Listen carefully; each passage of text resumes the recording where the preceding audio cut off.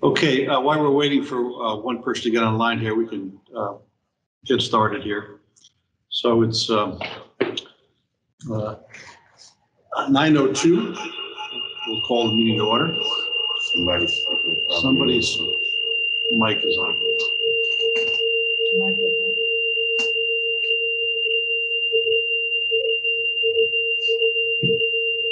Sounds like a fire alarm.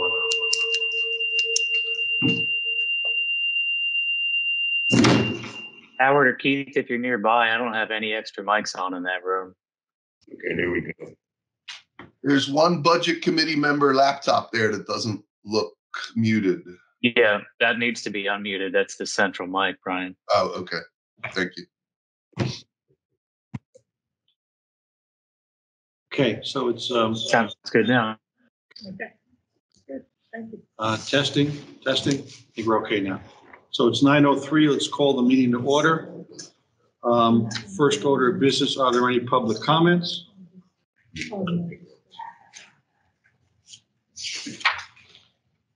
All right, given that there are no public comments, let's proceed with the agenda. Uh, So first up in the morning, we have a good crowd over in the, in the boardroom there, it looks like. Uh, And I guess we're going to start off with general maintenance. So with that, let's proceed. Okay, thank, thank- thank you. All right, so Linda Martin will take us through the, the budget, general maintenance, public works and CPI. Of course, Eddie Wells here to answer all questions along with Novi and the rest of us. So Linda, general maintenance section, Okay, um, line by line, I presume. section seven. So- Yeah, line by line. Okay.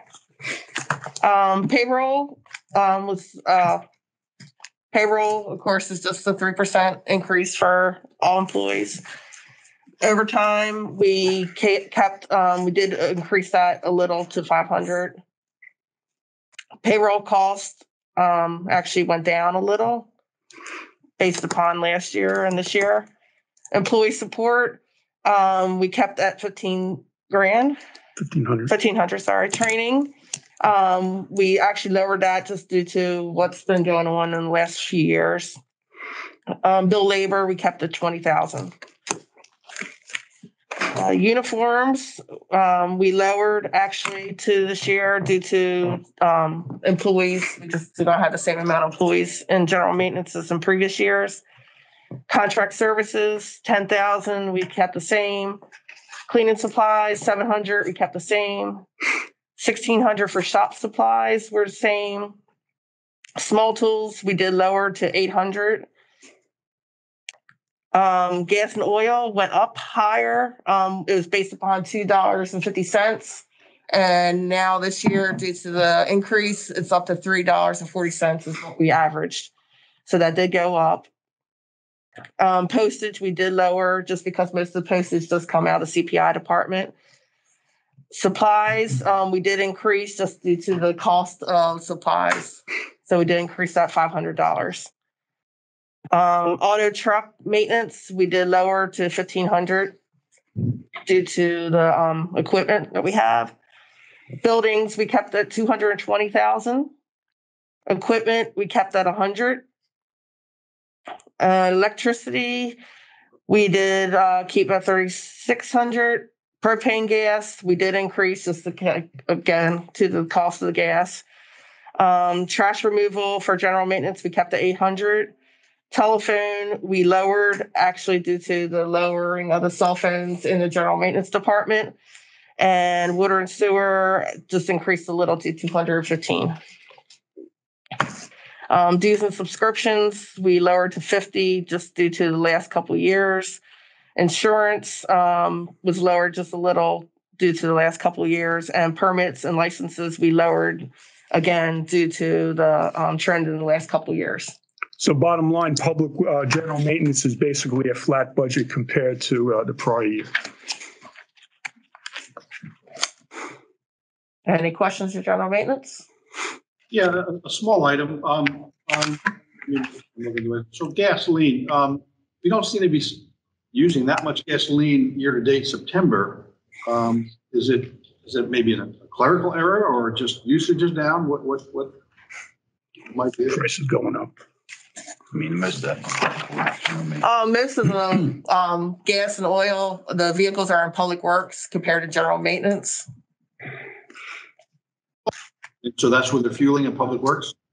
Yes,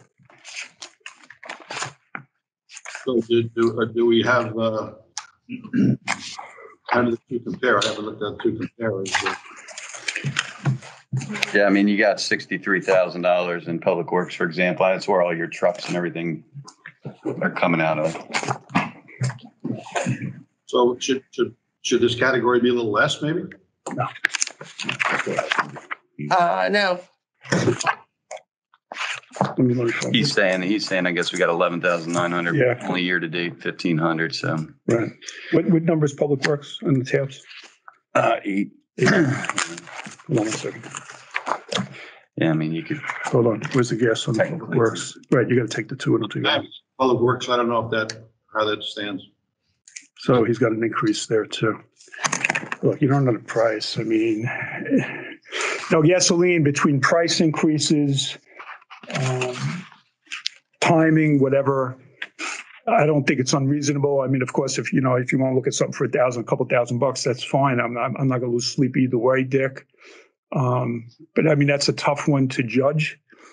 Uh, it- It's, it's a small variance, but I was just pointing out it's a clerical, yeah. but your Right. call. Um, Right.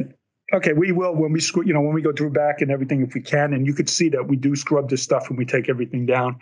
Uh, but we'll look at it. Yes. I got a question.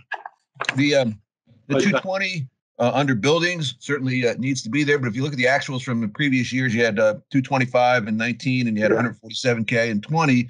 And Oh, so far this year, you haven't spent anything, uh, on repair. So I guess I'm hoping that certainly keep this in there, but are- is there plans to spend this money to make sure we do the deferred maintenance and everything that falls under this category? Yeah, and, and you know, and obviously from a variance, uh, Doug, this question definitely has to be asked, and it's been asked here. It's a, a couple of things I want to address on this, and I'm sure Ed will agree with me. First of all, the deferred maintenance, we did do a lot with new buildings and everything. We have plans for this year, for this building, and a few other items that we didn't do because of COVID. And right now, I got to see if we can even get to this building. Um, but one thing, and I and I'll ask Eddie to nod or disagree with me if we come up with one major thing or one thing that has to be done, done, it's easily a hundred grand. Yeah. I mean, we have work down at the uh, just maintenance and stuff that we did last year at the uh, at the beach club. So this is that deferred maintenance. It's there. I, I- think if we ever take it down, that's the year we're going to need it. Um, we certainly will be eating into this. Um, it's because of the COVID. Have been a couple other things. Yeah, yeah, we've, we've actually got some projects that we're working on now that we're waiting on material. Some things we've ordered six months ago. It's just Right. not being able to get the material right away. It hasn't hit the books yet, but it is coming up and it will be done. Right. To be quite honest, in general, for a place this size and everything, two hundred thousand, just a round number, Doug, two hundred thousand for maintenance is not a lot of money. I mean, as soon as you get one thing, or if something happens, or whether it's the decking down, it, it easily it's a hundred grand. Yeah, and, and trust, I, I'm not suggesting we take this out at all. I, as a matter of fact. Yeah, no, I to make sure understand. That that we got, uh, uh, you know, a focus, because I know there's a lot of factors like, you know, the avail- availability of materials, the Right. availability of labor and so on and so forth. Right. So, um, you know, I just want to make sure we're, we're heading Yeah. forward. with that, And I suggest, absolutely Yeah. want to keep that in there. Thank you. Yeah, and, then I understand your question is more about where we're at right now, and I think the team we and, I, and I've answered it. Okay, thank you. Um, I, Don, Well, I think Doug and I think the same way. I have the same question, so, so we're good. okay, okay. Um, kind of hate to bring this up at this time. But, uh, in general maintenance, uh, if we were to work on mailboxes, would it come in this category?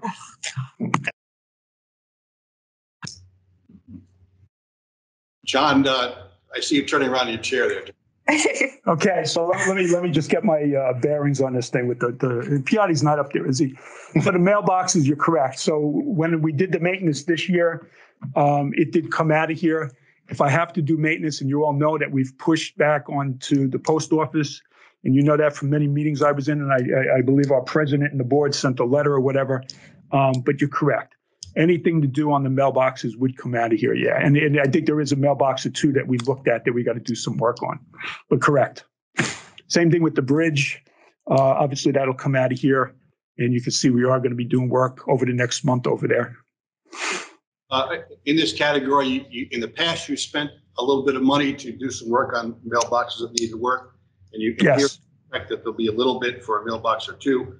I guess the, the question I'm gonna raise now is just the money and funds. Now, in the ideal world, uh, we push back, I wouldn't have to spend it, but I think we gotta be prepared for what might not be the ideal world. So given that, um, there may not be a a funding source to not paint, tend to mailboxes that are just in deplorable looking condition. They may be structurally sound, uh, but they're just horribly looking.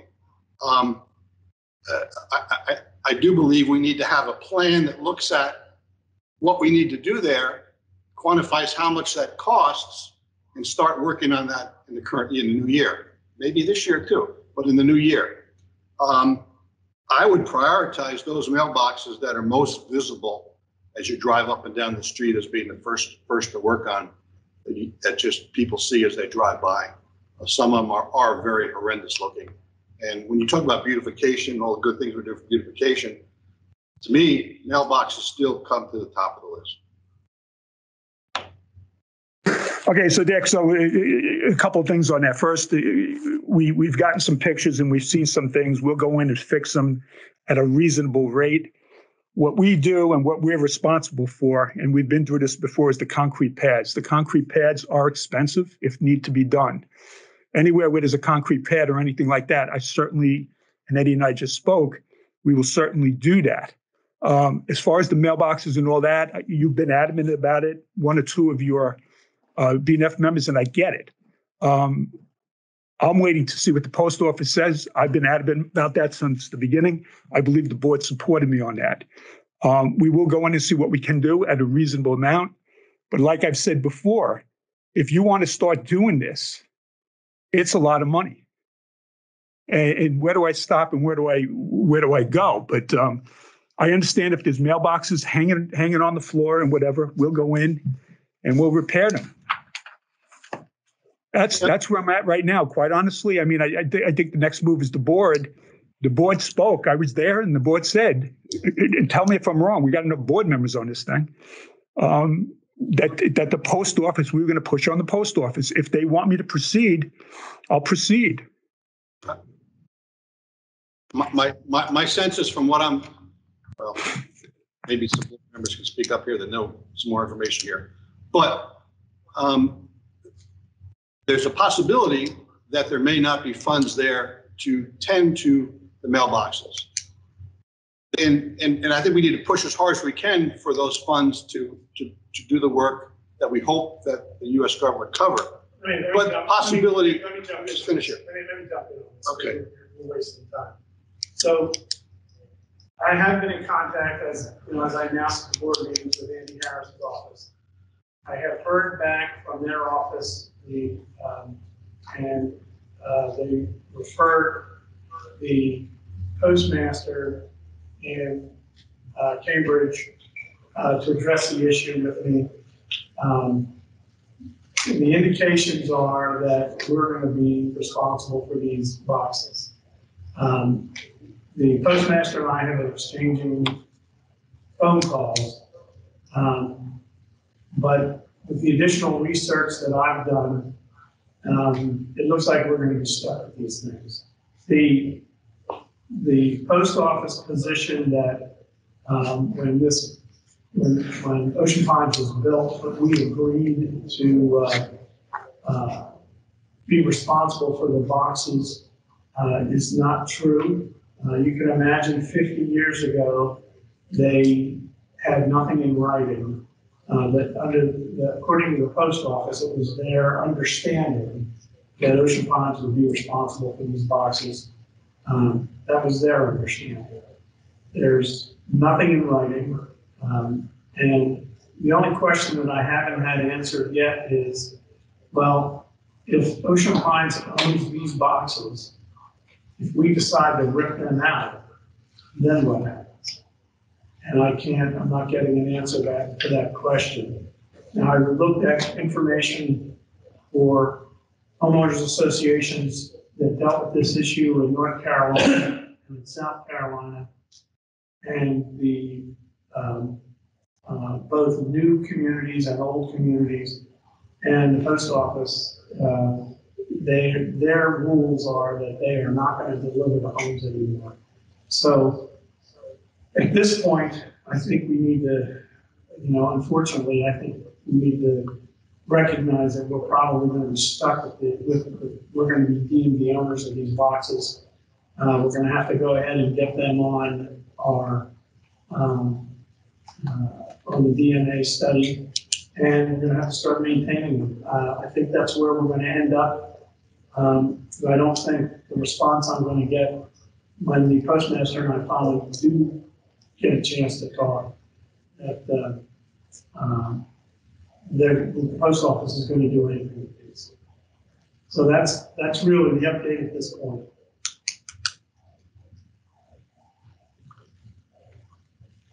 So I think what I'm hearing, Larry, is that um, uh, we should be talking about I'd agree. We just don't put out their general maintenance. any for Don't know where to put it. Yeah. address needs of the mailboxes. Yeah, I think that probably, we probably should be looking at that. Um, this idea of putting all the covers and everything over these mailboxes, that's a whole different story. Um, I don't think that's, in my own opinion, I don't think all that's necessary. but it's nice, but- B- BDS has been very clear on the presentation that we had on that way back when.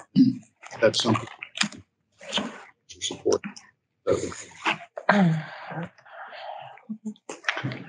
Okay, so if I could just jump in after getting all this knowledge now, uh, at this point in the budget and everything, and in this year, here's the way I see this thing. I will continue to fix what we see. Anything that's big, and there will be big items, uh, I'm going to need approval from the, apparently BNF has spoken. That's what I just heard Dick tell, tell the board, uh, the president right there. So I will need uh, to be tasked by the board because it will be a big number. Anything within my, my signing authority, we will certainly look at and, and start doing. But uh, what BNF is recommending here is a big number, and it's certainly not something that I can go ahead and do. So we obviously will have to look at this, evaluate it. It's not on our books, um, and then come up with a plan. Outside of pulling from other maintenance, which obviously we didn't have a big number in there for mailboxes, um, we would certainly have to look at that depending on what the board wants me to do. I'm, I'm sure the board, and we'll work on this for the board meeting if we are having a budget review with the board, because I seem to have a, I'm not sure if this is a hybrid meeting with the board and, and, and BNF, but if I do get tasked to continue the board meeting, which I'm assuming I will, we'll try to have something ready for that. That's the best I can do right now. And speaking for myself, John, and not for the whole board, but I would say that, um, you know, I think, I think the approach that we've taken so far to fix the things that are damaged uh, is the way to go. Right. Wholesale attempt to replace all the boxes, um, you're right, would be a gigantic number, and I don't think that's where we ought to be going. Um, All right, let me, let me do this. We have uh, Larry, uh, Dick. We do have some studies, you know, we got a bunch of them. Um, We're going to look at it. We'll try to come up with something that we believe is a priority. I know Eddie's been around there. I'm going to take a ride with him. Um, And we'll see what we can do based upon the parameters of this budget, what we really believe really should be fixed uh, to get into that beautification word that uh, Dick said, which I agree with him. And then we're going to have to go further on that because obviously that's something that's not in any budget right now. Okay, I got it. It- Hey, hey, hey, John, quick, uh, just curious it's a- on it from an accounting perspective. Do we have to realize those assets on our asset list before we can start charging, uh, you know, expenses against them? Or is there, you know, is, or is there a policy or a, you know, a law that Yeah, makes sure that we uh, account for that, that expense properly? Yeah, well, y- y- first of all, they're- you're correct, and I brought this up uh, years ago. They- They're not on the books. For me to go in there and maintenance, maintenance and expense them, not necessarily. Uh, Once we put a big number in there, then it would go on our books. Um, So for instance, if you task me to do, you know, I'm just using a number for an example, $500,000. when we do a program like that, then to me, and I'll talk to Steve afterwards, to me, then that's when we would put them on the books and that would be a new capital, uh, new capital charge. And then thus it would get on our books. That's how I believe it would be done. Um, we're certainly not going to go in there and just automatically put all these mailboxes on our books. Um, first of all, it would have zero value because it didn't cost us anything. Let us let let Steve let Steve look into this. But that's the way I see this: is that I can go in there, I can maintain them, I could charge our P and L or operating P and L with that. Once we get into a big number, the way I believe it would be right now is it's say five hundred thousand dollars. That's new capital, um, and then that that five hundred thousand worth of those mailboxes would be on our books. The other mailboxes would be on there at a zero value. But go- like, give Steve a chance to uh, to look at this, and we'll talk, and we'll get you an answer. But I believe that's the answer. All right, thanks, John. Yep. No, good question. Can I say a little bit? Um, I'm really sorry. I'd like to say something. I'm sorry that, um, that now we're responsible for these. Um, a little disappointed in my government right now. But the, um, the fact of the matter is, it's the bases that are bad. They're metal. They cannot handle this type of weather. They're not aluminum. The top parts are fine. So if we own these, why can't we just do aluminum bases? I'll be glad to design it and just put the boxes on that, and that will not cost us anything. Like Can we do that? Put the Replacing the They're ones we insane our aluminum. that's how we did that. Yeah. So just I don't know if can you hear me. So the ones that we re- replaced, that's that's what Eddie and the team did. Um, so you have the numbers. If you go back, I, I think it was like for each cluster, Eddie helped me out, fifteen hundred or twenty five hundred. Yeah. To put those what you're talking Yeah. about, Josette. So To expand on a little bit, we have done a study. We went to every site and we evaluated every mailbox pad, did counts and looked, and we have a list which we'll work with John and Steve on of the ones that need to be replaced ASAP and the other ones that don't need to be done right now. It's not like they all need to be replaced at one time. right. It's just, Agreed. yeah. Right. So we'll try to have that. I think the board, uh, well, first of all, there's it, two, two pronged to this. One, obviously for this year. Um, but I believe I can do that with the balance I have and, and the amount I'm going to spend and the amount of time with everything else that, uh, Public Works has going on. And then we'll try to put something together for this budget, uh, this proposed budget by the time we meet with the board, which I think Steve helped me out. What is this? Wednesday, Thursday, eight, The twenty, yes. 1920, 1920. So we'll try to have, so Doug, Larry, we'll try, Dick, we'll try to have something, uh, a priority list for that. All right? Thanks, Well, Jeff. Also, I have a question for Eddie. Mhm. Um, Eddie, in your study, did you also look at the mailboxes themselves? I'm Oh, yeah. hearing there are mailboxes that are Yes. leaking non, okay, so you have a list of those. Yeah, we actually looked actually- at the mailbox, the pad that they're built, that entranceway going into them, plus the actual pedestal that holds the mailboxes. We looked at all of it, So everything. all the, all the components, Colette, were all looked at and they're all broken out in the studies. Okay, and so we'll have a list of the priorities going to be those that need to be replaced based on function, not appearance. Is that- Correct, yes, because there's some that are actual boxes that are actually missing doors. Back doors are off of them. And like you said, there are some that are leaking. You can say they've been hit or bent. And then as uh Josette said, there's the bases that have rusted out over time because of the salt and everything else, just the area that we live in. But we evaluated every piece to the mailbox. It's not just the mailbox itself. It's the pads they sit on plus going into them, the entrance to them. Great, thank you. So, so Colette, I'll, I'll push back on that a little bit. Um, if I look at my mailboxes, um, some of them structurally are not bad shape, but they're, they're miserable as far as having green moss growing over them. They're miserable as far as having, having tape and, and remnants of people's putting things on them. Um, it may very well be, and, and John, I do applaud you with your process here, looking at, evaluating, come up with a plan to support that 100%. That's what we really need to do. But you might find in doing that plan that there are a number of mailboxes that structurally may have 10 years left of useful life. Maybe power washing, maybe spray painting, or cleaning up, I think, Oh, spray paint. is a, is something that we should be considering. We looked at. Yeah, with the power. So, so yeah, the power washing, just like with the bridge, we can go in there and do that. The only thing I'm going to say is, obviously, it's 30 degrees out there, 20 degrees. We need some good weather, but we'll, we'll try to put that in with this uh, recommendation that we have in a couple weeks. But that's something we can easily- easily do, and it, it sounds to me like, you know, we'll get uh, a benefit out of our dollar for that. Sure. The the whole point is if you have a, if you have a structural asset that's gonna last for a while, Right, it needs to be freshened up, painted, and cleaned up. right. And that, That may be, uh, um, Yeah. an and inexpensive. Di- Dick, go ahead, I'm sorry, go ahead. Power wash the front of them. Well, you, you, you're gonna have to work with the post office because there can't be any mail in them when you power wash them, you know, so you're gonna have to, it- it'll be a, you know, it'll be a joint. How you gonna do that? Do in the middle of that. All right, so that, that's, a that, that, obviously, that's gonna take some time with that, coordinating that, but that's definitely a maintenance, that's something going forward that should be done, just like the bridge and everything. That, that would be an example of something that comes out of this two twenty, but we will look at that as one of the first things to do, yes. And I also else? wanted to say, just as an item, that these, the life of these boxes per manufacturer is only twenty-five years, so kudos to Ocean Pines.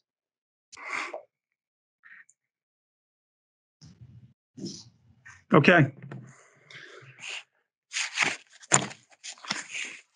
Anything else on general maintenance?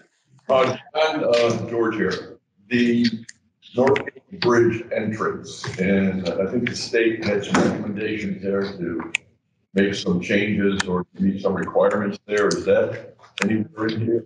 And this year's budget. Here's, they're drawing the drawings now, order the material. Yeah. So, yeah, we've done this update, George, and we were going to uh, uh, touch on this. So the engineers came in, they- I've been updating the board on this and, and BNF. So the engineers came in, they did their study, they did their review, they put it into the state.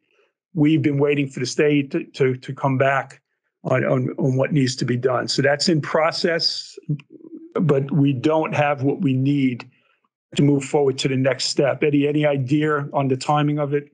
Eh, Going to the state, I don't know. I mean, you send something to the state, we're gonna have to wait, unfortunately, is the way it is right now. It used to be a couple weeks. I can't guarantee that.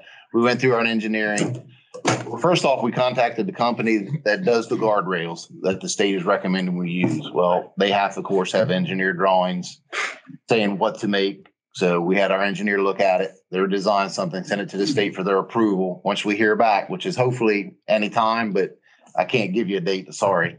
And then we'll move forward and we'll get the prices and uh, go from there. So as I look at this budget today, the money for that, not in. That's actually in this working budget right now that we're in.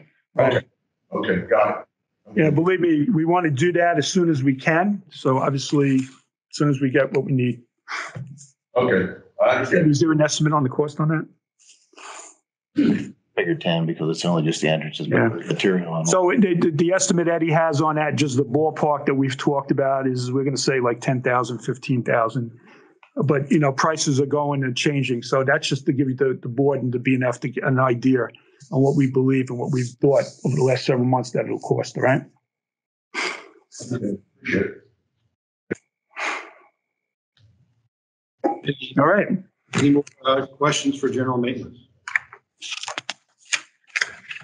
Okay, thank you, guys. Okay, thank you, Linda. Thank you, BNF. Good questions. Public Works, uh, slide uh, eight, tab eight. Okay, Public Works, um, line by line, um, county roads, um, we did increase that, um, to eighty-five thousand just because it's been trending higher in previous years. Uh, miscellaneous, uh, thirty-five thousand is proposed. For the payroll, um, due to the increase of, uh, the minimum wage, that did increase, um, several employees in the Public Works Department along with the three percent increase proposed. Overtime stayed the same at twenty thousand. Um, payroll cost went down a little. Um, A Question, just go back a minute. Could, could you tell me what's going, what, what, what's behind county roads? What, what are we doing there? So it's revenue. How do you get the revenue, Eddie? They give it to us, the county. And it's based on what? So that's revenue. It's the county's budget, what they budget to give us to help take care of the road. Just the agreement that was made years ago between Ocean Pines, Right. the county. So that's their contribution, Dick, to, to, you know, we maintain some of these roads. Eddie's out there fixing some stuff. Is that a moving, moving amount or is it pretty fixed? It moves. It moves a lot. It used to be a lot higher and then it, the bottom fell out back, I would say in their 2010, 2011, probably somewhere around in then. And it slowly has been building up a little by little each year.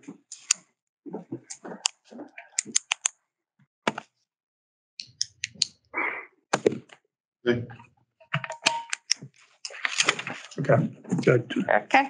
Um, Great, here. Uh, Eddie, how are we doing on the employment? I know we were short a number of people. Uh, Do some openings or? Are you looking to help us out? We're not breaking down our door. Everybody that comes in, we call and we interview. But um, the biggest thing that kills us, uh, unfortunately, the way I don't want to get into a whole lot of it, but with the government set up, you can sit home and make 16 bucks an hour and do nothing. And when we're hiring at 12.50 or 13 bucks an hour to do the kind of work that we're looking to do, get out and mm-hmm. shovel snow or get in a ditch and dig, they're not breaking our doors down. So the ones we do get that put in applications are either overqualified or they think they're overqualified and they want 20, 25 bucks an hour just to come do the manual labor that we have to do. So it's it's not just here, it's everywhere. I mean, you talk to the county, talk to the state, talk to Home Depot, Lowe's. It's just it's hard to get anybody to do the, the labor end of this type of work. Okay, um, we saw how many openings? What are we, five? I think it's talk about the positions that we kind of. Yeah, Yeah. I think it's five full-time positions. Yeah. So, it Didn't last year, we kind of, um, we didn't remove them from the, from, from. the Yeah, plan. three. One to three. I think it was four. It was a three? Yeah, Dick, so it was either three or four. Steve's uh, telling me it's three. I thought it was four. We left, you're right, we left the FTEs there. Nothing was eliminated. We did not fund them last year, correct? Not from this year at this point. Did you fund them this year? No. No. We, we did not fund them this year. Uh, That's Larry, we did not fund them. We're having a hard enough time filling the spots that we, we had. And it was the understanding that if in fact you're able to find people, then the board would have no problem. Correct. What do you say, the board? one? If we found people that were fit, Oh, yeah, we'll hire them. to hire them. Yeah, and that's why, that's that, also that mark to market adjustment I talked about yesterday. We're working with HR and um, working with Eddie, Kathleen, so that we can try to hire people. That's that mark to market piece in that uh, category that I gave you all yesterday. Okay, moving on. Um, employee support, we kept the thirty-five hundred. Training, we kept the three fifty. Um, bill labor, tw- uh, negative twenty. As previous. Computer supplies, um, we actually lowered to twelve hundred just because of what's been the last couple years. Um, equipment rental, we lowered to seven thousand, um, just because of what we've rented in the last few years. Uniforms, um, we did lower just again to the, to the decrease of employees. Um, so we did lower that to ten thousand five hundred. Contract services, we kept at forty-eight thousand. Cleaning supplies, we did lower, um, to one thousand two hundred fifty. Landscaping, we kept the same at seventy-three thousand two hundred fifty. Signs, we kept the same at six, I A question landscaping. Um, so what is our, our contractors doing? Are they uh, drainage work, ditch work, or is it grass cutting? ditch work. Ditch work. Most of the, su- most of the subcontractors is ditch work. We got, we have a lot of ditches in here that I can't get equipment in. They have to be done manual labor. Only way you can get in them and clean them out. And we just don't have the workforce to do it. So that's why we contracted them out.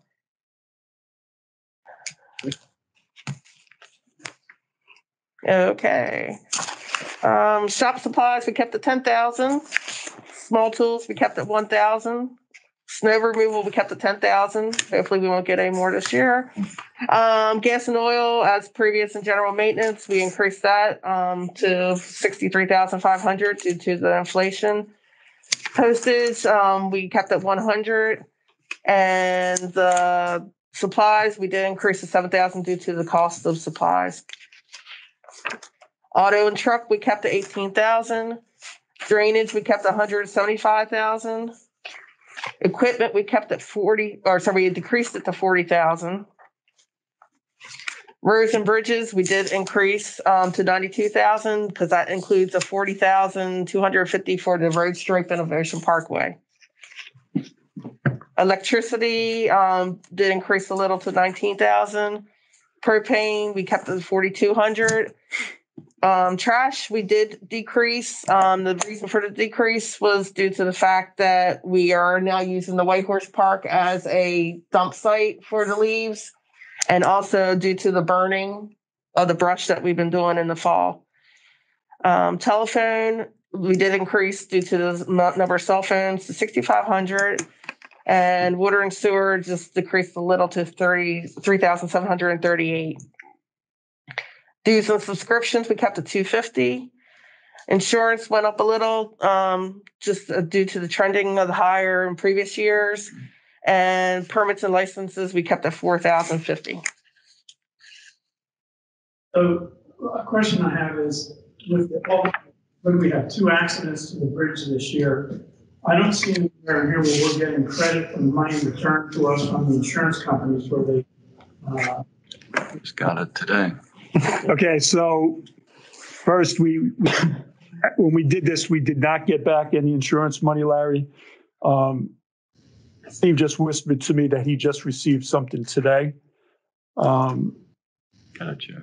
When we get those checks, uh, to me, it gets recorded. Amy for the labor. I, Amy the material. I, we don't plan for something like that because as you're saying, if I have an expense, Larry, of ten thousand, I'm gonna get the insurance back, then that's a wash. And hopefully the insurance goes into wherever we put the, uh, the charge. So to me, the example that you're giving is, it, should be net. So we don't provide for it. I can come up with a number and put ten thousand in expense and then ten thousand for insurance. I don't see the point on that, but to, to answer your question, that should be a wash. except that if we don't, we don't credit it back, John, we're just taking it, it as an expense. So Steve, what did you, Well, he's got it. Well, hold on, Larry. I'm, I'm talking. So he gets the money. He's got to record it on the books. I have seen in situations. You're right. It may go somewhere else, and then I got this expense out there, which I, I saw with the uh, the Bainbridge, and then I got uh, the papers asking me, and rightfully so. Hey, John, you know, you you you you were overspent, but we had the credit for the grant somewhere else. So, like I said, he he should be if he charges the expense to that line item, and it's insurance. When he gets the insurance, he should net it there. But even if he doesn't, it's on the books and it nets out at the end. And it will happen this year. So obviously, he just got the check. I'll talk to him after the meeting to see where he's going to record it, but it does get recorded. So net nets our bottom line is neutral as what you're asking, Larry. Um, and again, I'm looking at a budget here, not the actual, but I will recommend to him that uh, he offsets with the expenses. That's the, that's the way I did it in a prior life. Okay? Does that work? uh, listen, John, that, that, that's fine. I just want to make sure that, uh, you know, if we're getting twenty thousand dollars back for the Yeah, right, right. So that's, to, uh, somewhere else. Right, but I got, I got two right. We're looking at, so I just want to make sure, so, and make sure I understand. So this is the budget. The budget's separate from our actual. In the actual, and you're right, you might have saw before where we had an expense somewhere and it looked like we overspent because other people have said to me, but then when we got the credit, the credit might have been posted somewhere else. And I think this is what your point is. He should really net them in the same account. And like I said, I will talk to him afterwards. Obviously now he knows and we'll do that. But that's, I'm not going to plan for, if your question was with the budget, I'm not going to plan for that. Right? You want me to plan for it? I don't know, I didn't hear him. Listen, yeah, I just, listen, I just, you know, because there's so many questions on this bridge, there's so much attention within the community. And, you know, Right. people are going crazy with the accidents there. I just want to make sure that. Yeah, so, okay, so yes, when he gets the insurance, he, first of all, he definitely records it. He should offset with the expenses. The third is obviously the GM. When I give the updates, I need to say that. I've been saying that with that bridge, that it was hitting two times. I said that, you know, we had an estimated expense, we were waiting for the material, and that this would be insurance. So to summarize, he will record it in the same account. Thus, you'll see the zero, and then that should be reported on either in a variance analysis by the controller or the GM. How's that? Is that good, Larry? That's fine. All right. Yep, no, I agree. All right. What else? Any any other public works questions? Uh, Small detail, and again, maybe, but on the detail page under gas and oil, we still have two fifty per Yeah, that was a typo. Yeah, that's just a typo. It, it was up to three forty. But the, the total number's right, it's just. a- Yeah. So, yeah, so the, uh, the, I mean, labor and the bridge repair, those are, that's what's driving the the increase. That's all understandable. Uh, Linda, you did a pretty good job scrubbing this. I can sense spikes and downs for each line item, but you gave it a careful review and looked through. all looks good.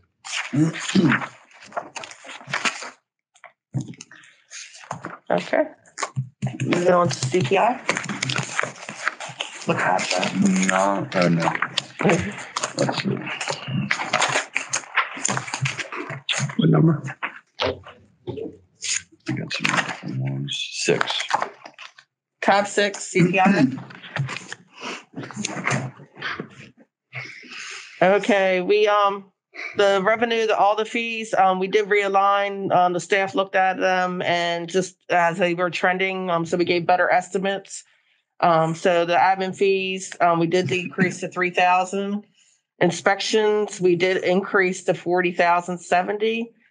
Filing fees, um, we did increase, decrease to sixteen thousand two hundred ninety. Um, resale certificates, we kept the same, um, to one hundred twenty-five thousand. Um, interest income, we did increase to one thousand two hundred and fifty. Um, payroll, um, is, Linda, yes, uh, have we made, um, any increases, changes to our fees?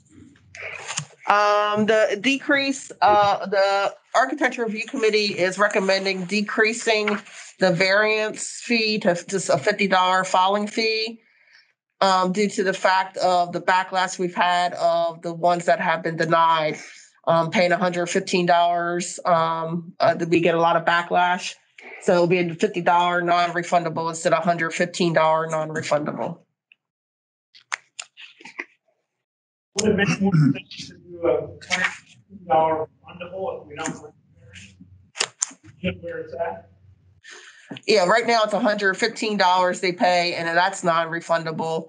Um, they're trying to be a little more fair and make it a fifty dollar um fee, a flat fifty dollar non-refundable fee. I can't hear. I didn't hear you. So Yeah, loud, they, loud, they can't hear you. I think you got you muted. You are far- a little far away.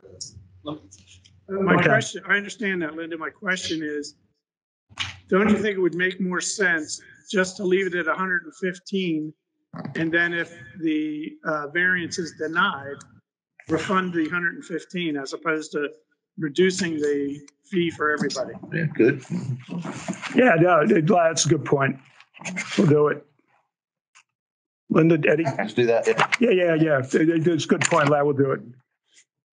Hey, a a question on that. Linda, unless I misunderstood, I thought you said that regardless of whether the variance is granted or not, the 115 is not refundable, correct? Yes. uh-huh.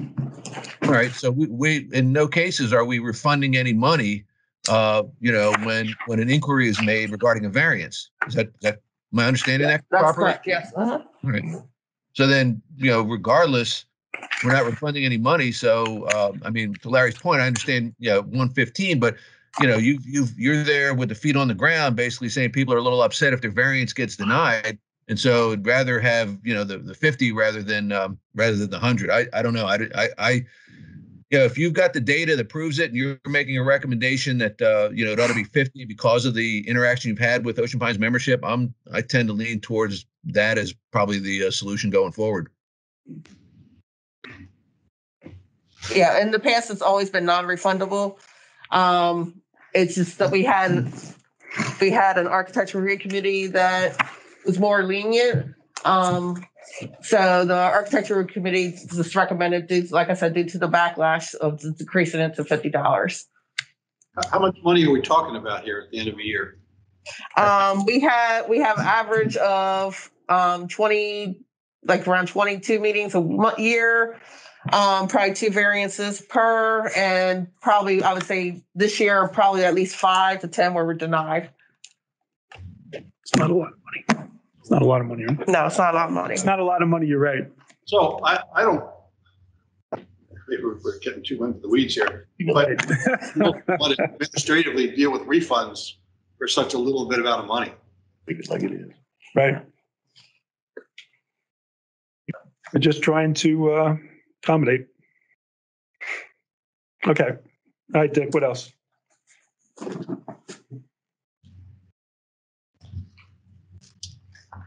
All right, uh, comply, oh, we were going through compliance, were we? Did we go through it?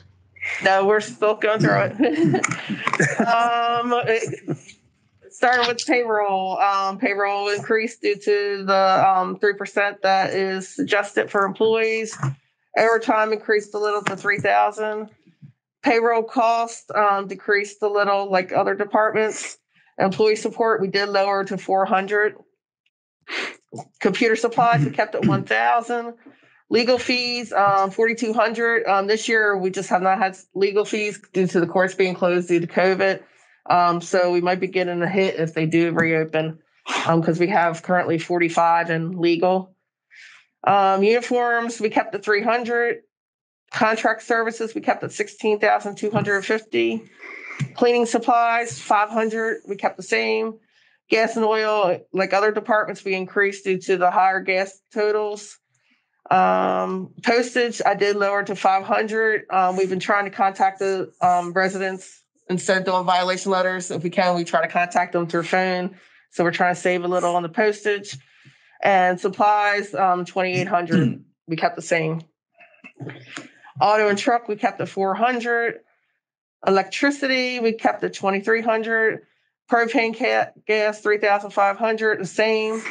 Um, trash removal, we kept the same at five hundred and fifty. Telephone, we kept the same at four thousand nine hundred. And water sewer, we just increased a little to two hundred and fifteen. Um, insurance rates did go up, so that was increased to two thousand nine hundred and thirty-five. Okay. And uh, resale certificates are the same, kept the same? We kept the same, um, it's just that they, they've been slowing off a little, the summer season's over, so they're slowing down a little. Yeah. The Same billing rate, same billing rate? Same billing rate of two hundred and fifty per package, yes. We raised it last year, right? No, it's We stays. didn't raise it? Uh-huh. No, it stays same.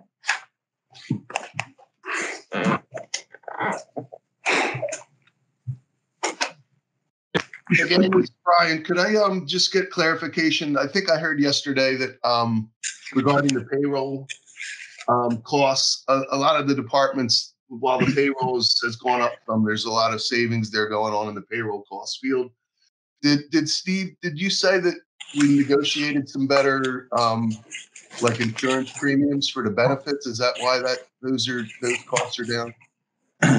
Uh, if you recall, la- last year during the budget process, we were still uh, not sure what the rates were going to be. So we budgeted what we were anticipating. We ended up coming in better and negotiating better. So what you see there in this current year budget is higher than what we're actually coming in at. So so this current year we we lowered it um, based on what we're actually coming in at. We still need to negotiate based on the new fiscal year coming up in, in May that and I think John alluded to, you know, there's definitely uncertainty there. You know, it could could go mm-hmm. up, you know, a lot of things, a lot of things come into play there. But based on the latest and greatest information we have at this point, it, it makes sense to take it down from what it was last year. Right. So if I may, Brian and, and Steve, can I just add on to that? So the timing of when we finalize the insurances, basically at the end of the budget process.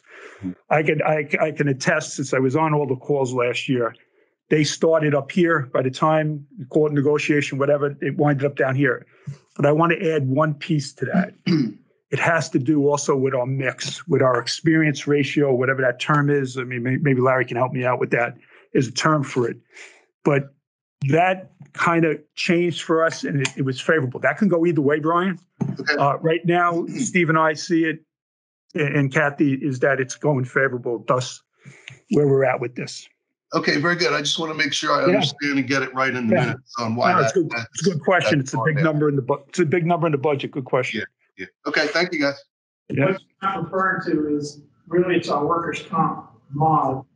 And then we had some workers' comp expenses It's also the medical. Medical. Yeah, Larry, just, and again, there's two pieces. You are right on the workers' comp, totally agree. On this one, and I'll let Steve jump in, this one is the medical. Um, But it's the same scenario, Larry. It's based on, I forget the term. I'm hoping somebody will hit me with, it's like the, the experience, history or whatever.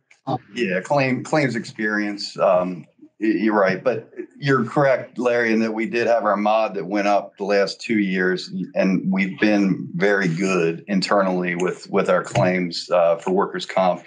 Uh, so that mod has definitely gone down. Um, so that, it's a, it's a couple of factors, one being the workers' comp, also the medical insurance rates as well, know?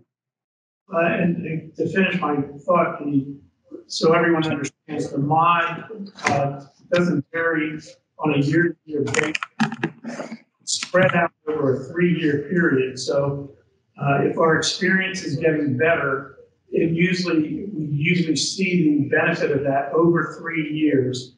Uh, that's how the underwriters spread it out, so you're not taking a big up or down one year. So that's, we're probably starting to see the benefit there in workers' comp and also uh, uh, the experience with uh, uh, the medical insurance too. Right. And, and just to put that in perspective on a timeline, so obviously a year ago, we were kind of going this way, if you all can see me, right, Steve? But then the mix changed and now it's kind of like this. So we are out in front of it. It's just timing of when we get the bill. Um, and we did definitely reflected it here last year. Obviously, as we hit that plateau and we were coming down in the timing of the two or three months, we kind of over provided. Uh, but believe me, we took it down more from the first two times what they told us. Okay. All right. Did you want to go ahead and present bulkheads? and Yes, let me just, let me just uh, start off if I can. Um, Where am I, Dick? So that's it for, for CPI. Linda's asking if she can go forward with the bulkheads. If you're okay with that, it's, it's just a couple points I want to make on bulkheads before she goes line by line. Sure. Great. Okay, so now we're on bulkheads. What section is that? Nine? So section nine, but before, uh, and I've gone through this with B&F and everything in, in board meetings, and it's certainly, it's here in the progress, and certainly asked me a bunch of questions. But a couple things I want to point out for those that are new here. So we normally, at least since I've been here the last several years, we've tried to do 3,000 linear feet. The price has gone up substantially over those three years, if not before I got in here, several hundred bucks each year. We did have a big increase last year. I believe it was $100 for the bulkhead differential. This year, it's coming in flat. But a couple of components to that obviously is this. So I believe, and Eddie or Adobe jump in, last year we were able to get a price of 355, somewhere in that ballpark, linear foot. Yes. Okay, so we and the board approved it, and and we we were able to get we we we uh, we went in, we we paid you know ten percent down to get so they could get the materials last year, and we got a price of three fifty five, which helped tremendously. Uh, if we didn't have that, it was clear to me and everybody else it would have been over four fifty to to do it. This year, again, I came to the board. I asked, which was approved by the board, uh, to get the material up front. I don't have it in front of me, but I came forward with 2,000 linear feet at $425. And, and just in the time, and, and Eddie will point it out when he talks too, we started off at 405, but the material was going up so much and everything. We're coming in at $425 a linear foot in this proposed budget, 2,000 linear feet. But here's the reason why not the 3,000. First, the last two years, and especially this last year with COVID, with with the trying times to get material and even labor, we and the contractor went over the date where we really are comfortable doing bulkheads, which is uh, Memorial Day, the end of May. We went substantially over that. The amount of calls, the amount of uh, just tremendous amount of calls. So we believe the 2,000 linear feet. So does the contractor that works better, especially in these times. And let's try, also try to give it some time to see where these materials over, over time. maybe starts to stabilize. So that's where we're at on that. The other thing, as far as you know, some people say, well, you were doing three thousand. We just did how many square feet? Four fifty. Four fifty. 450, yeah. So we just did 450. If you remember, a couple months ago, I came forward to the board. I called it emergency. Uh, we we certainly had a situation with bulkheads. It was probably one of the worst bulkheads we had. That 450 linear feet, and we got a good price for it. What did we pay for that one, A? Uh, Paid 350. 355. So we got we also got that in at 355. So those are all the reasons why we came forward. Why I came forward on that. That 450 would have been part of this 2,000. So it's not like it's not like we, we have this drastic reduction of linear feet for this proposed budget. All right, good. All right, so any questions, any more detail on everything? I got Noby here. He's an expert in this as well as uh, Eddie and Linda.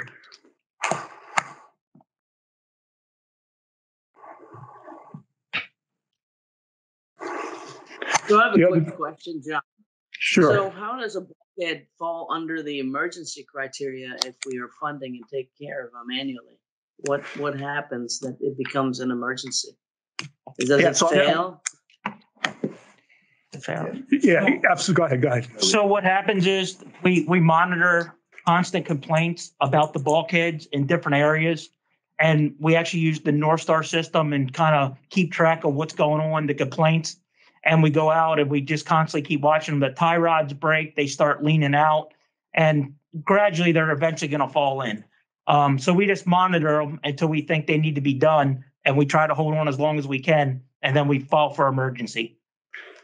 So also with that, Jo- Josette, with the 450 that we came forward a couple months ago, which was the general area that happened to be down near the golf course, we had a contractor who had freed up some time also.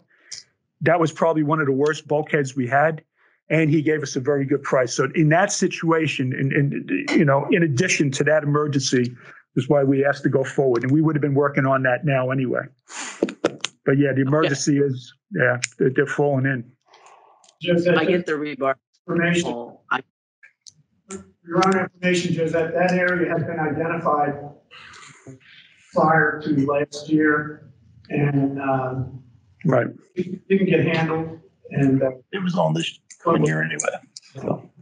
Yeah, and Larry's right on that, Josette. I, my first year in here, uh, I went down there. We just, I don't know, we just couldn't get it in at that time, but that one was identified several years ago. Yeah, Larry's right. you guys are an amazing group. How you get all you get done in one year blows my mind, but thank you. Thank you, Josette. So don't, don't uh, be despair. Don't, don't be so hard on yourself because you guys do a great job. Thank you. Appreciate it. Thank you, Josette. Thanks. Okay, bulkheads. Uh, Noby, why don't you just tell them a little bit? It's not just the contractor, what else you do, what your team does, Eddie. There's other costs in there that then ties to the reserve. Why don't you tell them about that, the sod, the dirt? uh, Just like, I'll, let- I'll let Noby talk. Like I said, he's been here longer than I have. He's going on 25 years. Um, and he's been involved in bulkhead since he started. He'll give you a rundown. We do get the complaints. Constantly, we go out and check. If we have a sinkhole appears, our cap board comes off, the, the normal things that'll happen during a storm. Uh, but I can let Noby give you an idea of some of the other things we do where, where we have pipes that go through the bulkhead and the pipe will fail because you got a, a galvanized culvert pipe that is 40 years old. Well, now it's rusted out. So now you've got a leak around it. So he can explain a little bit in detail just to give you an idea of some of the, the fixes that we come across and have to do. They're not bothering with the coffee pots. She said, I guess it was you that called her on Friday. Yes. Don't bother with them. If anybody wants a cup of coffee, they bring it themselves. Yes. Oh, it's like, that was like, what was that? Okay. you know, I mean, but making coffee, access to water, you want to figure out how to get the water out of the sink in the back. right, Mommy, right. Hey, Hey, Debbie, you're unmuted. All right, Noby, give us some examples of some of the things that we've done over the years, like even pairing the tie rods or the repairs. Right. So yeah, in in the past when we had a bigger crew, we used to be able to go out and dig up some of the walls that failed and actually pull the rods back and do some welding and rebolting. Um, as our crews have shrank, we get more into higher and outside, even to do some of them bigger repairs. Um, we've basically tried to look at the oldest walls from the transite to the aluminum, Um, and, and I always get the question, my house is gonna fall in the water because the wall's failing. But a lot of people don't understand, most of the time, you already have another wall behind that existing wall that's fallen in. So you're not gonna lose any dirt or anything, but in your mind, you believe that. So there's a lot of things we go out and we have to do a lot of consultant work um, in-house to try to explain just the simple things to everybody out there. So Okay. So the point I'm making on this and what nobody's saying also is you, if you take the contract for the 2,000 linear feet and you try, because people try to do this and then I get calls. If you try to tie that into the reserve and everything in this budget, there's other working here, there's other salaries, there's a percentage of Eddie's, Noby's, a few other people. There's the sod and all the other work that our, our public works uh, team does in addition to this contract. And there's a lot, and, and trust me, uh, the bulkheads before I got in here three, four years ago had kind of stalled, and there was a lot of things not going on. Uh, once I found once it, Noby, uh, trust me, it's a gift. But Noby does, and Eddie, and Eddie, and Eddie, Yeah. Justin, and everybody else. What they Yeah, his Noby- experience, you can't buy it. what they save on these contracts, if you go out there to try to get another price, the relationships that they've built, it's saving us money. And I got the proof to show it. That's all I got, Dick. Okay, well, this is a pretty straightforward one. Okay. And then- Brian, I got a question for you. Um, on the, um, the dredging line, seven five eight nine zero. Um, we're budgeting ninety K for this coming year. Um, but we haven't spent a whole lot of money there in the past couple of years. Are you anticipating? I'll put it on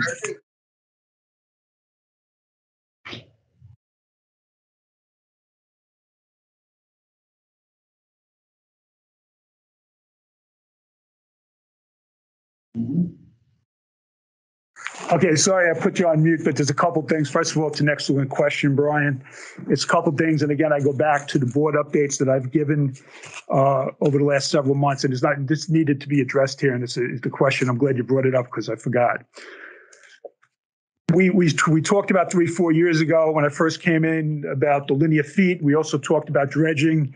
We looked at pro- probably, we said we can do 20 a year. And the dredging for the 20 a year is in this number. Now, the reason, and you're correct, each year we haven't used that money is because, and I'm going to let Noby jump in when I'm done. He has the detail. Over the last three or four years, we've had, and blame it on COVID or whatever, or the people aren't in their offices and they're sitting on somebody's desk. We have not been able to get the permits. Right. And I think the last permits we got, which I think was over a year ago, was for permits from two or three years ago. Correct. Nineteen. So, you know, I'm not going to stop budgeting for it because then that'll be the year that, you know, we get 40 of them. so, but that's what it is. And that's where the favorability is. But excellent question. Okay, thanks, guys. Just wanted Yeah. to know. No, it's spot on. Yep, thank you. Any Okay. more questions on uh, bulkheads and waterways? Okay, Judge, there's one on topsoil. I think Kathleen's, Topsoil. Yeah, but it's ninety-two thousand year to date. that was the sod too. The sod, uh, I, I'm sorry, I was just checking to see if the aquatics director was here, but, and I'm going to let Noby jump in again. It- Obviously, the sod is a big number in there, if that's what he was asking, Noby. Topsoil side. I'm just going to go out and get Kathleen, but you're in good hands with uh, Noby. Eddie. Yeah, so all the, all the bulkheads that we do, we backfill them. And then we actually sod everybody that requests sod.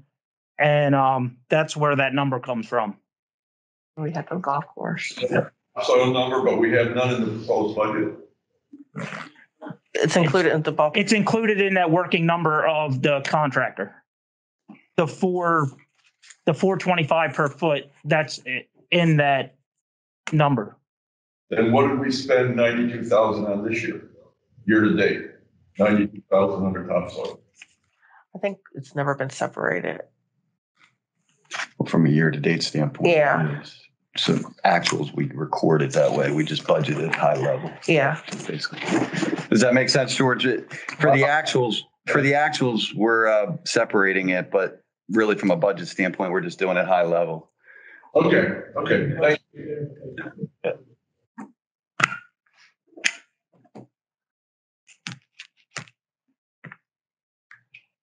More questions? Okay, thank you. Thank you.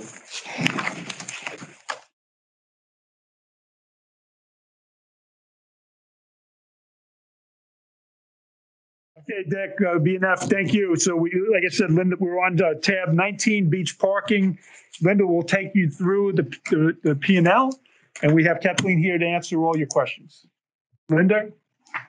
Uh, Okay, line, line. Um, for, uh, first line, the, the fee uh, decreased, uh, for parking only for, to three hundred fifteen thousand, three hundred sixty-four. The parking weekly, looks like a new fee of twelve thousand, one hundred fifty proposed. Parking daily, um, decrease, or increased to four thousand eight hundred. I'm gonna, I'm gonna Lost stop. the picture. Okay. We lost the picture. Um, so year to date, we're four hundred and sixty-one thousand dollars through September, which is virtually the year. There's no more parking. And basically, um, our estimate is less, but it's clerical error, and our proposal is less. I don't, All right, you want me? Because you got the detail broken out, right? Deer in headlights. Detail broken out. Good, Steve. Yeah, so uh, our GL account actually is this, the same. So the actuals are recorded. It's kind of the other way around from what I was saying with bulkheads. From an actual perspective, it's recorded at all in 48597. We wanted to give you guys the breakdown of the different categories. And um, yeah, so 461 is what we have year to date. Our estimate's 535. The difference there is just the lease uh, amortization for the last seven months, seven or eight months after September. Uh, so that additional Seacrets parking lot revenue still needs to be recognized to get you to your 535 estimate. So what we're doing in the proposed budget is budgeting flat to our estimate. No price increases, keeping the pricing the same. Basically, the uh, numbers the same on the for last year how we ended up. okay, so the same, the same number of, uh, passes sold at the same rate equal to last year. Yeah. Um, did, did we give any consideration to, uh, not advocate this, but did we give any, any discussion on raising that rate or? We raised it last year. It just, it was raised recently. Yeah, I, I believe, Dick, we raised it last year. Um, I do have plenty of opinion on this. Um, we did not, we decided on this not to raise it. I can't see why we cannot raise it, but we did raise it last year. And, and last year we had the big rebound as far as, uh, um, you know, people coming out of COVID. Um, I guess what we're saying is that we look at, we look at that volume of, of passes sold as being representative of a a typical summer, I guess. huh? Right.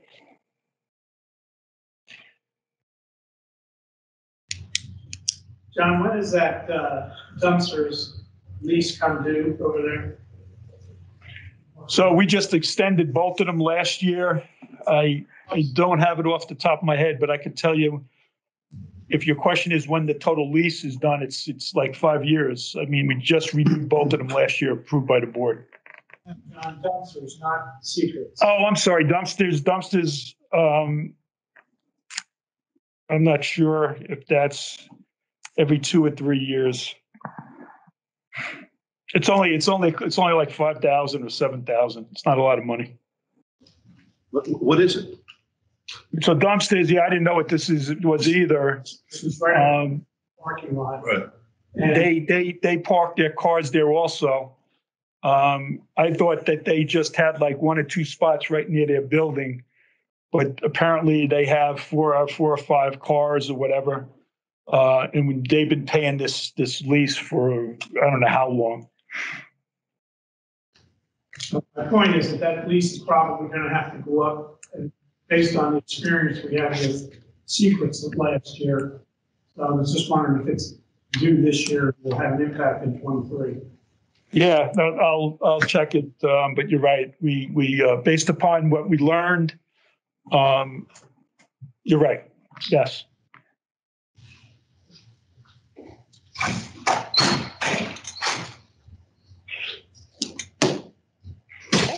Moving right Yeah, on. keep going. Okay, um, payroll increased, um, we have the three percent in as other departments, so that increased to thirty-three thousand nine hundred and eighty-five. Um, overtime, we kept the same at three hundred. Payroll costs increased a little to six thousand sixty-two. Uniforms, um, stayed the same at three hundred. Contract services stayed the same at nine thousand eight hundred. Cleaning supplies stayed the same at four thousand two hundred. And supplies stayed the same at two thousand. Um, equipment stayed the same at three thousand. Uh, the insurance increased to two thousand eight hundred and eighty-eight. And the permit and licenses decreased to hundred and fifty. Okay.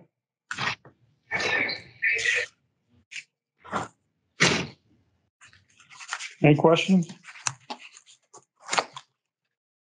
John, real quick, noticing um, under parking lot and repairs and maintenance, basically, uh, you're not you're not um, funding any of that. Uh, are we okay with the fact that uh, uh, there's no repairs needed or no maintenance needed at the parking lot next year?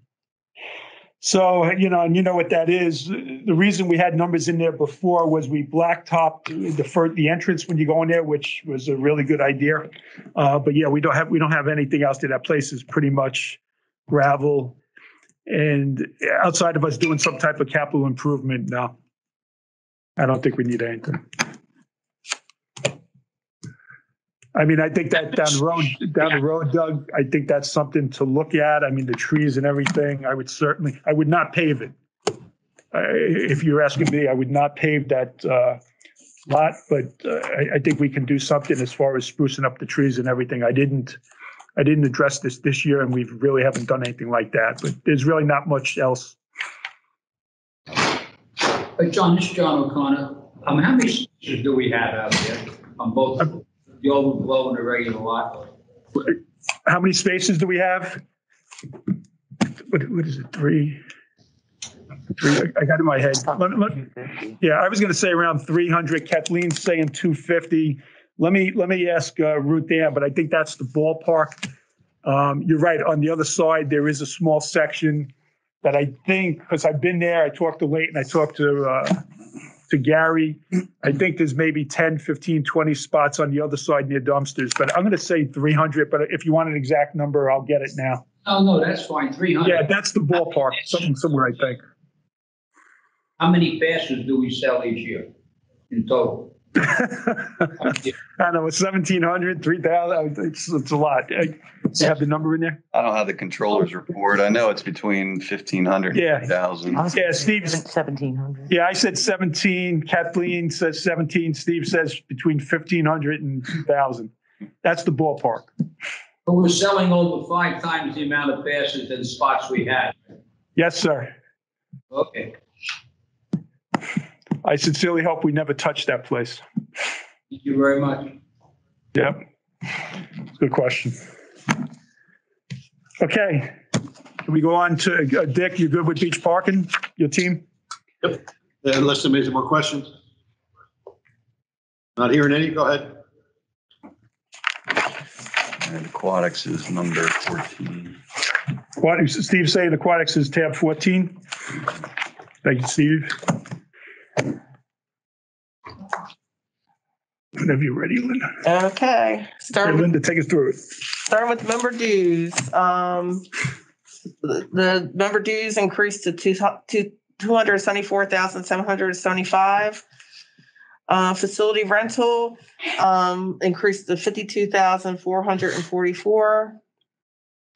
Coupons, um, it looks like there's nothing budgeted for coupons. Right. Cause, oh, that, that's right Yeah, we did away with that. coupons. Um, daily fees have increased to four hundred and eight thousand. And swim classes have decreased to the hundred fifty hundred fifty thousand. Spending, Can we talk about um, Yes. fees, um, usage fees, changing usage fees? Go ahead, Kathleen. Kathleen? It was my um, recommendation that we make a change in the daily fees for both residents and non-residents. I went to Ruth Ann and also um, Julie to confirm when those fees had last been changed. We haven't had an increase in daily fees since 2012.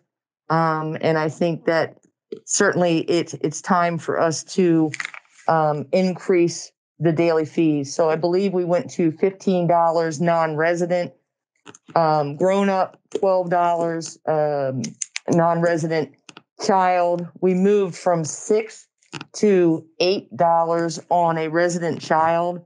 We moved from eight to ten dollars on a resident adult. I'm also proposing that we begin to charge uh, children from the age of one to four. Our policy is right now you don't pay until you're five. However, um, they are once they're walking, they're using the pools and they count in our capacity. We've seen that through the COVID year that uh, they have to count in my capacity numbers. However, I don't generate any revenue, as well as particularly Mumfords and Swim and Racket. Uh, those facilities will go to capacity very early, sometimes as early as 10:30 in the morning, and uh, anyone that comes in that's below the age of five, I generate no revenue. I don't have a history for you as to what that proposed increase would be because we don't capture the data um, but is my firm feeling that we should in fact be charging for everybody over the age of one. Yeah. And Kathleen, if I could just add something, and Dick, I just want to add something on it. And Kathleen's right. She did come to me. There hasn't been increases down there for seven years. But with that said, the overall budget, and you've seen this in the other amenities, golf, uh, racket sports, and whatever, with inflation, with the minimum wage incre- increase, with the what I call the mark to market adjustment we needed, that that's the time it, it's prudent to increase reasonably increase prices. So that plus the seven years or whatever the exact number is that Kathleen's saying is certainly, and, and I think these are modest increases It'll be 10. uh, for aquatics. I gotta Ken? tell you, Kathleen, they'll. Yes, sir. Really disagree with starting to charge children, uh, under five. Uh, I understand what you're saying about the COVID, the it impacting the numbers, but, um, I think it's a really bad idea. And I think that if we need to make up the revenue, that we make up the revenue on the, uh, daily non-residents. I think, uh, increasing the the increase in the adult hire and the children for the non-resident hire make up for the difference. I just, you know, I just think it's a really bad idea to start charging kids what happened with COVID. This is, this is gonna be, this is not gonna be received well. And I think that, um, the pools. Yeah, and, Larry, Larry, Larry, or Dick, somebody, we're having a very hard time hearing Larry. Oh, Yeah, I'm sorry, okay, I- But you were muted, right? Go Yeah. I, I went ahead and unmuted. I- Yeah, I good, said- good. I, I said, I think this is a really bad idea, starting to charge kids under five.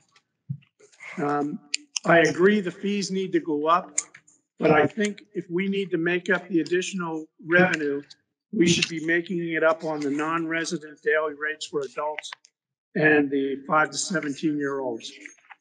Um, I, I'm reminded of the incident last year, I think it was at Mumford's, where we had, we had a large group show up, uh, non-residents, that created a problem. I, I believe that may have happened twice. No. I, I think this is not going to be received well by the community, that we start charging children under five years old. I understand why you're looking at it because of the numbers, but COVID is not going to be here forever. And once we start charging for under five, I think we got a problem. So, I mean, that's my opinion. I don't, you know, I I just think it's a terrible idea. And if we need to make up the money, we make it up with the non-resident fees. Respectfully, I will um, obviously yield to the board and the board's decision. It's merely my recommendation. And I do have the numbers. Um, Changing the non-resident fee does not appreciably increase our revenue because I, when I break out the data, the residents are using the pool. So I, I agree that non-residents should pay a significantly larger fee, but at the end of the day, it doesn't generate um, uh, maximum revenue because when you do, i- i- it's like four percent of people that aren't resident. We can track that now with North Star, and it indicates that the vast majority of pool users are homeowners. And it's not my point. Again, respectfully, I'll do as the board says. My point wasn't just because of COVID. My point was that they count in the capacity, and also they it, it's in other fields, if you take a child to the movies, they pay to go to the movies. If you take them to another venue, then they pay for that venue. I think that it was merely my recommendation and it doesn't really reflect anything in the budget. Pools, what about other pools, other places? Do they charge for that? I genuinely don't know. You know? But at the end of the day, um, as I said, it doesn't, I can't quantify it, so therefore it's not in the numbers for the increase of the revenue. It was merely my recommendation. Uh, this is George. I'm, I'm gonna agree with, Ray. I'm not gonna repeat everything you said. I think you said it well, but I, I would agree. Again, I'm not speaking on behalf of B&F, I'm speaking just for myself, that charging children, uh, under five, I just don't. Amy, did you have a question? Yeah, my comment, uh, I would, I would like to know what the market comparison is of Right. other schools charging this age group. If That provides greater justification for adding this fee. Right. And- and So if there's any way to get that information, I think that would be helpful um, to the board in deciding, do we want to go, um, support this change or not? Yes, ma'am, I'll get it to you. Thank you. Uh, John, Do we have a Yes. sense? John, this is Frank. Go ahead, Frank. Can you walk me through the um, member dues number, uh, which, if I'm reading it correctly, shows it to be flat? And is that achieved by assuming that we're going to have the same number of members at the same rate? Or we're going to have a decreased membership at an increased rate? Steve, you didn't increase the memberships, right? We did not increase. No, Right. flat. Right, so, and I'm just looking in the back, we did not increase the memberships. I don't, uh, Daily fees, not membership. right, it was only the daily fees that we increased, the memberships, unlike golf. Uh, here, Kathleen felt to leave it at that, so there was no increase in the membership price. We, obviously with the number being higher, we're, we're hoping to have more members. I guess it was the whole COVID thing. I mean, I, you know, what can you add on that, Kathleen? Well, I mean, I think that, um, we just assumed that there was going to be some greater memberships, particularly too, if you. What's the daily increase- rates? If you increase your day rates, that the thought process is, is that you would have people that would then yield into a membership as opposed to paying your daily rate to go to the pool. Right, similar to what, you similar to what you heard with racket sports. That, that was the approach. Yeah, I just, you know, it's, it's obviously your call and the board will discuss it at, a- at a different time, but it just seems to me that of all of our, i- i- by the way, let me just stop a second. Obviously, John, you and Kathleen have done an excellent job both in revenue capture and in expense control that you and I and, and when we've talked about, okay? Right, right.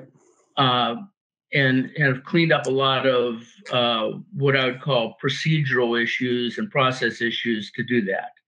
But it just seems to me that the most predictable revenue stream that we have in any amenity is the memberships. Not that they don't vary, but the most predictable. They're not typically subject to weather and those kind of things. And we know as a fact that because of some statutory increases in wages, our expenses are going to go up. And when I looked at overall all the amenities, I saw that golf increased their membership by about 3.4% on aggregate. And that kind of corresponds with inflation. And that kind of, to me, indicated that they were protecting against inflation using memberships for that segment of the income. And I don't see it anywhere else. And like I say, achieving the numbers is an operations thing, but I'm looking at it from a risk standpoint because when you tell me memberships don't go up, but I look at 28, 25, 15% increases in lessons and in outside, my question is, it seems like the that shifts risk tremendously on those segments of revenue to offset our increased expenses. Okay, so I just want to make sure, and I'm going to answer with the golf and, and the membership, but uh, Frank, net, net, are you saying that it, it, it's prudent to increase the membership fee? I would just think this is philosophical and policy wise that if inflation goes up 3.4% on average for the year, that everything should go up 3.4% if you're going to meet our scrolls. Right. And So- when I Go ahead, I'm sorry. Uh, and, and when I see that the membership is flat and the other other revenue segments have dramatic increases, I just look at it in terms of risk in achieving those numbers because you know it's the numbers that show the greatest increase are the numbers in my mind that are most uncertain and subject to variability and weather and other things. Okay, so first of all, and, and I'm with you, um, Frank, and, and as I mentioned about inflation, and we did. So here's the thing with the memberships and with the golf. With the golf, it was very clear to me uh, in the golf team, we were able to benchmark with every other golf course that we could pump up the, the membership price. With this, uh, Kathleen felt maybe, you know, not right now with the COVID. We, we, I don't have a problem, and I'm probably going, to go back and rework some numbers for the membership. Here's the thing, and Steve will, when we ran the numbers, it, it doesn't come out to a lot of money with the amount of memberships, uh, with the increase, but that should not be a reason why we don't increase it. We do believe we get more because obviously the dailies, that was what we were trying to do to get people to, to go to membership. Same thing with rackets, and then we take it from there. But I, I, I think it is prudent, and, and I think we're going to go back and we'll work up some increase based upon the inflation for the memberships. And I'm also going to talk uh, on the racket sports. Uh, I think it was platform or whatever with uh, Debbie. But yes, we we will wor- rework the numbers. You- you- but Yep. Frank, would you have a follow-up on that, Frank? I- You, you, you certainly can do that, John. It's probably not a bad idea. Okay. But when you're looking at, uh, when uh, Frank suggests 3.4%, in fact, your daily rates are going up 25 and 33%. Right. Um, And I do believe that will motivate people to go to memberships, which is a good thing. Correct. Memberships are a good Right. place to be. Right. Uh, So i- if you decide you want to bump memberships up some, I would be, um, I would just give you a little caution there. Wait, I'm sorry. Caution or to do it? Wait, I'm sorry. What? I would, if you, just- I would caution you uh, in your approach to up, updating uh, membership fees too much.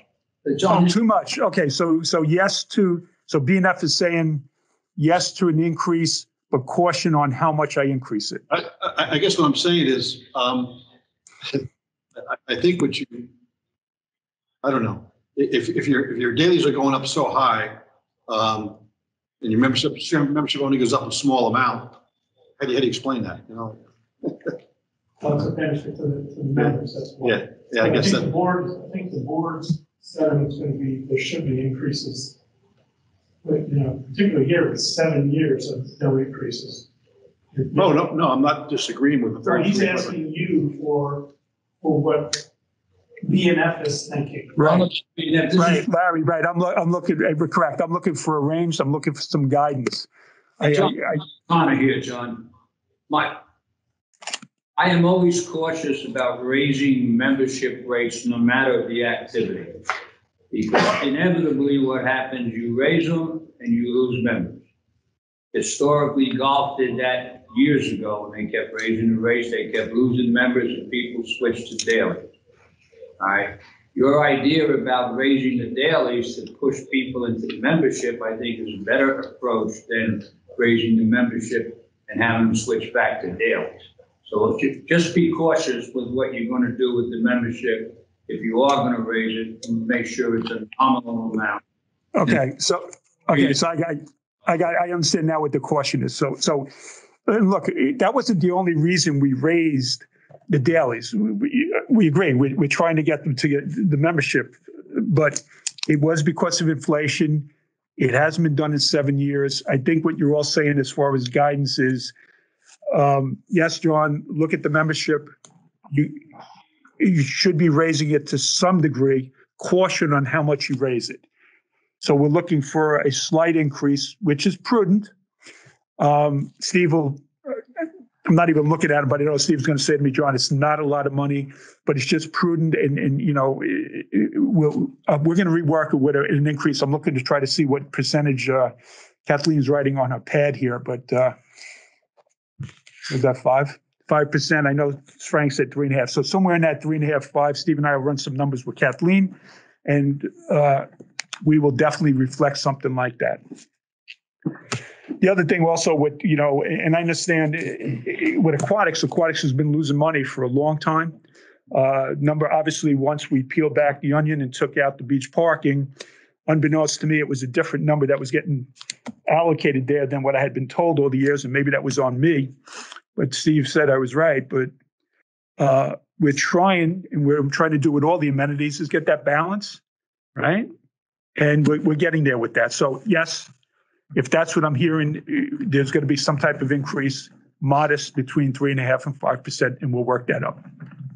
Yeah. Good. Let's, let's don't get lost in the equation. You guys have done an excellent job. Yeah, I understand, Okay. Frank. I- No, I agree, Frank.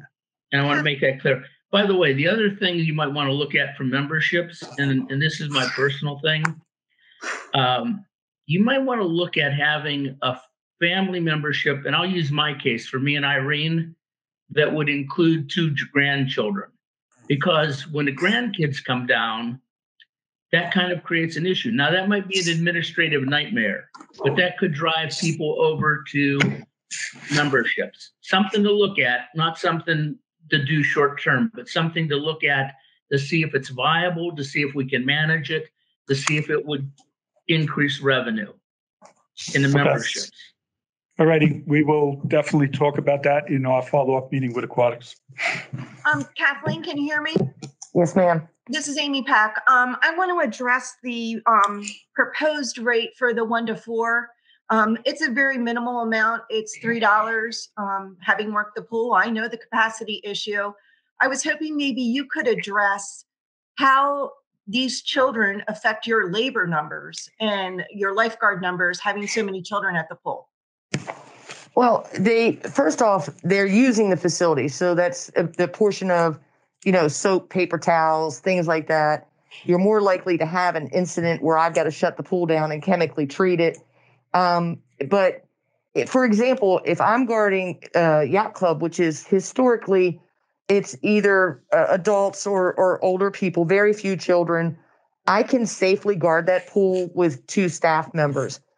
Whereas, for example, Mumford's, you have to have a minimum of four lifeguards over there because of the fact that uh, the- children typically can't swim, so they have to be highly guarded, which means your guards have to have, you know, be focused and rested and able to control the pool. It's not un- unusual to have three sitting lifeguards there on a busy day with one on break ready to rotate in. So, for example, more often than not at the beach club, you're running two. Uh, swim and racket, more often than not, you're running two, perhaps three. We're not talking about camp days, but on a consistent basis throughout the latter parts of the summer, July and August, you have to have um, significantly more lifeguards in order to have a safe experience. And, and that obviously affects my cost too, with no revenue to come to come at it. Um, and then one more point, I noticed the resident rate versus the non-resident rate. Um, that across the board is five dollars more, except for this one to four-year-old children um, rate. That's only going up two.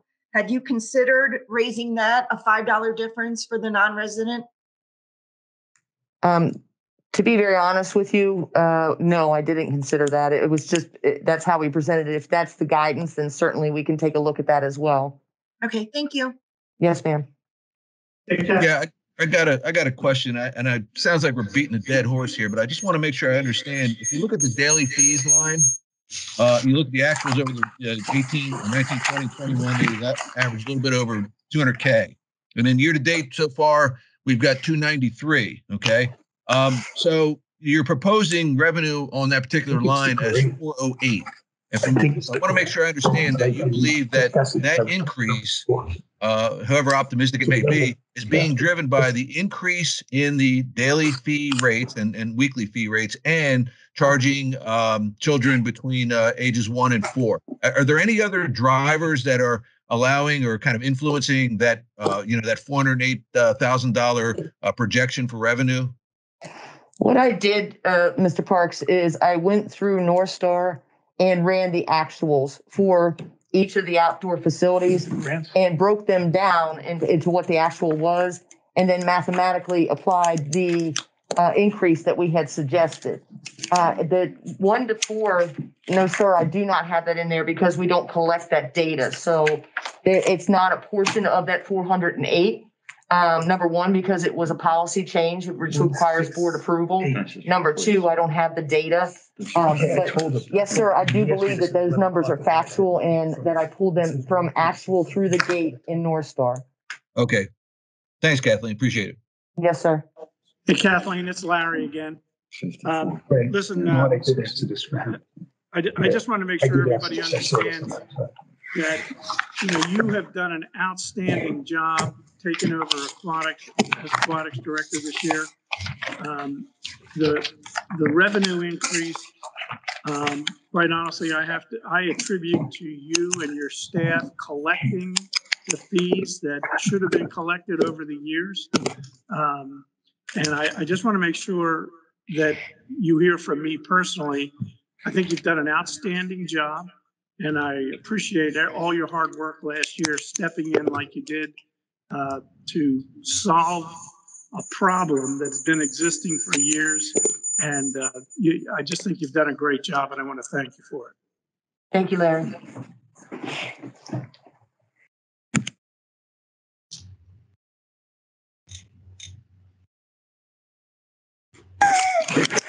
Okay. All right. Thank you, Larry. That was very nice to hear. Uh, Kathleen is a a very coachable, uh, subject matter expert and an excellent leader.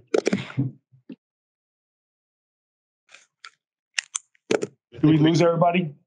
I think we've uh, dialogued, so we can move on. Okay, whatever you, so Dick, where are we with, with the, I think we just stopped in the beginning. I think we were talking about fees. okay, all right, you're right. Okay, go ahead, Linda. Okay, we're moving on to cost of sales. Uh, vending, uh, proposed is twelve thousand. Merchandise, uh, is at five hundred. Moving to expenses. Payroll increased to five hundred ten thousand three hundred and eighty-three. Payroll cost has decreased to one hundred twenty-two thousand nine hundred and five. Employee support remained the same at five hundred, and training decreased to one thousand five hundred. Um, computer supplies has decreased to one thousand. Credit cards increased to eight thousand five hundred. Uniforms remain the same at thirteen thousand. Contract services remain the same at fourteen thousand. Cleaning supplies decreased to six thousand. Chemicals stay the same at twenty-nine thousand. And gas and oil went up to three thousand. Postage remained the same at one hundred and supplies increased to twenty-seven thousand. Um, for repairs and maintenance, equipment stayed the same at nine thousand. And for utilities, um, electricity stayed the same at fifty thousand. Uh, gas went up to seventy thousand. Trash removal stayed the same at two thousand four hundred fifty. Telephone remained the same at six thousand eight hundred. And water sewer increased to thirty-five thousand eight hundred and seven. For other costs, class instruction decreased to eleven thousand. Insurance increased to forty-two thousand two hundred and seventy-nine. And permits and license remain the same at four thousand. I have I a got a question. Um, uh, my question is the overtime numbers. Why is there no overtime for June and August? I think that no overtime number is an oversight that, that needs to be there. It's historically there. I need it for the start of the season, the end of the season when we're fully staffed. I just, um, I, I think that was an oversight on, uh, my part. Okay, thank Sorry you. about that.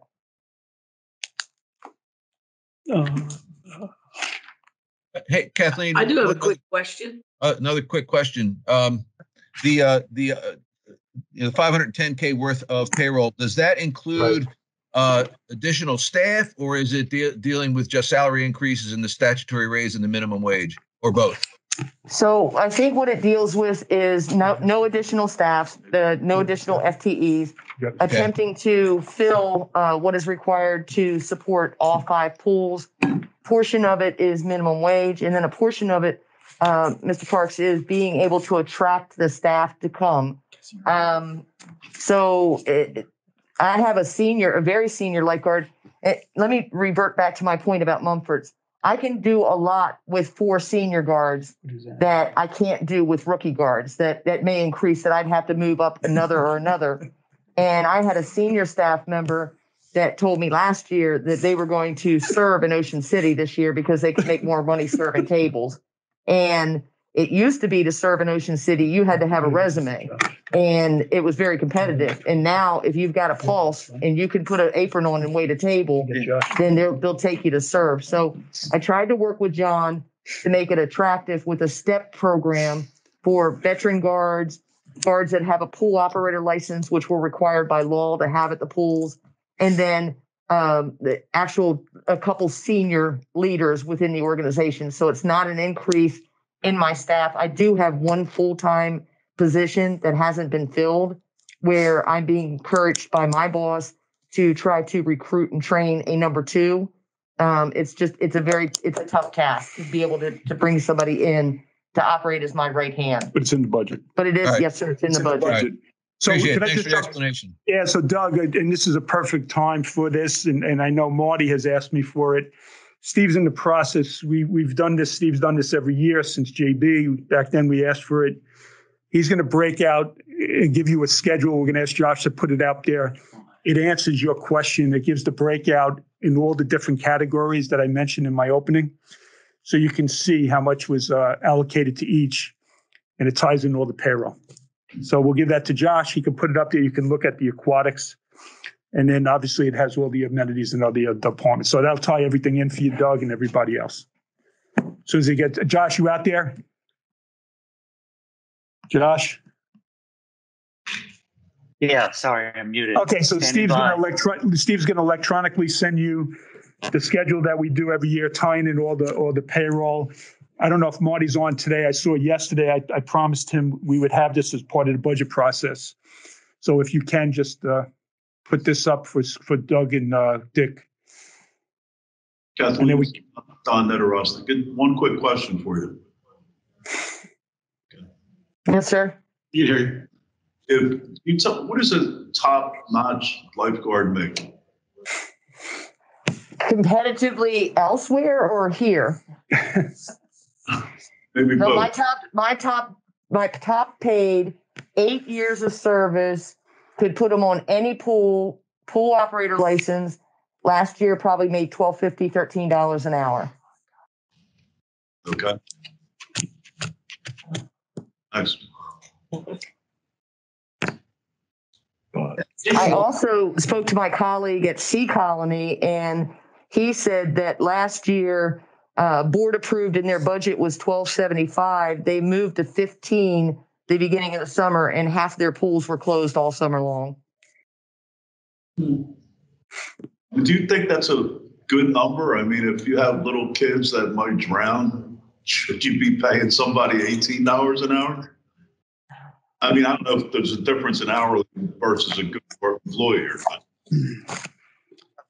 I, I'd, I'd like to have the gas or the, the power in my pocketbook to attract the senior veteran guards.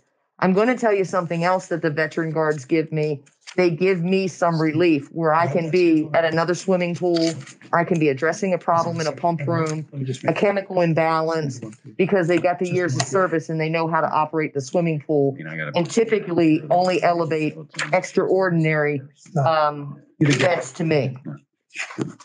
That's as far us. Hey, this is Doug. Just an FYI, is there any concern with this information being public? When you go through this. The Information up on the screen right now? Any So, concern? with there- it being yes, yeah, so Doug, there's no problem with that. We, we've actually put that out there before. There's no names on this schedule. Okay. Uh, I, I got, honestly, I got no problem with it. Steve actually is going to, uh, just take you through. We'll do aquatics, which will tie into Doug's question. And then, uh, Dick, obviously, this is B&F, I'm sorry. But I mean, if you want him to go through any other one now, or when we do the other areas, uh, uh, Steve will take you through it. Yeah, so this is, Dick, I alluded to this yesterday when we were talking about, it. I just touched on the total numbers. So this is the walk schedule that, that John said I've done for the last few years, just tells you the total salaries for us, where we go from the budget to the budget. Um, so you can see FY twenty-two, four point seven three six million dollars. Everybody's been referring to the three percent salary increase, and that's on all your full-time uh, people. So that's $112,000. And then you can see for aquatics specifically, we got $5,000 of that increase attributed to that. And then you got your statutory, which is anybody that would have been below 1250 uh, that became effective here in January. That's 13,000 for aquatics, $37,000 for the company. And then we had market adjustments um, that we proposed in public works, 35,000 some small numbers in some of the other areas, but primarily public works. And um, the seasonal, you can see the market adjustment is is all pretty much aquatics, um, but you can see the offset there as well for the other adjustments, where we had a lot of seasonal hours budgeted that Kathleen sharpened the pencil and basically, you know, determined that we uh, probably had too much I guess, for lack of a better term, fluff in the budget on the seasonal hours. So we dialed that back. So that was offsetting in that sense.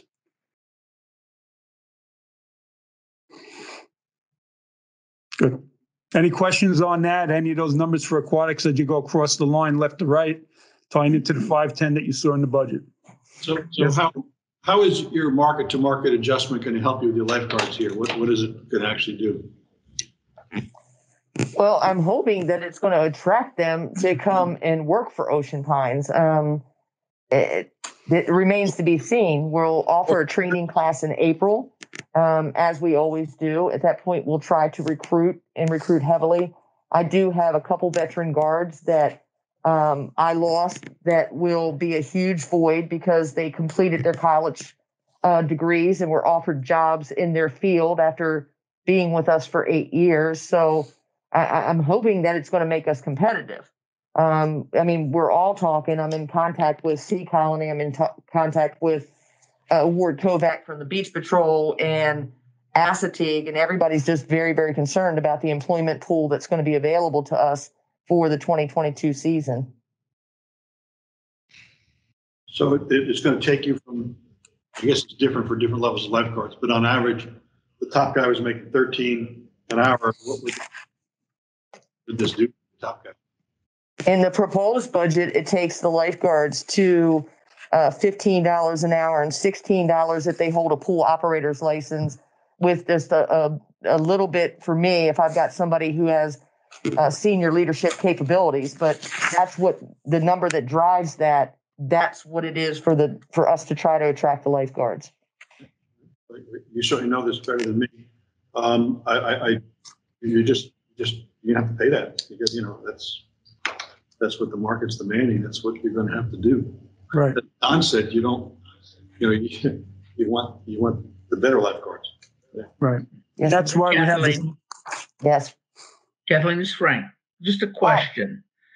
Given the labor situation, given where we're at, you know, rate to market and everything like that, in a worst case scenario, if you can't get employees, are we potentially looking at rolling shutdowns of certain pools?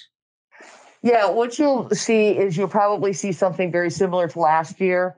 Uh, that we would, well, with my boss's help, we would decide perhaps that uh, the sports core starting in July would be open for the morning, the ladies' classes, and lap swimming for members until like two. Uh, we would always uh, make the yacht club and the beach club a priority because they service a food and beverage operation.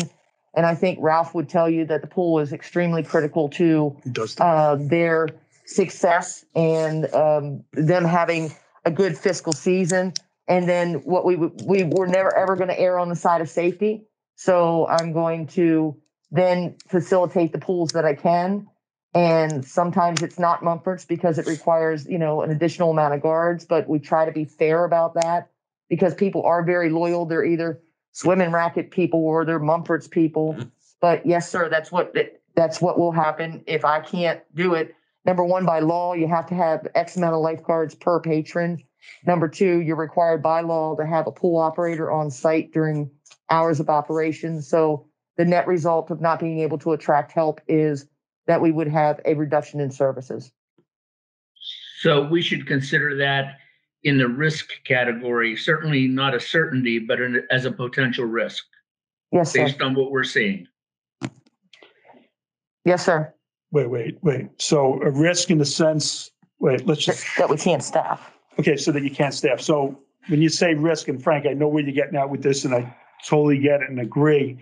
What we do see, and obviously here, is that we kind of, we lose some revenue, but then the offset that we don't have the expenses, it kind of balanced out. So we didn't, if, if your risk is in a sense when I have to close down, risk to revenue or operational money, we saw this year kind of flat, if, if not in some isolated situations, actually helped us.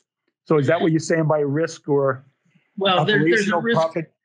There's a risk financially, okay, ah. in terms of net operating profit, but also, you know, if it's 95 degrees outside and somebody walks up to swim and racket and the pool's closed, there's another kind of risk to the community in Right. terms of perception. And, and I think that where we certainly don't want to hit the panic button and scare people, but we certainly want to make people aware that given what we're looking at right now, this is a risk.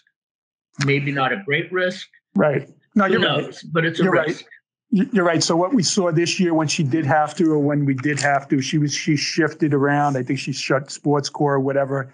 So that 95 degree days, she kind of had it covered. Agree with everything you're saying. We thought the same, but the, the results, and again, it could be different next year, but the results kind of balanced out. I, I, I, I, don't have like a, you know, a, a hedge in there that, you know, I can lose a hundred thousand dollars or 50 just like you know with golf and everything we we as i mentioned yesterday overall with the revenue projections for for racket sports for golf and for aquatics we kind of do have a hedge in there you know if it's bad weather or something each one of them. So we kind of have it covered there to your point. Okay, thank you. yeah no it's a great question anybody have any other questions on the aquatics? He's got it broken out there in all the different categories and you can see how you know we went from 478,000 to the 510 obviously the big number in the seasonable there were there were adjustments against that uh, that lowered it and then the minimum wage. So everything's broken out here for all the different categories. It was a pretty neat schedule. No other questions on that? Okay I would like to say, great job, Kathleen. Nice, nice job. I Thank would you, be all into getting someone fifteen an hour to save my myself or my children. So sometimes you got to put it in perspective. And Frank, I thought that was a great idea doing a family uh, pass. I know that's more logistics, but because I'm I'm kind of on the line about whether or not to charge young children, it just doesn't seem right. Sorry, guys. Heard that, but uh, it doesn't seem right to me either. So I get it. But we need to make money as well. okay take anything else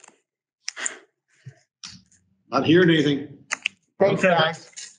Kathleen, Linda. Thank you. Thank you very much on the aquatics. I know I got the police. Let me just check the time. Uh, eleven oh five, so we kind of said around eleven. The chief, you still there? Yeah, we're, we can be over there in just a few minutes, sir. Okay, so Dick, we just need a few minutes and, uh, we'll do the police and then I believe Debbie will have the, uh, the lunch ready. Okay. Very good. He doesn't have far to go. Raining though. It's raining. He's got, he's got to get in the car, and drive around the park. Valet parking, no drop them off. I walked in there one day into the front lobby there. Not that a police lobby should be a warming experience, but it's a pretty cold, sterile kind of set of walls and a, and a, and a little window, you know? The first time I was in there was to pick up these books, as they redid it. Yeah. Not that I was in there before. Well, that's why they added the jail for you. Nice. I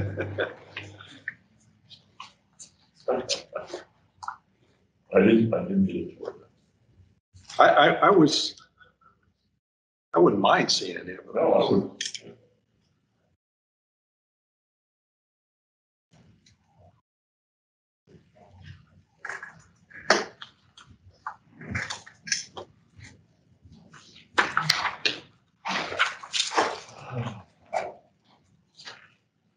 would. Two hundred dollars, John.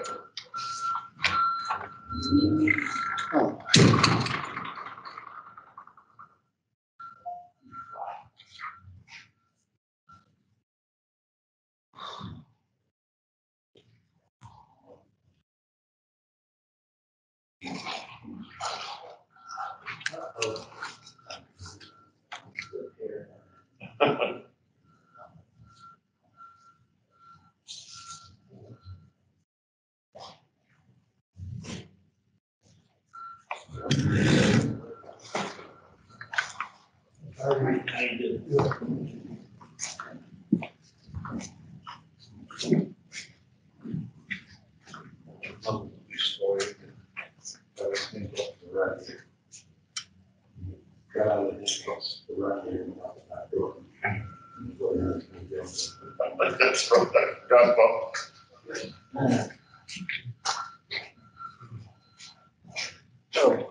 What's the matter? I can't sit too long, I can't stand. Too long. I can't walk Too long. Well, I'm afraid aches and pains are getting over. In the words of my wife, getting old now, this is. Someone said to me, I said, "Don't you go, go age, go pregnant." That's what I said, the only room I walk into now, and I remember why I'm there. is the bathroom. Yeah, that's because you, you do it so frequently. Okay, Dick, are you ready? We, we have the chief here in Toppin and uh, Linda. This, uh, John. Give us a few minutes, Powell, John. let- All let- right, few minutes. Buddy,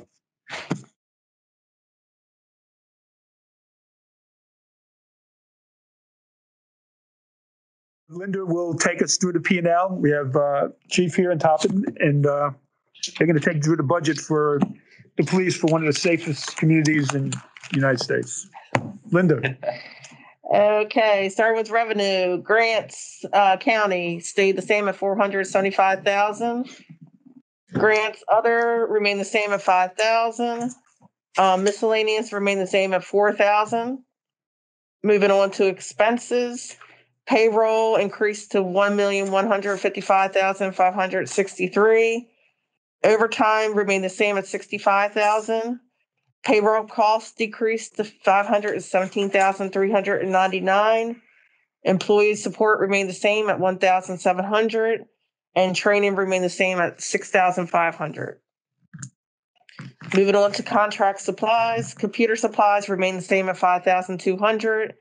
Employee ads remain the same at one thousand two hundred and fifty. Equipment rental resa- remain the same at hundred sixty-five.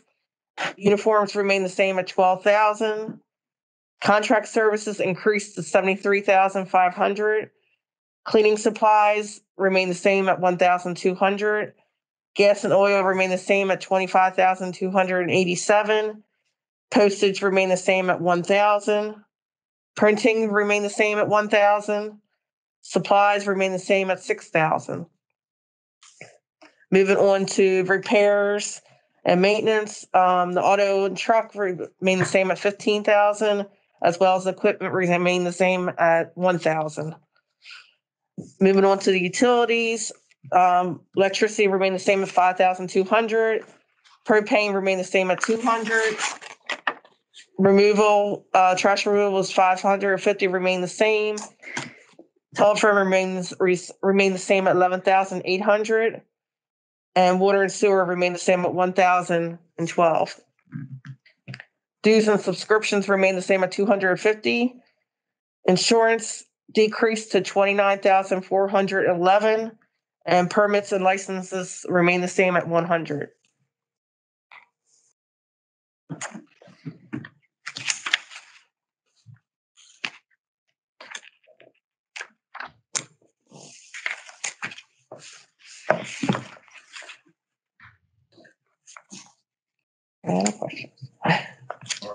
I got, I got a question.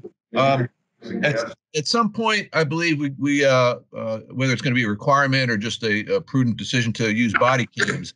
Uh, do we have, uh, an, an allocation in our capital funding or should we start thinking about, uh, where we want to be with regard to body cams so we can be prepared for that expense when it comes up? Yeah, so Doug, and they're actually going to get into that. uh, Uh, So, Mr. Parks, um, last year when we discussed it, we knew it was coming. We didn't know when it was coming because of legislative, for the police reform. We've already been notified that the Police Reform Act is in fact going to affect us. We do fall under that regulation. Lieutenant Toppin's operation has been to coordinate with the other agencies, with the Sheriff's Department, Ocean City PD. Um, the, the contracts that we're looking at right now, we are going to be mandated to have that next year. However, we're prepared to go ahead and start that process now. Um, with talking with Steve with the contract budgets and everything that the other agencies to scale it down to our number of personnel, we are looking at approximately hundred and fifty thousand dollars for the project, which includes the body cams, the uh, charging stations that each camera has to have for downloading its information, the storage of that information. Um, it also includes the capability of prosecutor's office to be able to download whatever information that we have on the cloud.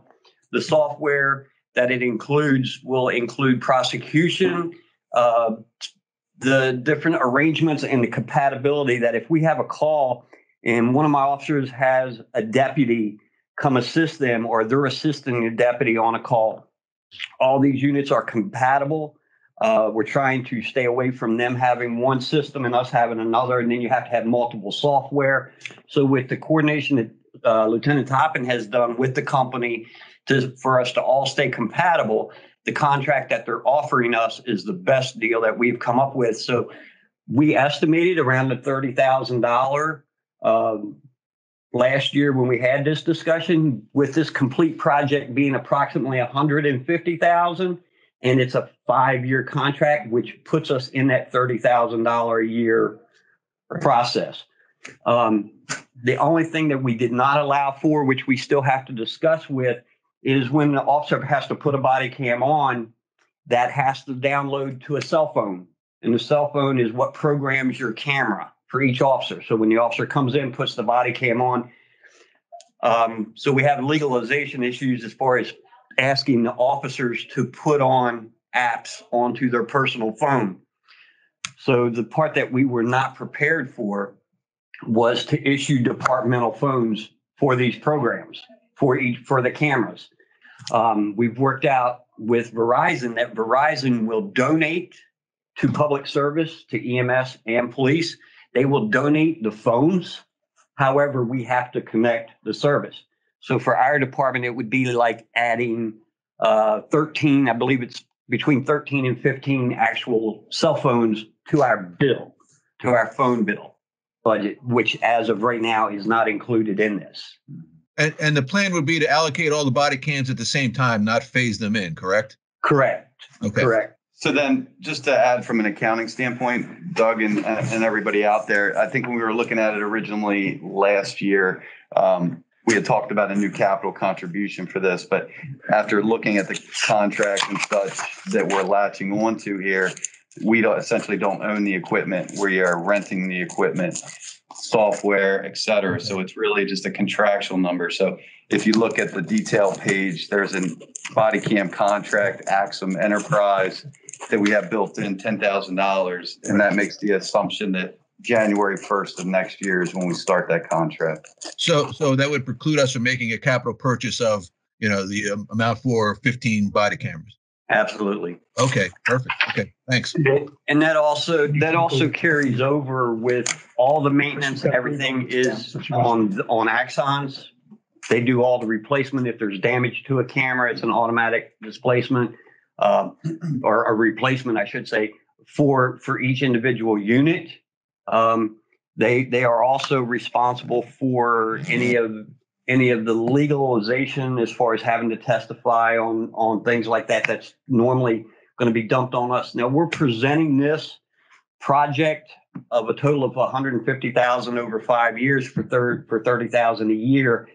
That's on the assumption of right now that legislation has mandated us to fall under the Police Reform Act of having these, but they've not issued any assistance for funding as far as grants or reimbursements or anything like that. Now that's, that's, we're hoping, and we have our names on the list as every other agency that if that becomes available, we will definitely apply for it and hope that we get some of that back.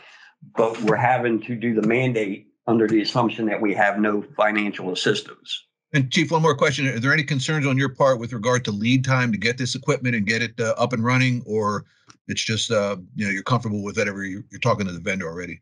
We, with talking with the vendors online uh, and by video conference, just like we're doing right now, Lieutenant Toppin's project is, their, their suggestion is approximately a six to eight month to receive it, be trained on it, and have at least two months of experimenting with it before we declare that we're operational to the state. All right, good. Thank you. Yes, sir. And you're targeting January, January of next year to be up with this? to to to be able to put the check mark in our box our mandatory is 23 24 uh, to say that we are in compliance with legislation uh, so we're hoping to be able to check the box in january of next year to say we're up and running Just to clarify, if I, just heard, this is George, I'm sorry, uh, from, uh, Doug that uh, we're buying the cameras and the hundred fifty thousand or thirty thousand a year is for all the software and content. Did I hear that? I- no the, the, we're buying the cameras as part of the project they will replace them every two and a half years or as needed we get automatic upgrades and things like that but at the end of this five years that will be gone and we will have to renegotiate another contract Okay, so. It's a lease, yeah. basically you're leasing the equipment Well, one quick question. I know, Chief, you talked before when we just first started that there were cameras that were maybe out of service at times because they need for, they need them for, uh, evidence or whatever, but this contract would cover all that if a camera's out of service for evidence and then they give us another camera. Warranty, they're warranted also. yeah they're they are warrant the cameras themselves are warranty so they do an automatic replacement on them at no cost to us and the, the question that we had before about having to store a camera in evidence has all been eliminated by the software program that goes with this when an officer comes off the street at the end of the day when he plugs it in to charge it it actually uploads that information to a program called evidence.com which is federally secured uh, so we don't have to worry about putting that camera in an evidence room and holding it for six months waiting for court.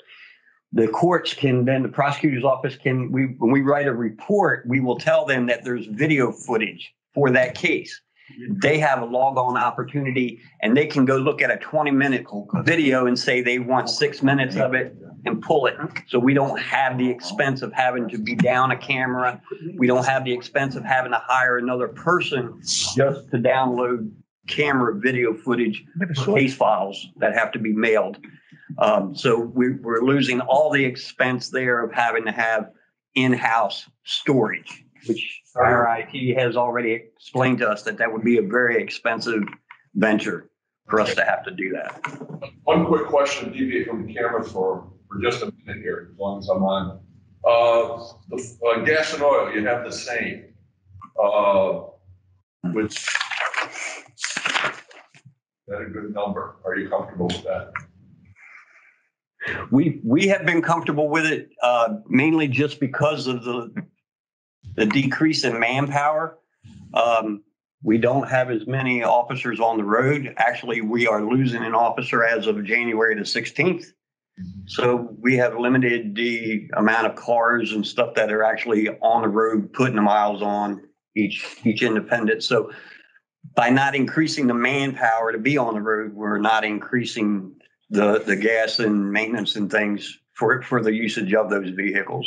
They've been doubling up too. They've been doubling up. Yeah, and some, some of our officers have been doubling up just uh, because of safety issues, um, because of the way things are right now. I just want to make sure we're comfortable with that number. Okay. thank you. Are you replacing the, the officer that you're losing in January 16? This is Yvette. Are you, are you replacing? Oh, sorry. We, we have, we have one officer that returned. Um, the officer had 19 years here, uh, left last April. Um, there was a death in the family. He was taking over a, a business.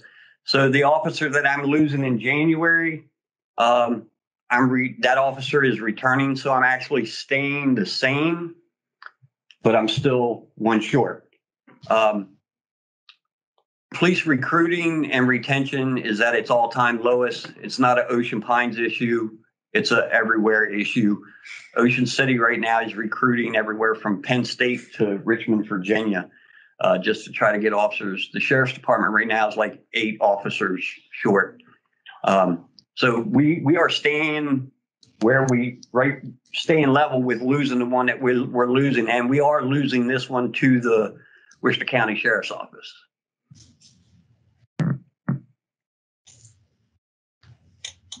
Um, I have a question regarding, um, the training cost. Is it going to increase because of the body cams? No, uh, the contract with the body cams comes with their training and everything included as, as part of their package, uh, with the company and finance package. They will come here, do the installation. They will do the in-service training. On our training cost, we're staying the same as we are, uh, because of the cost of the academy. Um, if we were to put an officer, the officer that I'm losing right now, I can't even replace that officer. There's not an academy class available until July, which would mean that officer would go to the academy from July till December, graduate in December, two months of on the road training with a training officer such as Lieutenant Toppin or one of our field training officers. So for the officer that I'm le- losing right now, that training takes that many weeks um, that I would not have an officer on the road in his place until February. Um, but it, but as far as the other training, because of COVID, a lot of our training has the state normally requires each officer has to have a certain amount of hours of in-service training every year to retain certification. A lot of that has become video and online, um, which saves us some money as far as having to send them to Baltimore or Sykesville for a week at a time and things like that. So a lot of that's being done.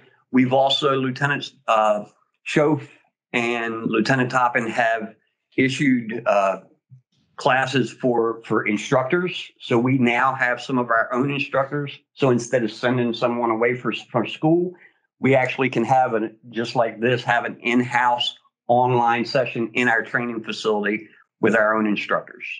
Great, thank you. So that's why we're staying the same. Hey guys, question regarding the uh, grant from the county. That thing's been static for years. Is there any way to negotiate a, a, a increase in the grant from the county, given the expenses going up? And There's there's been talk about it before. Um, as police chiefs and sheriffs, uh, it's kind of a tennis ball thing. Yes, we could demand more money if we went back and documented every time we go out and assist them.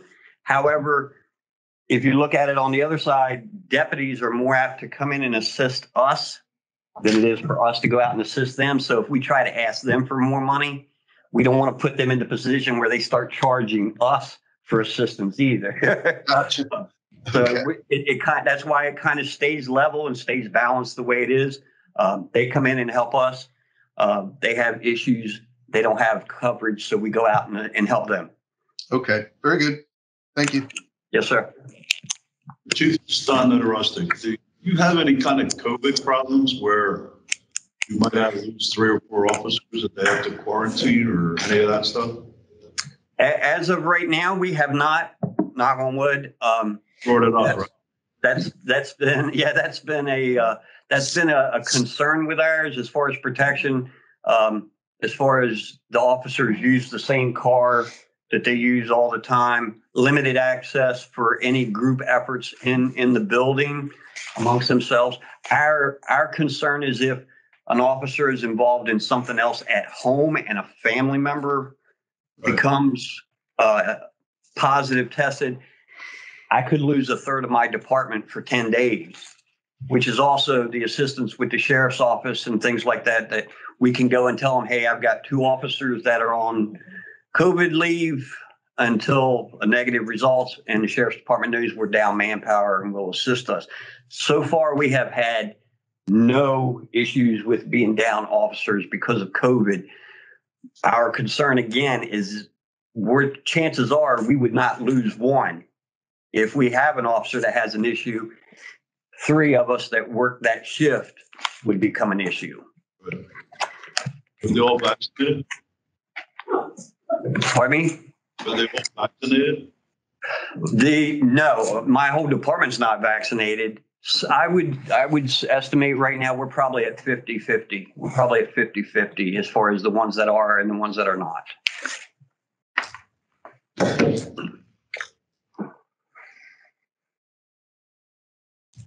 So a, a question on, on on payroll. So, um, is, is the payroll increase the standard merit pool or is there some market activity in this payroll increase? Got that schedule, the schedule.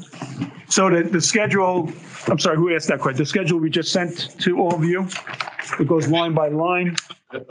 Um, we did aquatics, It's all, it's all, uh, Police. it's all marked, um, adjustment, three percent. three percent, and then he's got another adjustment. What's the sixteen? Last column. That's, uh, just some movement between dispatchers and, um, and such. And that was basically done within house. Steve's adjustments for in-house, we had a dispatcher that just retired January one. That was making a higher salary. Um, We are actually using, the, the new hiree is, is being hired at a lower salary and we are using that adjustments and difference to balance out the remaining three dispatchers that we have to bring them competitive. Um, again, um, Worcester County 911 Center is, is down six dispatchers. Ocean City was picking up dispatchers. So by doing the adjustments we did within losing a higher paying employee and hiring a lower paying employee and being able to adjust that to the middle, we are right now, I think we've decided right now that we are within reach of competitive for any of the other dispatchers. Right. So it sounds like with your dispatch adjustment and with your, with your police, reports, sounds like you think you're at, you think you're at market level. We're, we're at market level, even at payroll. Um, we have, we have discussed, uh, we, as far as pay salary, hourly salary, we're comfortable with where we are.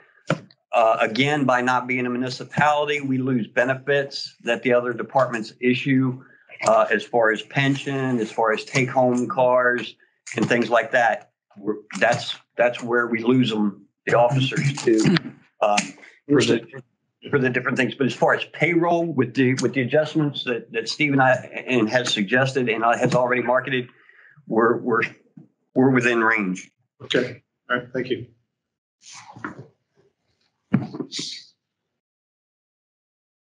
Okay.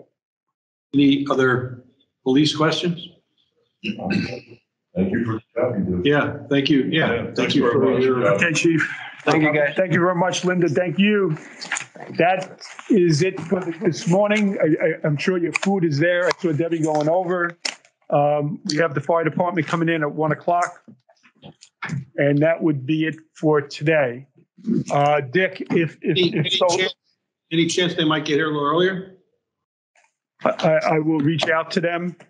Um, what time is it now? Twelve? We also have food and beverage. Eleven thirty? Are you doing? Food and We beverage. got, we got twelve thirty food and beverage, right? Yeah, food and Yeah. beverage. So we- we could do food and beverage, uh, before the fire department gets here. That's what we're gonna do. Um, you only want to try, try to take half an hour for food, that's fine. Steve then will go at twelve. Let me see if I can get the chief, the chief to come. So let's, let's let's shoot for Steve at, uh, twelve. I'm sorry, what time? Twelve fifteen for food and beverage. Okay, twelve fifteen. Okay, okay. So let me see if I can, uh, let me see if I can get the chief in here earlier. I'll ask him for twelve thirty. Dick, is that what you want? That's good. You said, yeah? Yeah, food and beverage should be pretty quick. Yeah, and we've gone through the food and beverage already and, okay, let me see if I can get him.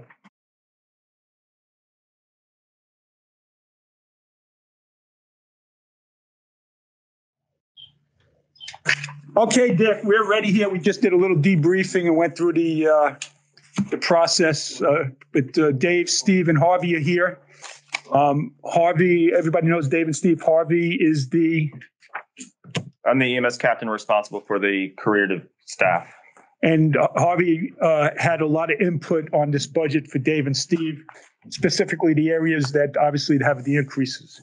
So with that said, um, I'm going to hand off to Dave. Okay. And uh, Dave knows the drill. He's going to start with revenue. Okay, uh, the chief and I are going to go back and forth. When we get down to the compensation and related costs for the career staff, we'll turn it over to Harvey.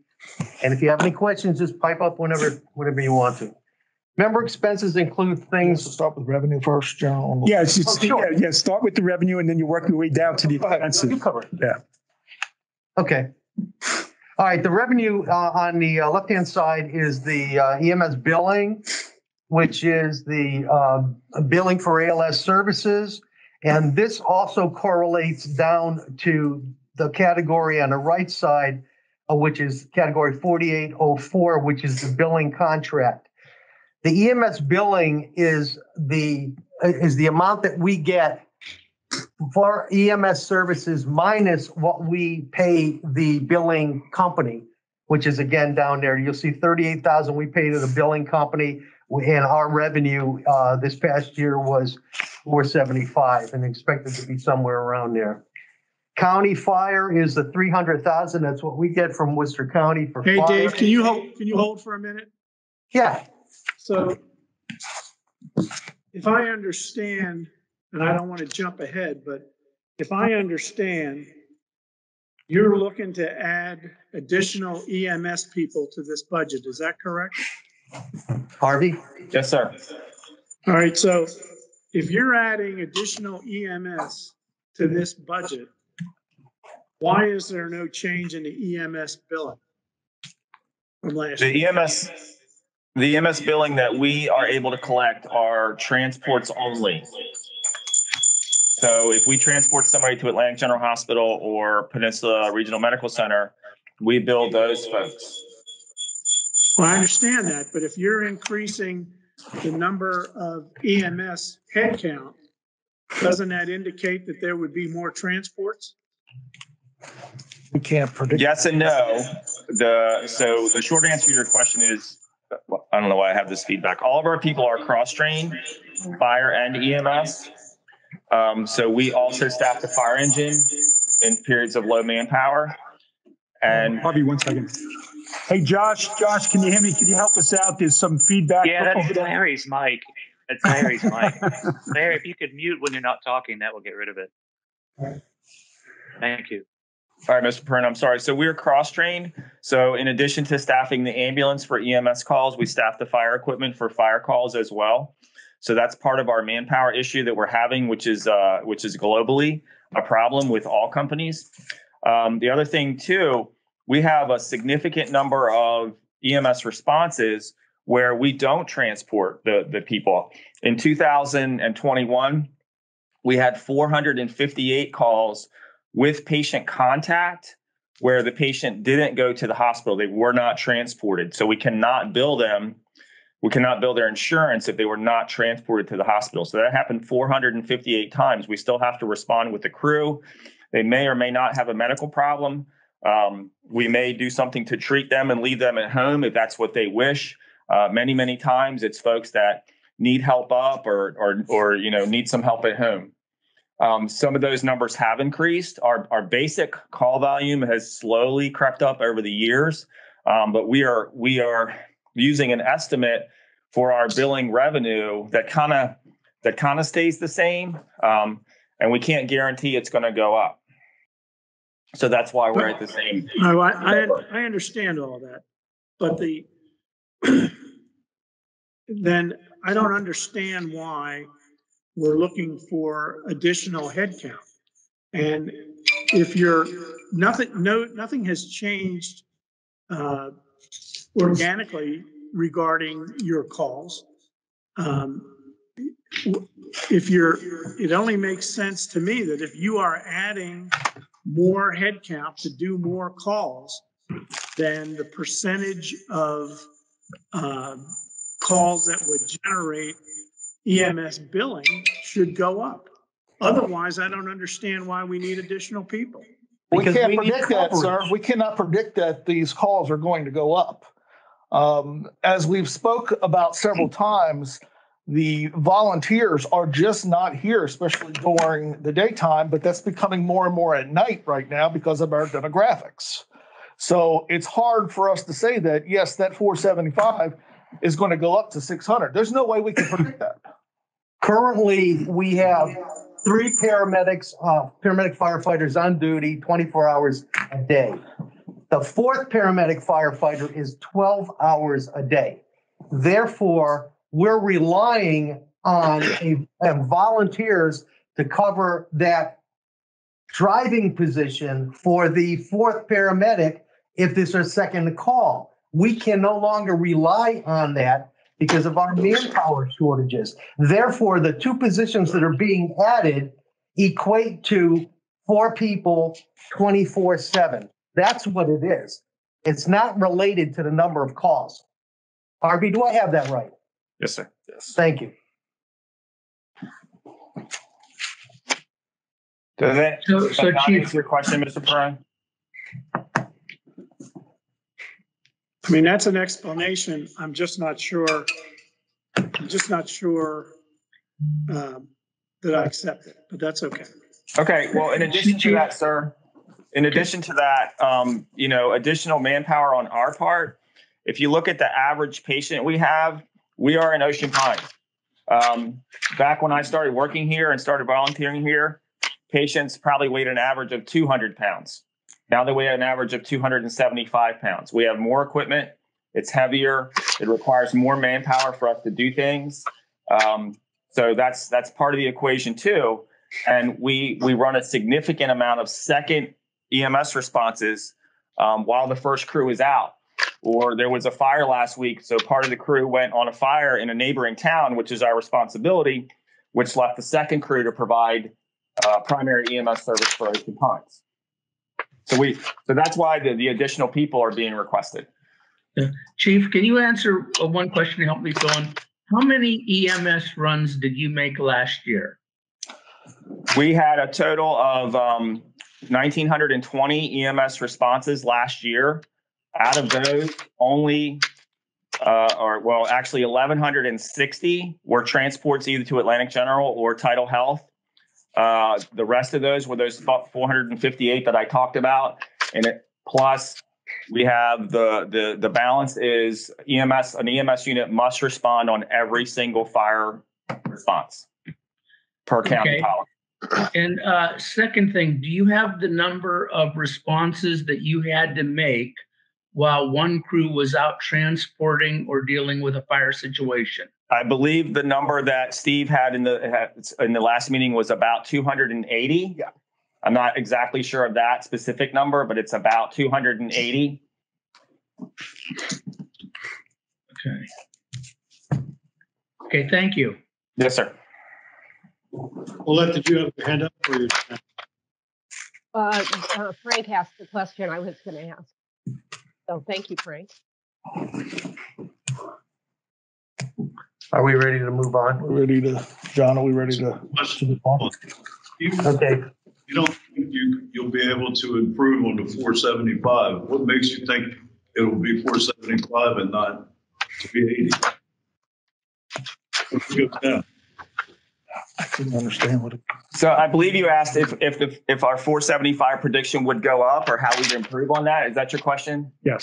Well, if, if you can't predict it going up because you don't know, and I understand that, what makes you think it's gonna stay the same? Why not? go up? It's kind of, it's kind of a, a year to year, it's, you know, sometimes the same number of transports, but what we, what we normally do is say, okay, if we billed for and collected, if, excuse me, we billed for a lot more, but we collected four seventy-five last year, let's kind of stay the same and not project it's going to be higher because we don't know it's going to be higher. So if we project the same flat and we, we do better, then we do better. But, you know, the, the way things are going, the reimbursements are not much better. So, so Josh, could you help me out? There's a lot of uh, feedback here. I could see one of the, one of the initials has a blue circle. I don't think they muted their, uh, their line. Can you see it? Um, looking right now, the only unmuted are the boardroom and You see, the you see the one with the blue, s- okay. Is that one muted? That cell looks like it. I mean, there's a dog barking. oh, I there's got it. Yeah. Yeah, I Can you see it? Yep, that's They're it. muted. Thank, And yep, You you got it. Thank you very much. I'm sorry, and whoever, I'm sorry, who, I didn't know who asked that last question, and I can, I have a fiscal year report for fiscal year twenty-one. Um, we projected four seventy-five we would collect, and we actually collected four sixty-five, one ninety-four. So we were actually, uh, we budgeted higher than we actually collected. So, so let me ask this question. Have you hired any of these people at this point? So what we did this this year, due to low manpower, we have, as I explained in the last meeting, uh, sir, I don't believe you were here. Um, that this particular year, that is is uh, much shorter as far as manpower in all the companies. Many of our part-time folks that work for us to fill in that fourth day shift that Dave was talking about work in Ocean City. Well, Ocean City has now grabbed a hold of them and, and, and made a holdover policy and a callback policy. They can be held over for 24 hours. They can be called back at any time to come to work and they don't have a choice. So we don't have those folks working for us. So we took two of our part-time people that were working for us and put them into full-time positions. That did two things for us. Number one, that filled a whole bunch of holes, which we're filling right now, and we're still struggling with that. But that let those people know that they're going to get their full-time hours here at Ocean Pines. And that helps cover that fourth shift during the day. Instead of having to use overtime pay. The problem I have is, understand, this is a gigantic ask. And we're looking at thirty dollar assessment increase per household for this. And on top of that, you know, we're gonna bump up the capital contribution, which is gonna be another two and a half dollars per household. We're looking know, over two dollar increase over last fire department. That's a huge increase. I think the number John has factored in here with everything else is a thirty-eight dollar increase. Larry, let me, let me make a comment. Steve already told you that there were over 200 calls that were second calls, right? Isn't that the number, Steve? About 280, yes. All right, About 280. If in fact that second call has a provider only, it requires having a driver at least. If we can't get a driver out of Ocean Pines, that means that another ambulance from Berlin or Showell has to respond. If that is the case, there's a good 10 minute delay in their response time. If not we, more. or more, which is a life threatening situation. You understand that. So our purpose is simply to make sure that we can cover the two calls, cover a fire with a call, etc.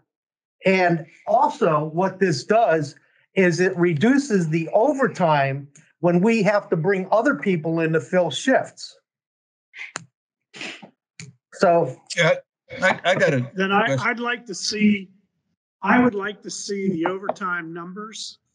I'd like to see more detail here in regard to uh, what your salaries are. I mean, this, because this that. is such a large. We've already provided. We've already provided that. Yeah, you, Yeah, I have, I don't have it here. so So you I got think, it, you got it somewhere that we can send it to? We want to send it to everybody south. I, Well, just send it to him. He's the one asking for it. well, no, So- I I think this is something that needs to go to the whole board. We need to see So uh, where we're we at. can break down Again, this is such overtime a only huge for you. ask. If you I want that, understand a it's a number of safety overtime issue. only. This is a big, this is a Yeah. big dollar ask. That's what I don't understand, sir. Um, Want to break that piece? why there's being, can- what we public paid out. safety should be the This community's tax top priority. break that into what we pay And it, for overtime. it worries me There's that Conversations going on, Let's one at a Hey, time, guys, too many conversations going on. one at a time. I, I got a comment. So, so while I understand the concern regarding uh, an increase on the expense side, uh, in the previous meeting we had to discuss all this, one of the things that came across loud and clear was from the community survey that cited safety as a very, very important aspect of living in Ocean Pines. Um, to to the point that if we have to add um, staff in order to maintain a certain level of safety. Uh, I don't have a problem with that. I don't see the correlation between adding staff and automatically worrying about an increase in the EMS billing. Uh, to me, staff doesn't initiate uh, EMS billing like a sales call. EMS billing is initiated by people in medical distress. So obviously that's unpredictable. Certainly, you can use historical data to come up with an estimate, but at the same time, uh, yes, it, I'll, I'll agree with Larry in the sense that it's a big ask, but I don't have the same concerns that uh, we uh, th- that it seems to be that there's a concern that we're adding staff. I believe we should add staff based on the operational analysis that the folks uh, at the fire department have done in order to maintain that very important aspect of safety within Ocean Pines that resonates very loudly with our community. I- Doug, I don't think anybody disagrees that safety is, is a, is the most important issue here. And we understand this could be a safety issue. But I think we need to have more detail here uh, regarding what the costs are, salary wise, uh, benefit wise, uh, for the department. And I got to tell you, until I see more detailed information versus what we have here is just a summary number, uh, I'm not going to be satisfied. I, I, I need to see more. You have it to send to? I've heard it to the whole board. Oh, go for it. No, no, I'm just, um, Okay, so we will send to the whole board, Larry, as requested, the salary information. John, that, that, that should include all the benefit information too. Salaries and benefits. Yeah, you have that information we Okay, provided. it's- it's- Steve's got to get it done. So, um, you, you're going through the budget pages, the budget pages right now. Are, are you basically kind of repeating what you did last session, or is there anything new that, No, we're repeating every, we're repeating exactly what we did at the last session. All right, so let me just kind of summarize things here.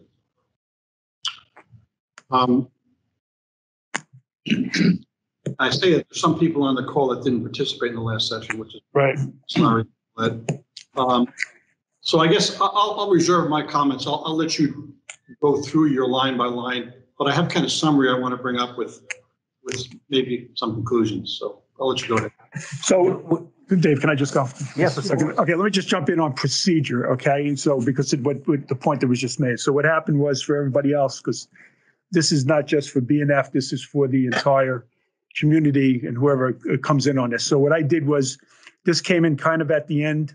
I had not updated, none of us had updated B&F. So I did ask the fire department, whether it was a week and a half ago, two weeks ago, to come in on the B&F meeting to give B&F a heads up the whole entire time, the intention is and the process is for this to be done today. It might be repeti- repetitious because of what happened, but it needs to be done today because this isn't just for B&F, this is for everybody else. That's fine. Proceed, go ahead. I just want to make sure everybody else understood that. Okay, Dave. Okay. That was easy. County fire, county fire is the amount of money we get from the county for fire services. Uh, county EMS is again the money that we get from the county for EMS services. Amoss is, uh, 508 money, which is equipment funds that we get from the state. And then there's a little bit of interest. So I'm going to jump back to the operating expense general. Stay with the income a minute. Is this John O'Connor? Uh, where is your fundraiser? Uh, uh, uh, the raffle for the Jeep or whatever other fundraisers you have? Where is that in the record? Okay, the fundraising that we earned this year was, we, uh, let's see, 121, 120, 121,000. And that came from 80,000 for the mail out that we did. And, and, um, I think it was 10,000 for the sign program. And then the remainder came from the differential uh, with paying off the truck. So it was a total of 100, 121. I think he's asking where it is on here. Oh, it's not on here. That's what I'm, that's, I think that's what he's asking. No, it's not on here. And the reason it's not on there is because it goes into the apparatus reserve account for our 50% that the state, that the department is responsible for, for purchasing apparatus. Ocean Pines, a memorandum of agreement says Ocean Pines Association pays 50% for the apparatus and the department pays the other 50%. And we've been working with Doug Parks on this. Right, so all your, all of your fundraising money goes into your reserve for apparatus, right? That is correct. That is correct. All right. And, and um, so you have apparatus uh, line item on here for um, 151, and you have capital purchases, 45. So is the share for apparatus plus other capital purchases? Yes, you want to talk about? Yeah, the capital that, that's correct. The forty-seven oh six that you see under capital equipment, what that number is, is we have our SCBA, our breathing bottles, uh, and air packs that do expire, and this is to replace those. They can only be hydro tested a certain amount of years, and then they have to be replaced. That equipment alone, you're looking over a thousand dollars per bottle, and the entire pack uh, is right around probably close to about thirty-five to four I'm to just four trying thousand. to, under- trying to understand the obligation of Ocean Pines. So Ocean Pines clearly pays 50% of a, a new apparatus purchase. That's correct. And they pay 50% of some other capital purchases as well? No. Well, those capital purchases are, they, they're paying for. Who, yeah, these, Yeah. yes, Yeah. they, yeah, the forty-five thousand is in addition to what the apparatus replacement is. The memorandum of agreement only covers apparatus replacement. It does not cover other capital, capital purchases, and it does not cover infrastructure. So they're not contributing to that. We are, okay. So the other cap, if, you- if you buy a computer, as a capital purchase, does Ocean Pines pay that or is it a cost share? We pay that. We, The operating. we pay that out of the operating costs. So I, I guess my, my. I know I, the apparatus is pretty easy to understand, but I don't understand the other 45. And what that, what else that, could be. could it be 60, 70, you know, what, what else could it be? I'm not sure I understand this question. Forty-seven oh, I thought you explained it. forty-seven, he wants to know what the forty-five thousand on the left side is. Yeah, that, I mean, that's exactly what it is, what I just explained, the, the air bottles, the replacement of equipment that, that just years out that we have to replace. Um, we, Non-truck, non-ambulance. Non-truck, non-ambulance, right, capital equipment, SCBA stuff. Uh, we don't, radios, that's all in a different, but that's mainly our gas meters that we have to have to extinguish the gas. That's all in with this capital stuff. So I- I simplistically, chief, simplistically, the capital consists of the fire engine to get you there and the equipment the people No, wear to protect themselves and test. That's capital. Is that correct?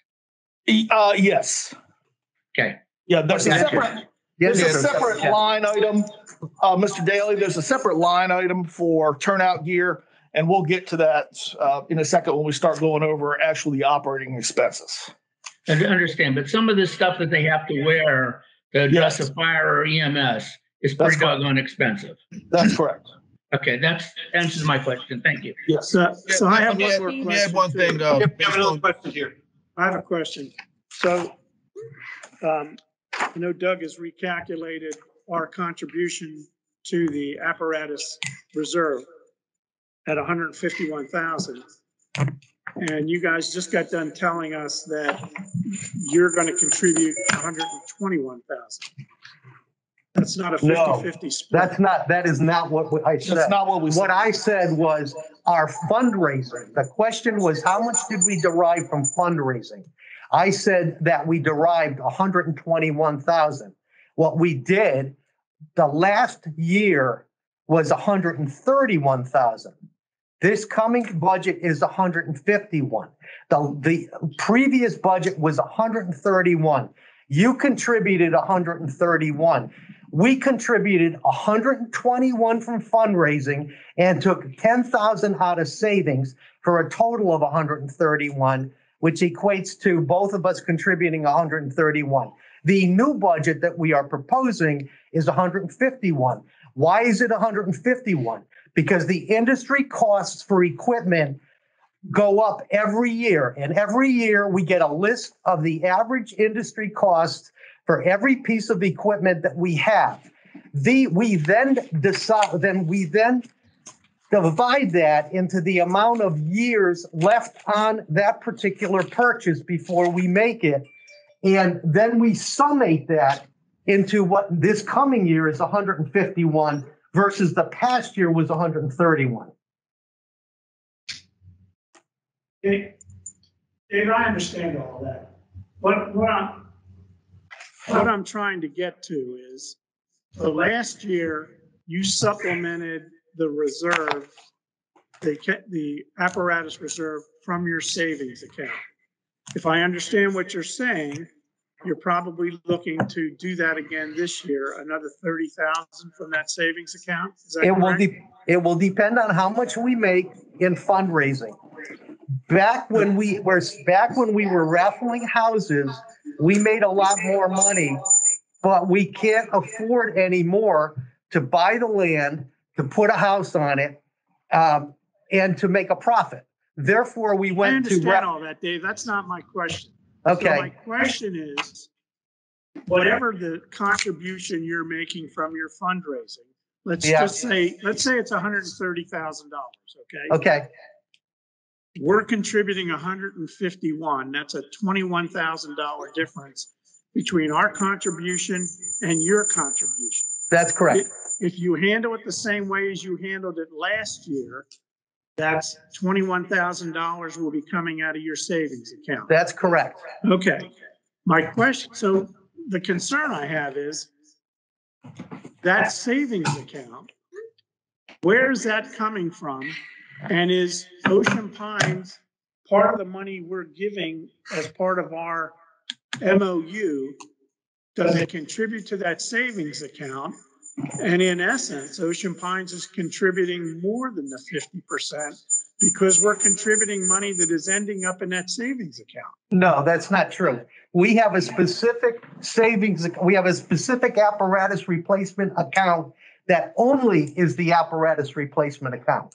And the way we handle it is you give us the apparatus replacement money based on a monthly basis. I think last year it was ten thousand nine hundred. We deposited that specifically in the apparatus replacement account. Our fundraising is based on calendar year. And so at the end of the calendar year, we establish how much we've made in fundraising, which by the way, we just did. We put that 121 into the apparatus replacement account and we took 10,000 out of our savings, which we've been trying to save for things like a new building, et cetera, et cetera. And so we put that in the additional 10,000 into apparatus replacement. That is not, that has nothing to do with the operational, uh, the operational funding, with the exception of the line item. Dave, I understand all of that, but the, the, the point is, where is the money coming from that is going into the savings account? the money going into the savings account used to come from the houses. It used to come from the houses. We used to be able to make a profit well above what it would cost us for, Oh, go ahead. I'm sorry. Mr. Gibson. well above what it co- would cost for apparatus. That has completely flipped. Apparatus now, apparatus, uh, an engine is six hundred and maybe even more. We have, as of the last two years, we've not been able to make enough in fundraising to cover the one, the fifty percent. Therefore, we've reached back into our own savings, which we've accumulated again during the good years. And so we are now into that. We're talking about how we can fundraise to make more money that would equate to the uh, increases that you're seeing now, the 151 and the future increases. And, and that's fine, Dave, and I, and that's the explanation I'm looking for. And I guess what you're telling me also is for the last two years, you have not been able to make any contributions to your savings account. Is that what you're telling me? Yes. Okay, um, I have a question about your capital list. Um, I assume that the capital purchase category has a list of assets that are covered by that. Is that correct? Yes, and I can provide you, uh, it won't be today, but I can provide you with an actual list. Uh, Dr. Horn, Okay, what the needs to be question I- Okay, thank you. The question I have is what is the minimum value of the asset um, that qualifies to be on that list? What dollar figure is that?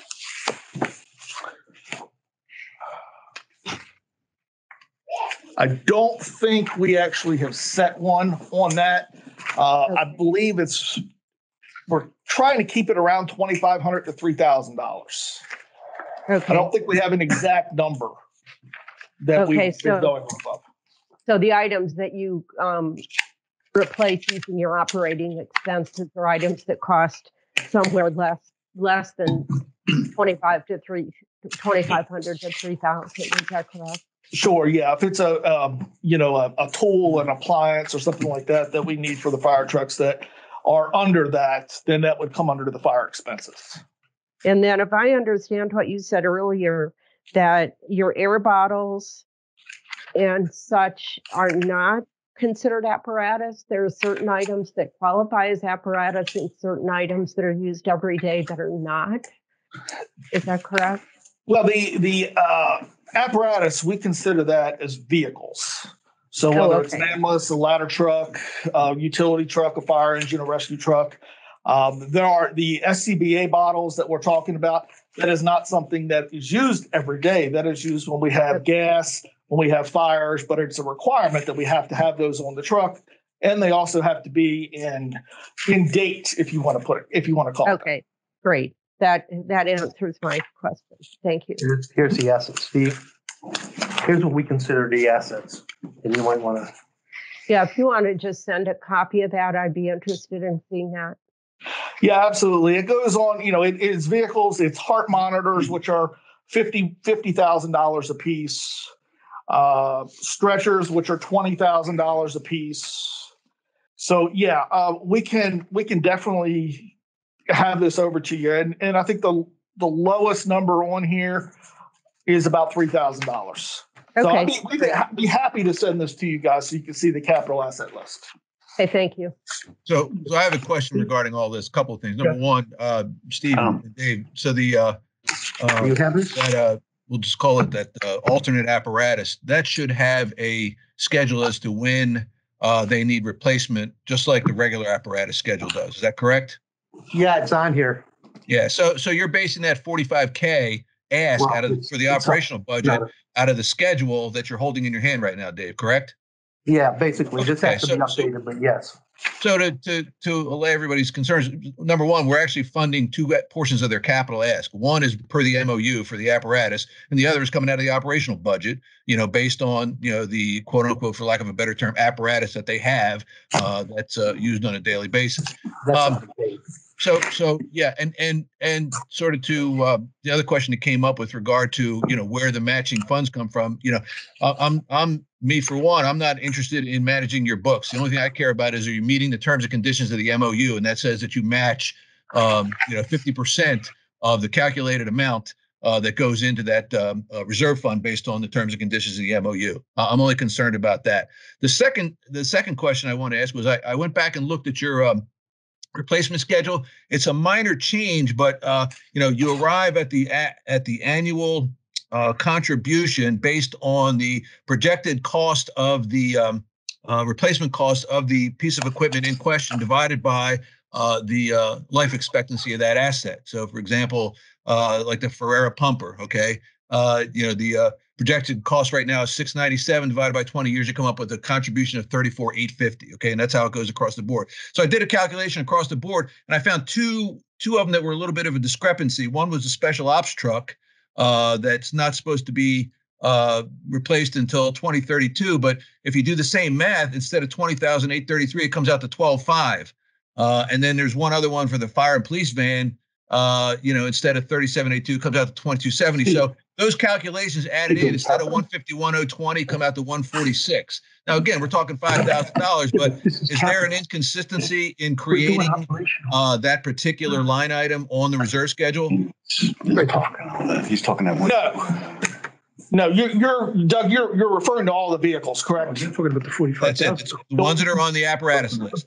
Yes. Um, yeah, we can, we're, we're reviewing that that you sent us, uh, by the way. We haven't gone through it exactly because you had the one fifty-one going down for all the other years. So that's obvious. I'm I'm not talking about that part. I'm just talking about, like, for example, I'm looking at the He's spreadsheet right this. now, and there's a fire and police Doug, van. Doug, Doug, Doug, is it Dick, somebody, I think Doug's doing the hundred and fifty-one thousand, uh, which is the, op- the, the, the, the assets.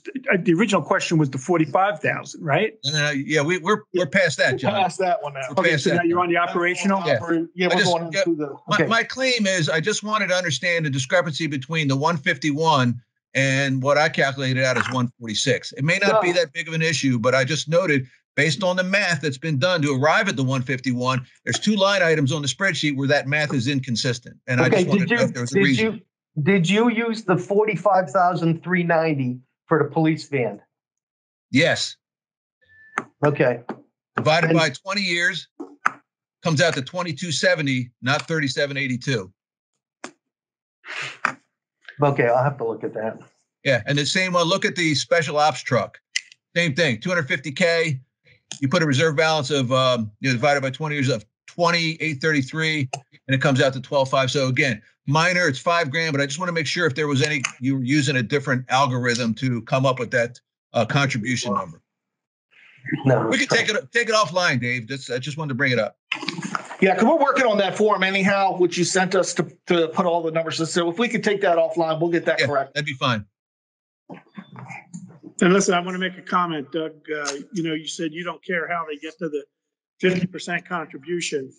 Well, we should care because where that money comes from, if it's not coming from their fundraising, my concern was that it's money built into the operational account that Ocean Pines is paying additionally. Their explanation that they're taking it from their savings account from money built up in the past is fine. But I have to disagree with you. We need to know where that money's coming from and not just that they're matching the hundred and fifty-one we're putting in. Well, you can look at their P and L sheet every quarter, and we can figure it out. Um, well, no, because it's, that's the operational money. And there was no explanation as to where that additional money is coming from, except that it's come, they're transferring money from their savings account for it. And that's the answer. Well, Larry, you and I'll just have to agree to disagree. As long as they meet the MOU, uh, I'm fine with that. And it's not costing us anything for them to meet the MOU other than our commitment to do half of it, the, uh, the uh, amount. Doug, that's not true. If, if they weren't taking that money out of the savings account and it was built into the operational account, that additional twenty thousand dollars would be coming from Ocean Pines. And now our contribution would be one seventy-one to their No. one thirty. It, it can't, it can't become 171, Larry, because they, it's based on the value of the apparatus. It's proven every year. Yes, just this- our one fifty-one would go in, but through a back door because it's in operations, we would still be paying the additional. But again, It's that another comes, but again, the accountability for that is what Doug was saying in the P and L. It is in the P and L. For every dollar we spend, it's in the P and L. Yeah, I understand that, Dave, but there was no explanation as to where that money was coming from. Now there's an explanation as to where the additional money is coming from. It's coming out of your savings account. That's not Out of the operational account. That's correct. I'd like to uh, maybe shift gears a little bit here and ask a question. Um, So do you have, or can you point to any industry metrics of best demonstrated practices that basically say for the call level that we have, um, a staff of four for each shift is, is, is the best practice?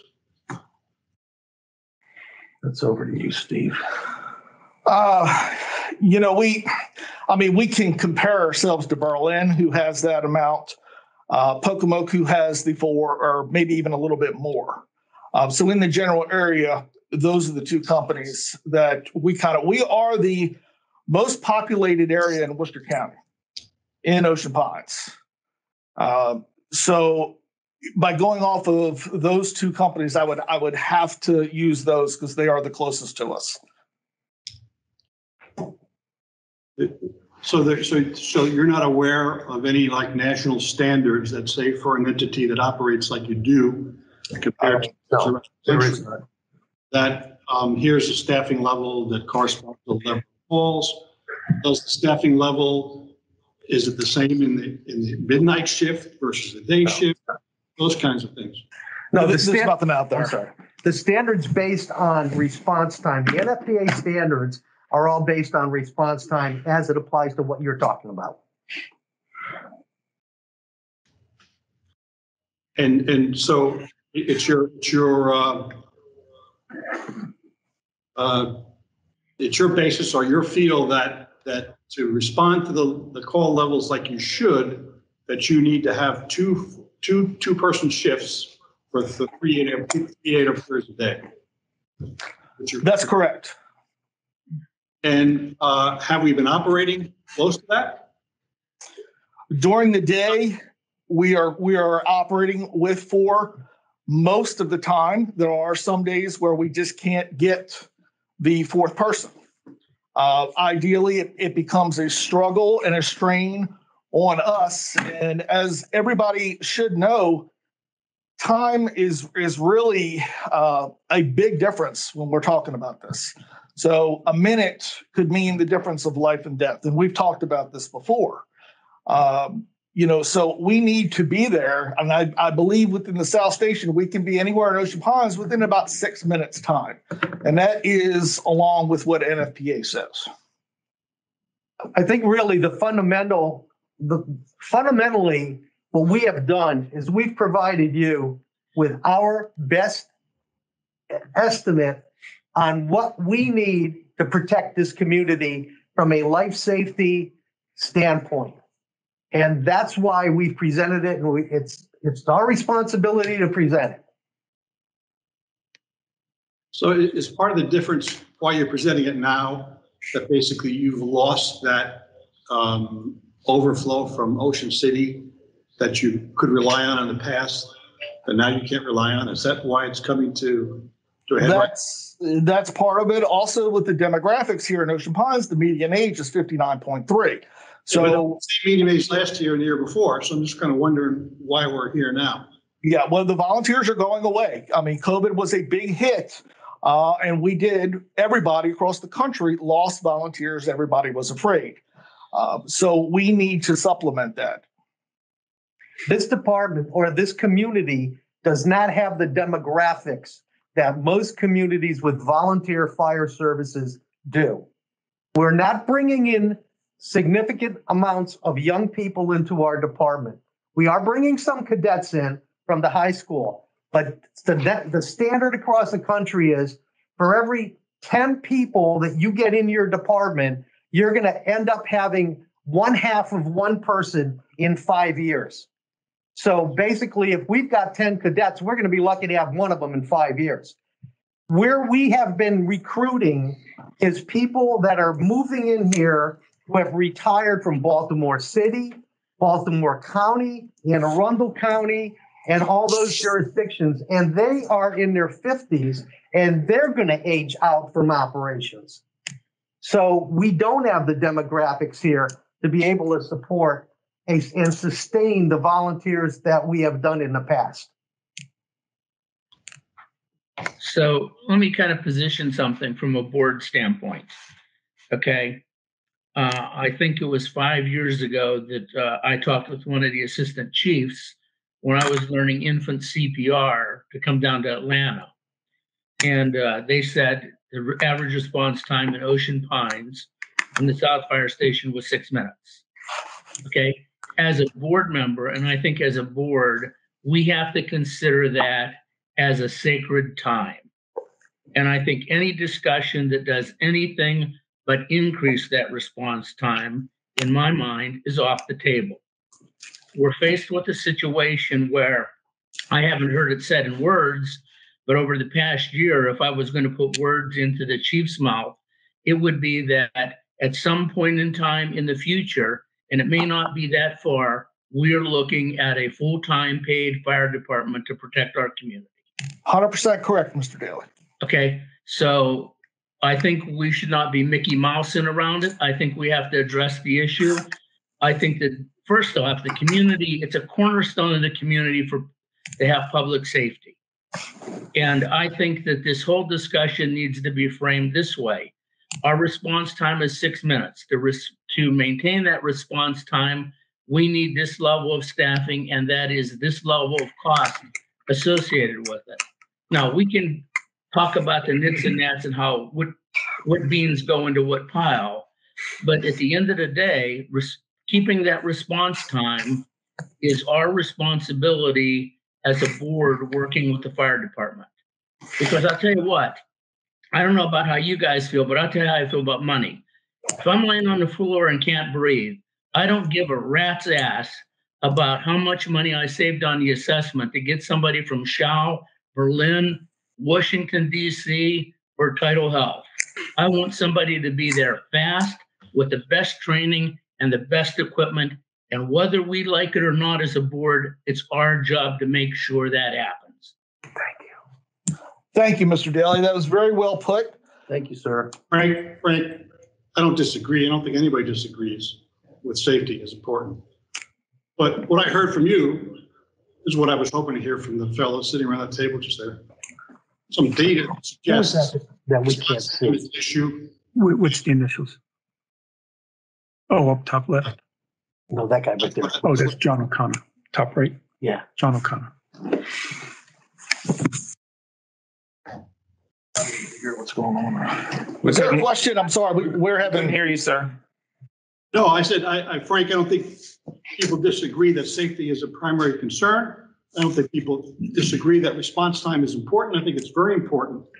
Um, when I was asking for data, that's the kind of information I was looking for to hear from those sitting around the table in the fire department right now, why it's so important that we do go to two staffs of two for three shifts a day because of those reasons. well, I did give you that six minute mark that we were able to get to anywhere in Ocean Pines within six minutes. Now, when you're talking EMS, you're talking fire, it's two totally different things. In your house fire, five minutes, it's uninhabitable. You cannot live through that. Uh, so, you know, there, this whole thing is is very important. Um, and Mr. Prone, I'm sorry, but uh, you're on record saying, why don't we get rid of the fire department? Uh, so public safety is That's very not important. true. That's not true. Yes, it was. Yes, it was. That We were all here true. when you said that. He said that at two meetings. Um, and I, I think safety is very important to this community. And we have a job to do. And, you know, we're struggling to do it. And, um, you know, the transfer agreement does say that Ocean Pines must provide fire and EMS coverage. And again, Mr. Perone, you're on record stating that we have to have that, but we don't need to use you. So I just, That- That is correct. That is And correct, I- yes. And we I'm very about it. passionate about this community. If you all cannot figure that out, if you haven't figured that out, I don't do this for a paycheck. I do it. I'm a volunteer. So if I can't, if I know that there's going to be a problem and we can't get to somebody and somebody dies, that's an issue to me. And, and that's where I was coming from a couple of minutes ago when I said that, when I said that we feel it's our responsibility to present to you what we need to do to protect life safety in this community. So we're doing that. Should you choose not to support it, that's not on us. We're doing our job. There's a risk benefit If I analysis could, here. if I could comment, um, I think it's good that we're, we've brought up the results of the homeowner survey. I think it's clear to all of us that safety is a priority for our residents. And we will be developing a strategic plan um, that will be informed in part by that um, homeowner survey. These are some metrics that I think we will need to focus on in developing that strategic plan. So I would anticipate that we will be communicating with the EM, EMS and the fire elements of your department to include some metrics that make sense Right. uh, for the strategic plan, because obviously each year, the costs to Ocean Pines are going to be impacted by our commitment to, you know, whatever those metrics tell us we need to maintain. So thanks for the information. And I think this is a dialogue that will need to continue beyond this budget. Right. I, I want to, I want to address these comments that Steve and Dave made. Let's be clear. Um, I never said we don't need the fire department. And I did say that our DRs require us to provide fire protection, but it doesn't say we have to provide it through you guys. And that comment was made to make sure you understood that um, the, the ask in regard to the firehouse um, is going to be a difficult question for the community. And this, again, doing my job as the president of the association, I need to make sure that what's being asked here is appropriate. Now, you know, you've given us the explanations, but, you know, the fact that you're being asked difficult questions shouldn't surprise you when you're coming to the Budget Finance Committee and ultimately the board asking to increase the assessment by, by about thirty-two dollars per household. I didn't say it wasn't justified. What I'm trying to get across. We're, we're the community because the community is going to watch this and understand. They're going to want to know why when the final budget is done, why the uh, fire department is costing the fire and EMS is costing the community $128 per household or 138, whatever the number is. That's what this is about. This is not about me not supporting the fire department. I've always been a supporter of the fire department. And if uh, the comments that I've made have offended you that deeply, sorry. sorry about that. Steve, you and I talked about it, and I thought we were clear.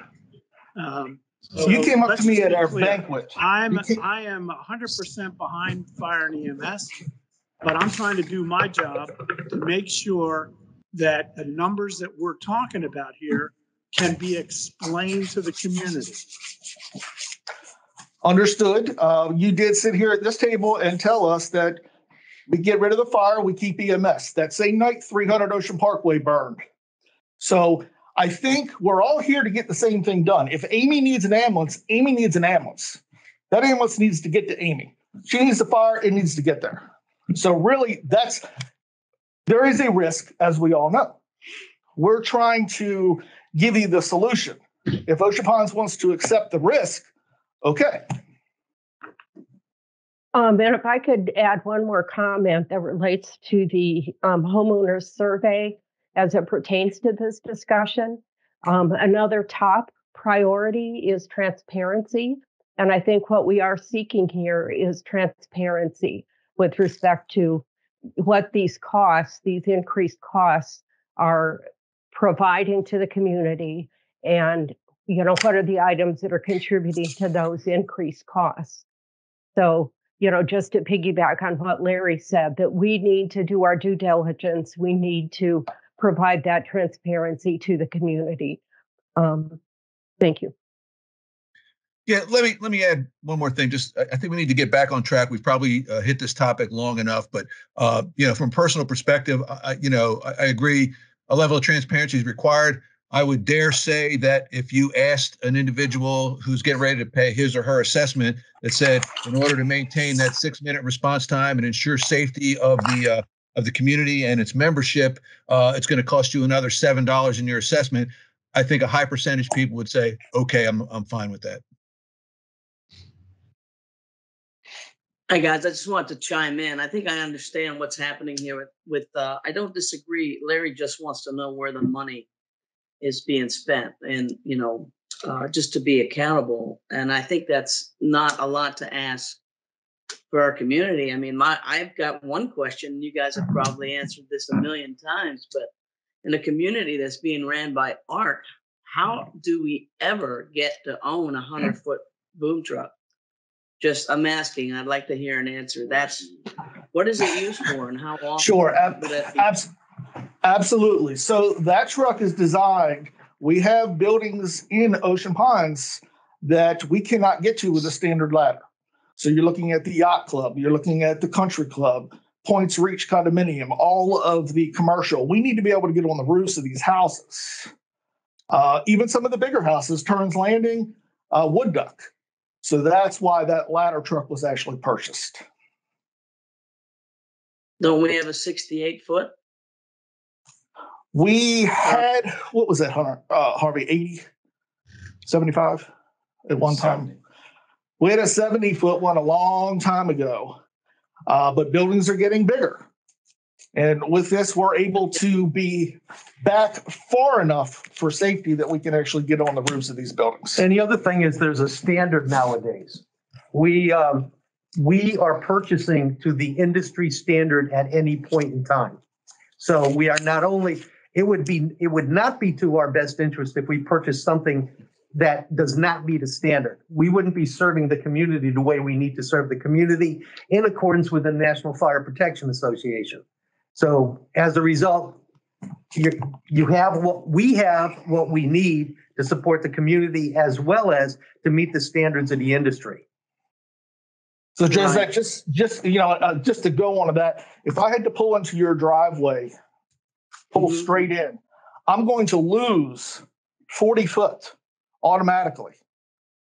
Okay, from that ladder being able to reach the building. So that's why we decided to go to 104. It's actually 104 foot rather than a 70 foot. Okay, arc is under four. So, but I, no, that's a good, um, I get what you're saying. I mean, you got to consider the truck and I hadn't thought about that being a part of the reach. Uh, because about- you would have, Sorry, man. You know, think about a think, think about a right angle triangle.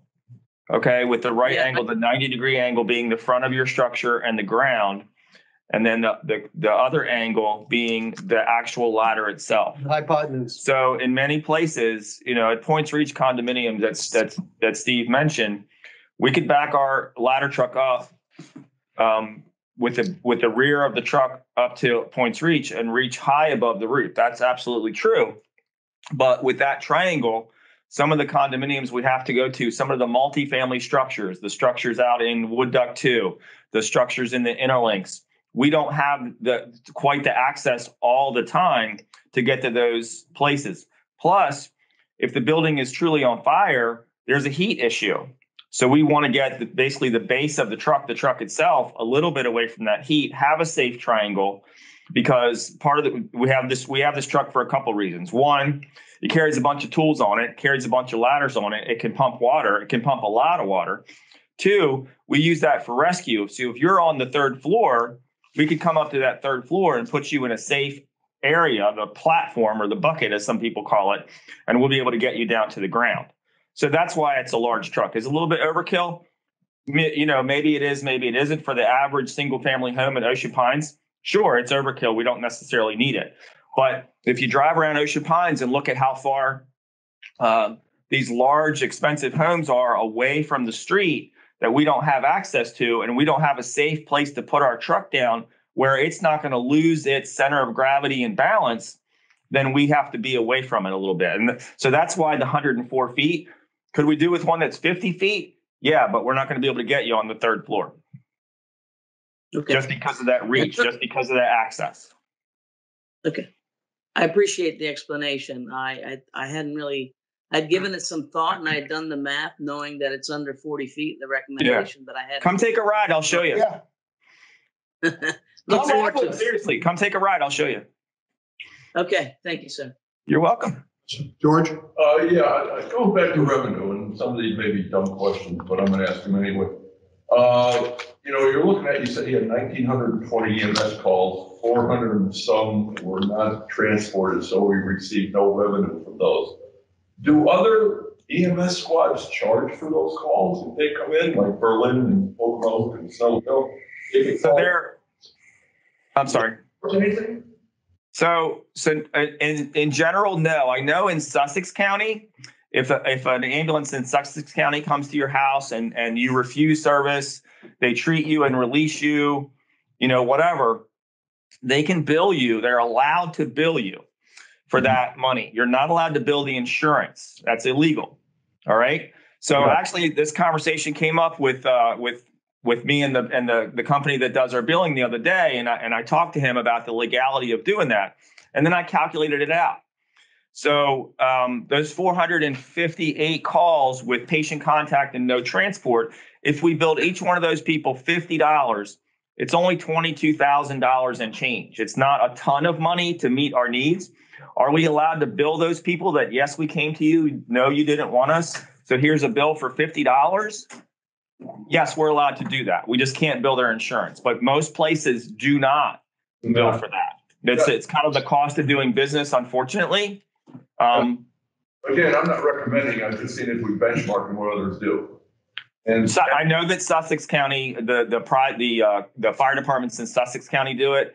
Worcester County, no one in Worcester County is billing for those non-transports. Uh, no, we talked last at, at the B and F meeting last week or the week before, whenever it was, I don't remember. Uh, balance billing for deductibles on those calls. So we talked. I'm sorry. Talk a little bit about that. Yes, sir. Go back maybe and look at that and see how many, uh, deductibles that we did not get paid out because it was deductible and we don't, uh, balance bill for that. So it's a little bit of a complicated um, algorithm that we use. So we, um, our billing company, Medical Claim Aid, they bill everyone's insurance that we transport. If that person, patient, has a secondary insurance, we bill that insurance. Now, uh, I'm going to use the term adjustment. So if you get an explanation of benefits from your insurance company that says, oh, you got billed $400, but we're only going to pay two, that $200 adjustment, no one can collect that. It's illegal. All right. Yeah. But if they if they pay 150, there's 50 left over. All right. So what we do here in Ocean Pines, per the memorandum of understanding and part of our agreement with the budget, is if you are a homeowner or a resident who lives, uh, who's the homeowner's family, you don't get a bill for that extra money. If you don't own the home, if you're a renter or if you were in a car crash, we do bill for that extra money. So I do have a couple of reports here, and I can tell you um, fiscal year 21, we had mandatory, so we billed $727,000. We had mandatory write offs, those adjustments of $227,000. Um, and then we had the amount of money we cannot bill per our agreement with Ocean Pines Association of 47,000 and change. So $47,000 um, that we do not bill the folks that are here in Ocean Pines because they pay their assessment. Does that make sense? Yeah, I'm with. Okay. Gotcha. Okay. One more, one more question again and again. Yes, sir. No problem at all. TidalHealth has all those buildings out. you know, Yes, they do. We talked about this last time. And AGH uh, is gonna build a new building on the other side of us. Yeah, that's what they say. Asking for donation. It's called impact fees. We do not get impact fees from, from the county. I'm sorry? That, that would be impact fees and Worcester County does not, does not get impact fees from these developers to pass on to the local fire and police. That's something that really should be done, and it is done in most counties. Okay. I guess. But it's not done here? County commissioners about it? Uh, you know, it- you know, they're, put all those buildings there, and again, AGH is there, you guys are gonna, there's a fire there, guess who's gonna be there? It's us. That's right. We were there the other night. Yes, sir. That's right. You know, it, it it just seems to me that we should get something when they keep making these buildings on racetrack.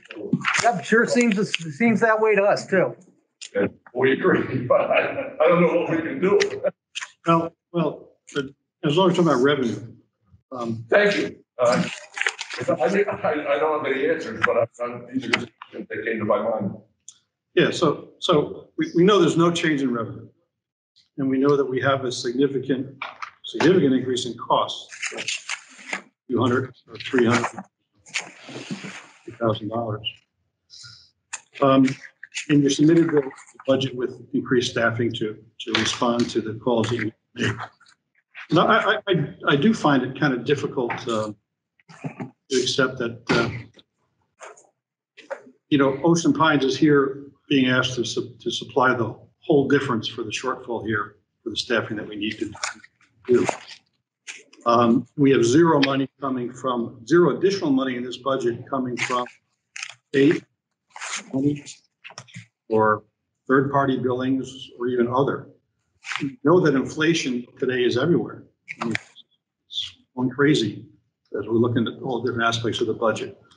Um, but yet our revenue is flat.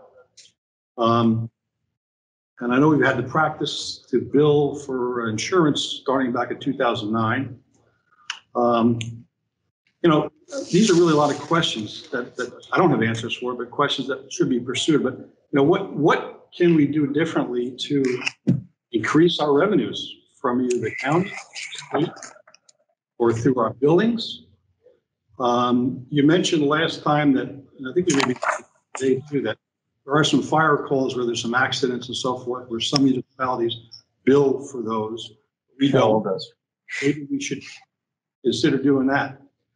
Um, I don't know how much we're billing uh, for ambulance calls, but I know some places bill thousands and thousands of dollars for ambulance calls. They don't collect it all. But certainly, I think we should be billing the maximum we could bill, let the insurance company adjust it down to what they're going to pay so we don't get shortchanged. And Maybe we're doing that. I don't know. Um,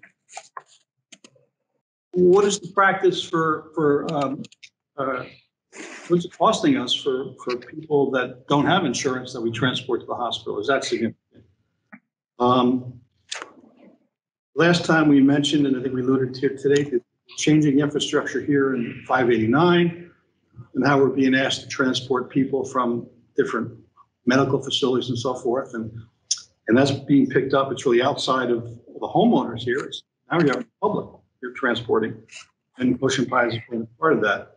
Um, You know, maybe we go back to the state, the county, let's say here, and basically try our best. We talked about maybe a team of representatives and fire department representatives going back with a strategy that really argues our case that we really have a higher level of cost here. We do have a higher level of. Damn it, forty-seven percent more.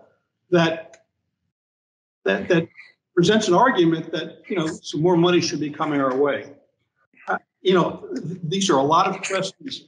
I think we really need to go back to the drawing board and and basically see what can we do differently to raise these fees, whether it's EMT billings or whether it's money from the state or county. What can we do differently other than saying we need this money because this is the level we need to work at, and which finds homeowners, hey, well, what are the alternatives? What can we do differently?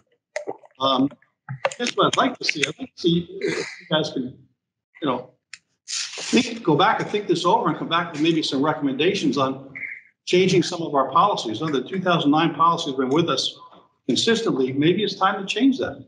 But, or maybe not, but at least look at alternatives that might generate some additional revenue that can help reduce the cost to the Ocean Pines homeowners. I'd like to address part of that because at either the last meeting or one of the four meetings we've had on the budget, uh, we talked about the Board of Directors of Ocean Pines with the support from the fire department and the police department going to the county commissioners with exactly what you're talking about, which is when the county approves a development, a new building, a hospital, uh, whatever you want to call it, that there be developer impact fees, which come back to the association to provide for fire and police services. And we did talk about that. Well, you know, that's something that we should formalize and, and, and pursue. That, that's just one area from the county. But also on the, on the EMT billing side, what, what opportunities to think out of the box and, and change the status quo? What can we do differently that can maybe help reduce some of the cost burden here? And, and I, I don't suspect you can answer that right now, but it's something that, that, that I think needs to be thought about and, uh, and some, some recommendations come forward with, uh, maybe some alternatives.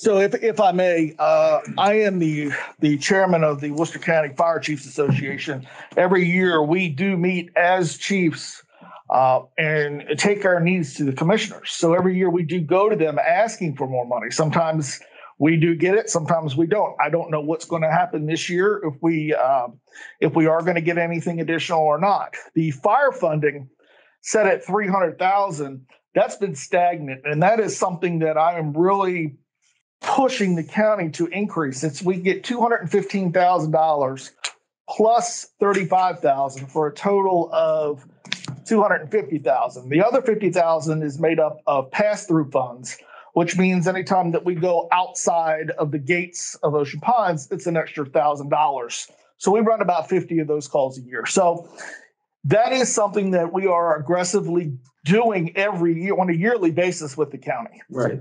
The state Amoss funding, that's preset.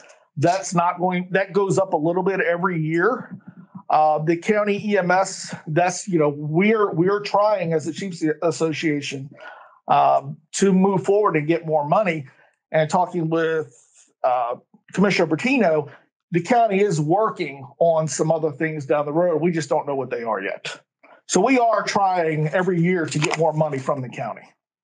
Yeah, I, I hear that. Um, but, um, it, it, it- can we do something over and above that? People from Ocean Pines that have contacts with the government, relationships with the government, the county officers and things like that. Um, can we jointly, um, strategize and put together a case that maybe will resonate, you know, with some people behind it?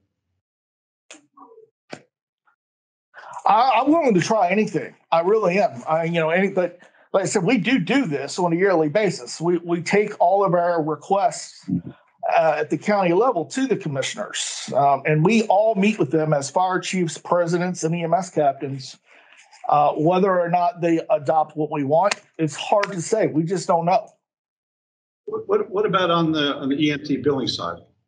I'm looking, So those two things, sir, that we, that I mentioned earlier, um, one of those is the agreement that if somebody, you know, uh, if you own a piece of property in Ocean Pines, you're the patient, um, we don't balance bill you. We don't bill you for that extra. We don't bill you for that copay. So there's that one thing. You're looking at that. And, and, and those are, you know, that's, that's forty-seven thousand dollars this past year. So, so there, so there's that amount of money. I'm not sure how accurate that, that actual number is, but that's the number I'm getting from the billing company. And then those 458 calls where we went to Miss Jones' house and picked her up and, and and got her you know organized and safe and and make sure her needs were met the best we could. She did not need to go to the hospital or did not want to go to the hospital. Uh, bill Miss Jones for that. Or if Miss Jones has a diabetic emergency and we go and treat her, um, give her some some medication and and make her feel better, get her back to orientation. She's taken care of. Then she doesn't want to go to the hospital. Same thing. Bill that person. We cannot bill their insurance, but we can bill them. So that would make a small bridge to what we're talking about. What, what Um, happens, what happens, yeah, I understand that. Thank you for sharing that. What, what happens if a private ambulance company, Be my own. and there's no transport and they provide some services, whether it's dietetic services or whatever, they for that or they can't build for that either? If they transport the, I'm sorry, I don't understand. You were broken up a little bit. Let- Let's say that a private ambulance company, for profit ambulance company goes out to make a call and um, uh, no one's transported. Maybe it's a diabetic situation, the patient's comforted and so forth. The patient stays home and the the ambulance was back to the headquarters. Do they bill for those things? You know what, sir? I can't answer your question because the closest third service, that's called a third service in the in the world of uh, field EMS. The closest one is American Medical Response, and they respond basic life support units in Washington D.C. Any advanced life support uh, would be would be taken care of the Washington D.C. Fire Department. So I'm sure that they do bill for some of their services, um, but if they don't transport the patient by Medicare law, by government law, they cannot bill the patient if they don't transport them. So let me understand, and I think cut to the chase of this. Okay, so I'm in Orlando right now. So I just heard a bunch of fire engines go by, and that's paid by the city of Orlando tax. Okay, we are not a city. So basically, I believe as far as you, the fire department, is concerned in Ocean Pines, the funding for you is going to come from Ocean Pines and the county to fill down from the state and what other fundraising you do. So it seems to me that that although we can nibble around the edges, okay, by billing some people, you know, bill now and create a little, you know, kind of like catwalk, not a bridge, that the big issue is countywide. If I understand last year, the commissioners gave an extra $1 million to be divided amongst the firefighting districts. Is that correct? Roughly. Yeah. Yeah, Ocean So- City got, a- Ocean City got a, most of that money. Yeah. I mean, we're looking at a situation to me, and correct me if I'm wrong from your point of view, Chief. The it cost a lot of money to provide life support and fire and to fight fires. That money has to come from if you don't have volunteers from full-time fire people. It seems to me countywide, if I'm reading things correctly, we have a kind of mini crisis brewing in that almost all the districts are hurting for volunteers. This is a That's national crisis, sir. It's a national, crisis. Right. And in fact, one of the things, if I read really, if I read into what I've heard over the past year, is we are more likely to be called now into Showell because Showell has some crisis situations or manpower situations. And I think this is a situation where the community has to, quite frankly, belly up to the bar, and we have to work with our two commissioners to get the county to belly up to the bar because it's not going to go away soon. And I don't think it's going to go away at all. No. I mean, it, you know, I don't know if it's five years, 10 years, five months from now, but I suspect in not too distant future, when I hear that fire engine, it's going to be like here in Orlando. It's going to be paid by the community for full-time firefighters. You guys can tell me when you think that's going to be based on a trend line, but I, that's where I see the trend line heading to.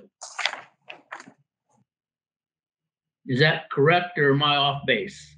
You are absolutely correct, sir. I've been I've been involved with this fire department for 41 years. And I can tell you that I've never seen in that 41 years the low manpower status of volunteers that I see today. So I, I think that, and I address this to both the fire department and to my fellow board members. Look, we got to do a little job with the community. We talked about transparency. I think the community has to understand what the response time is, our commitment to maintaining the response time, what the cost of maintaining that response time is going to be, what the future kind of looks like. Because I would suspect if I were a betting person, we'll be having a similar discussion, if not next year, the year after. Because correct. Mm-hmm. it's going to be a long-term situation that we're dealing with. and we need a plan. It's, you know, and it's not a short-term plan. We need a long-term plan. And if that long-term plan is that we're going to have to go to a full-time paid fire department in Ocean Pines, let's start laying the groundwork for it now so somebody doesn't act real surprised when it happens. Yeah, Frank, I, I couldn't, I couldn't agree more. We actually had a very similar discussion in the previous meeting. Uh, it turned out with sort of the concept part of it now, it sounds like perhaps we got enough um, background information to turn that from concept into something that's tangible. So I, I would agree with you. I think we need to do it from a board perspective, from a, uh, to certainly accept any uh, input from the Budget Finance Committee, uh, working in conjunction with the folks in the fire department to get to the county commissioners and say, guys, this is a known problem. I know you know about it. How can we collectively address it going forward, both now in the short term and certainly for the long term? So I- I'm all in on that as well. Yeah, and I would piggyback on that by saying that the discussions that the fire and EMS people are having with the county, I think would be benefited by having Ocean Pines at the table with them as well, because we ultimately are a- a big funding source for you. And, you know, we have an interest in the same things that you have an interest in, making sure that the turnout times are meeting national standards, making sure your equipment meets national standards. And, and I think the more voices at the table from different perspectives, perhaps the more persuasive it will be with the county. I think it's a two-forked approach. One fork is what the chief is talking about, where the Chiefs Association, as well as the County Fire Association, which is largely the chiefs, the presidents, and the EMS captains, where we go as a as a service to the commissioners. I think the other thing that's more that is equally as important is if Ocean Pines itself, which includes the board of directors leading the effort and the fire and the police supporting that effort to go in to go to the commissioners. So I think that's really two approaches that need to occur.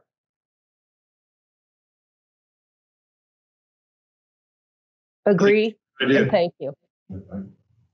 Fully agree. Okay, uh, if there's no more EMS questions, do, would you prefer that we go through this line by line? Or would you just simply like to ask questions? Because as you can see, there's a little bit of a difference in the operating expenses from 21, 22 to 22, 23, but it's not as significant as what you had just talked about. But if you wish, we can go through this line by line. Why, why don't you continue going through it line by line? Okay, so member expenses, which is the first category, that's a number of different things. That includes that includes our one annual banquet that we have, but it also includes apparel. We are uh, we are basically providing a lot of apparel that we have to do for our members because from a homeland security standpoint, we have to have our members on the scene identifiable. Uh, so therefore, we provide we uh, job shirts, shirts, et cetera, et cetera, for our members. So those type of expenses all jump into that category.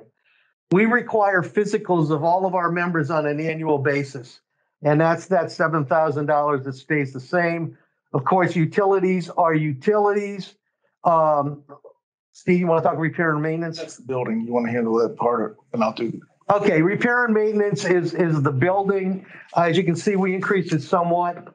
Um, Those of you who have been to our building or have discussions with us realize how, uh, what a, what a situation that we are in with South Station. South Station was built in the seventies, had one addition added onto it. It is falling apart. Part of the building is sinking. Uh, give you an idea of what we had to invest in last year. We had gas, uh, fired heating units in the bays and the gas pipes fell out of the ceiling. So the building is deteriorating rapidly. So well, this is a Band-Aid on a hemorrhage where we believe that the investment we need to make this year is the eight thousand dollars, eighty thousand, sorry. You want to do communications? Yeah, so forty-six oh seven, communications maintenance, uh, that is for our radios, mics, etc. uh, straps for the radios. forty-seven hundred fire expenses, and that includes the fire police expense, cadet, uh, turnout gear, uh, is a big thing. That stuff does expire. We have to replace that every ten years. Uh, department uniforms, that is our Class A uniforms, uh, that we provide the members and employees. And I'm gonna let Harvey, if you'll do, um, your 4800 and 4804. So EMS expenses, basically, uh, we follow the state MIEMSS standard for minimum equipment on an advanced life support ambulance. We have three advanced life support ambulances. That includes uh, equipment to equip those ambulances, replacement of that equipment, and then um, maintenance contracts, uh, our heart monitors, our Lucas devices, which you may know as thumpers, uh, things like that. Our stretchers uh, have annual contracts, so that money is all in there.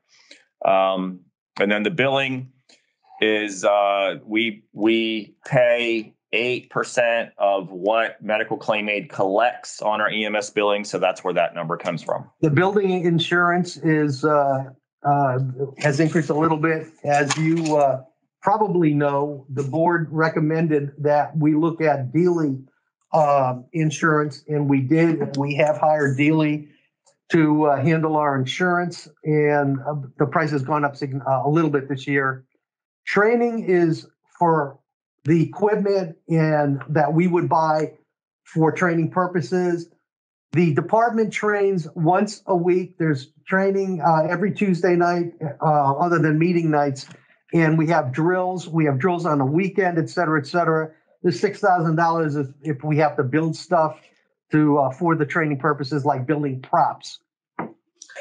Uh, apparatus maintenance, five thousand. Um, we've increased that, well, I'm, uh, line item five thousand. Okay, sorry, sorry. Uh, we increased that from fifty-eight to seventy. We're, from May first to December eighteenth, we're already pushing thirty-seven thousand dollars in apparatus maintenance. And if you can imagine how expensive it is to have your car worked on, just imagine a fire truck. Tires are very expensive, et cetera, on that. Office expenses, we were able to take that down about five thousand dollars.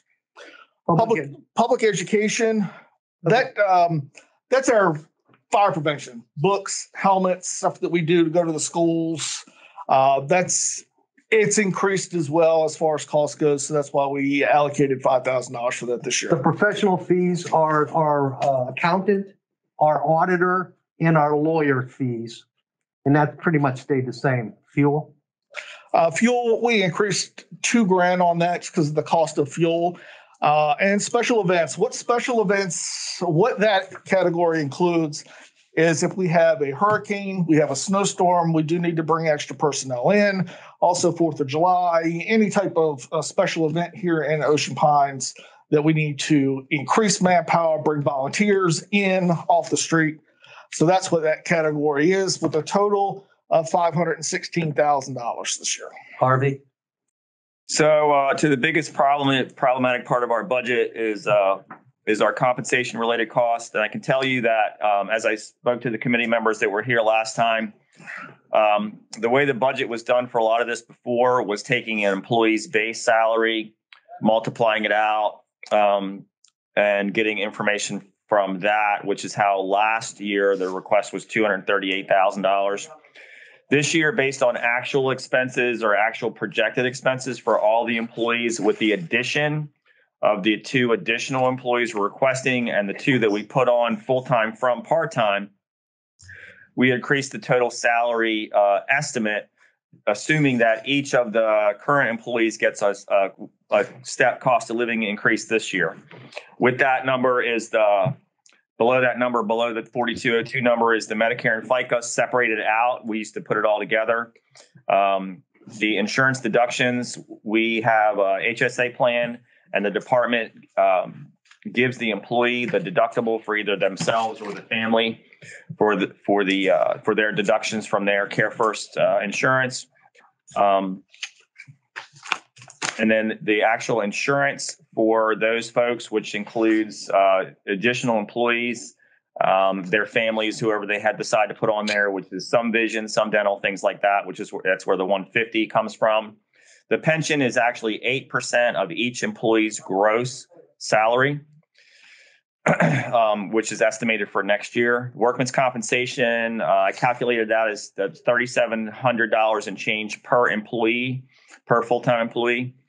EMS training uh, is a big increase because what I did this year, nationally registered paramedics are required to attend sixty hours of training each two years. So all I did was take all the employees' uh, hourly rates, not subject to overtime, and multiplied them by 30 hours for one year. That's how I came up with that number. EMS uniforms, we are each employee is allowed to spend up to $400 per year for uniforms. Uh, we don't give them that money. We they have to order it through us. So if an employee only needs $100, we only spend 100, but they're allowed um, $400 each. And then I estimated $200 for those NFPA required employee physicals every year. I have a couple questions on this. Yes, Uh. Why was, under the Medicare and FICA number, why was there no number in there last year? So- And the same with the insurance deductions. So if you look down at, sir, if you look down at 4,400, the last year it was 238, 364. So that, um, that budget was carried over from when Mr. Bounds was here based on employees' base salaries and things like that. And, and doing, in doing my homework for this and the, the increased staffing, I separated all that money out and tried to take actual figures from our insurance companies, um, from our actual salaries, from our actual overtime costs, and put all those numbers in there. So the numbers that I came up with for this year were actual numbers projected for next year.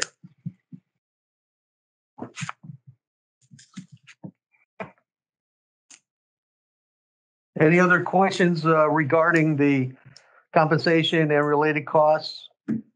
We've already gone through the rest of it. We've gone through the revenue. And then the gray area on the right-hand side is simply the operating expenses, compensation expenses, apparatus replacement and capital, which we already covered, minus the revenue above, which comes out to, as you see. Are there any further questions?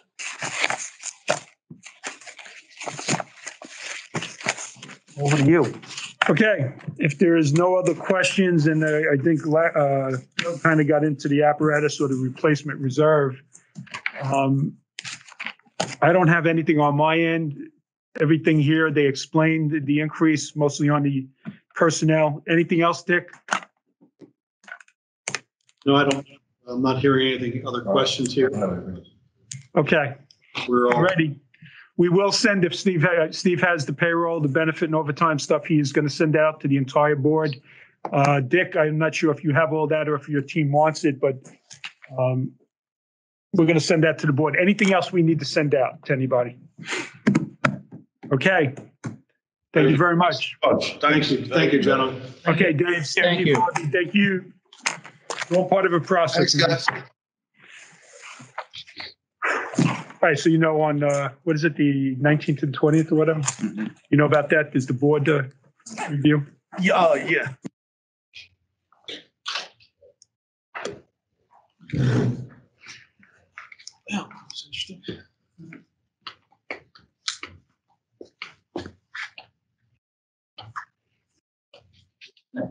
Restaurant? I think we're done, aren't we? Restaurants, huh? No, oh, wait, wait, we're actually, oh, man, we're not done. Hold on. Yeah, yeah, yeah. Hold on. We have Steve here. Okay. Guys, okay, yeah, call me to something. So Steve's here. He's anxious to go through food and beverage. He's got some really good numbers. Some variations. Take it easy. And um, thanks, guys. So the food and beverage, and again, this is all part of the process, which I was just explaining to the fire department too. This is for the community. Uh, they will come back for the board presentation, even though there were a lot of board members. I explained all that, but it will help the process. So with that, food and beverage, Ralph was in. He's out of town. Uh, his team's out of town. We did do a dry run with B&F. This is part of the process. Steve, who's, the, who's my liaison, our liaison to food and beverage, is going to go through the food and beverage numbers with everybody. Um, so here we go. Okay, um, yeah, so I'm not going to go through it line by line. Uh, Ralph was in here for the B&F, but for purposes of giving everybody the opportunity to, of course, ask questions, um, you know, definitely let's go to each section. And um, I can give you an overall summary. But I guess the easiest one to start with might be Beach Club uh, and Clubhouse.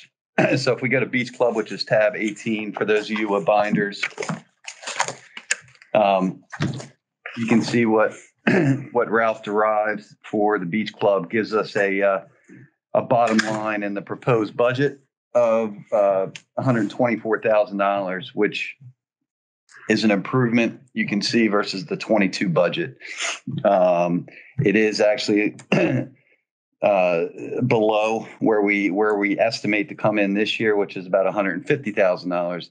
Ralph did did want to hedge that. Basically, talks about the COVID rebound. On the beach club side, you also have a big aspect of good weather on weekends. Um, you know, everything kind of came together this year. Not sure if that's a record, but you know, 197,000 to date is the best I've seen since I've been here, and, and the best I've seen in the historicals. Um, so that's what we have in there. Of course, the management fee consists of a, a, I did put a little bit of a portion in the estimate for the uh, end of year projected payout. That's why you see where we are in September versus the estimate coming down about 40 some thousand dollars. And then before I get into the other ones, just to kind of put it out there, in the past, and this is something that Dick and team I think are aware of, uh, you know, we budgeted based on contractual numbers. Yeah, I was going to get it today. You want me? Uh, w- sure. Yeah, so actually, I was going to start off with that, but I just need to put this into perspective. So the budget, so the contract for the year we're in, for them to make their um, their bonuses and all that, I believe is what 195. 190. yeah. What is 190? It was 175. If you all remember, we gave them the extra year last year, and I asked them, or I requested that they increase the goal to 190. So in the beginning, or several years when it first started, we didn't know where we were at or anything. We budgeted to the contract. We all agreed on that. He does have history now, so he's coming in overall for the three three locations somewhere above the the contractual amount of 190 operating profit for all three locations. But he is he's not at the numbers that we're forecasting this year. And I believe I believe it's 150, Steve, for the beach club, not 197 for the forecast amount. I got the Yeah, 197 is where we are. Right. So it's 150. So he is coming in lower. Steve touched on it. He calls it the COVID uh, kick, where he believes there was this pent up demand, my words, that everybody rushed out, and we may not have that again. He's also, uh, he has hedged uh, as far as, I'll use my own terms, not his. The numbers for, as far as revenue would be soft in the sense of what I've explained for all, my opinion, for all the amenities in the sense that they're concerned about COVID, they're concerned about something. So we kind of have a, a hedge built in there. He has one built in there. You'll see at the end how much it is, um, but he's way favorable to the contract. All right. Um, his Steve, just his margins, everything else, his payroll, all that has been pretty much in line. Or Yeah, yeah. I mean, the margins there, I have them out there on that under net revenue. You can see 74%, pretty consistent uh, to last year's budget, to how we ended 2021, and also our 22 estimate. Um, so no real uh, anomalies to to what I've seen, what I see here. All right. So, any questions on Beach Club? And John O'Connor is there. You know, if you go back to history with the Beach Club, even before the the dark years or whatever that happened like four or five years ago, we always made John. We make there? About a hundred thousand at the Beach Club, just pretty much operating. So he is coming in. He's coming in around 125. He's going to do 150 this year. Assume the number next year. It's everything equal in the universe. He'll be somewhere in between the two. Any questions on Beach Club? Okay. Straightforward. It's a moneymaker. What's next, Steve? Uh, we can go to Clubhouse, Clubhouse Grill. Number number 17. 17, please.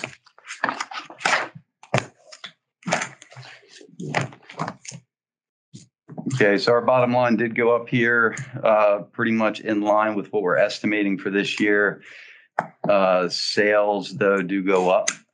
Um, you can see that we uh, had a budget of 23,000. We're estimating to come in a bottom line of 61. And basically, that's what we are uh, proposing for next year as well. Okay, so again. Hey, Steve, John- is that number, is that number good? I mean, we're, we're looking, you have year-to-date September.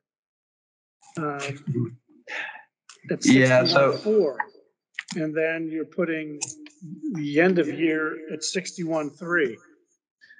Yeah, so you can see sales. I mean, Ralph filled this out in terms of projected sales. So you can see the sales go from 297 to 353. I'd have to, I mean, it, you know, we did this estimate probably what about a month ago uh, to see where we where we landed in November to see if we need to adjust that a little bit further. But um, you know, from a bottom line standpoint, uh, we still got some of the fixed costs that we got to put in there.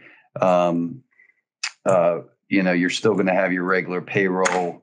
Um, so it, it just happens to come out uh, as a wash. And for March, you know, some of the slower months in there that you're actually going to have a loss. So there'll be a number of months of losses in there. So we Yeah, we still have March and April, which may, I don't know that there'll be losses. But it's okay, all right. Yeah, I mean, you know, it could be a little bit better. I mean, he he Ralph, I mean, you know, likes to under promise over deliver. That's his key motto. So I mean, you know, our our estimate's already coming in a surplus of I guess about one little over a million. Um, so I mean, it could even be higher than that. Uh, keep in mind though, as that goes up, then we have to split the bottom line. every dollar. Yes.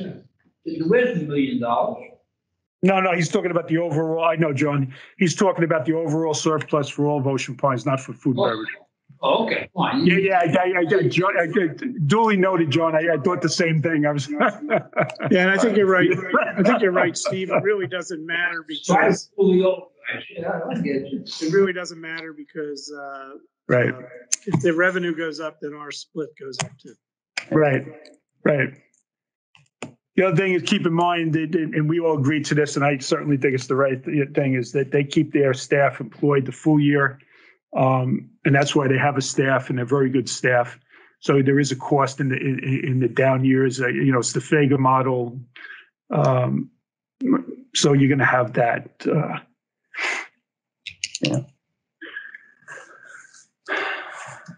Okay, so um, John, if, John, if we add the three together, the proceeds for the next year's budget comes to two eighty. Right. Is that well above his obligation or? his Yeah, target? so his, right, so the kick in that fifth year is one ninety, an increase of fifteen thousand from the original contract. So he, he's definitely coming in higher than that, and that's a net number after everything's uh split to 50-50, Steve. So he's, he is, he, he's higher than that. Uh, you're gonna see that that budgeted number is less than the forecast this year. Um, and I stand by what I said, all the amenities um, there's there's kind of a, a hedge in there for COVID and all that. Whereas last year I tried to keep that kind of hedge out of there and said, look, we'll use the surplus to cover it. This year, you know, we're going to use the surplus, the realized surplus to cover, hopefully, uh, and get the board and everybody else to agree that we're fully funded with the reserves. Maybe we find out that uh, you know we got favorability there, so we'll find that out tomorrow.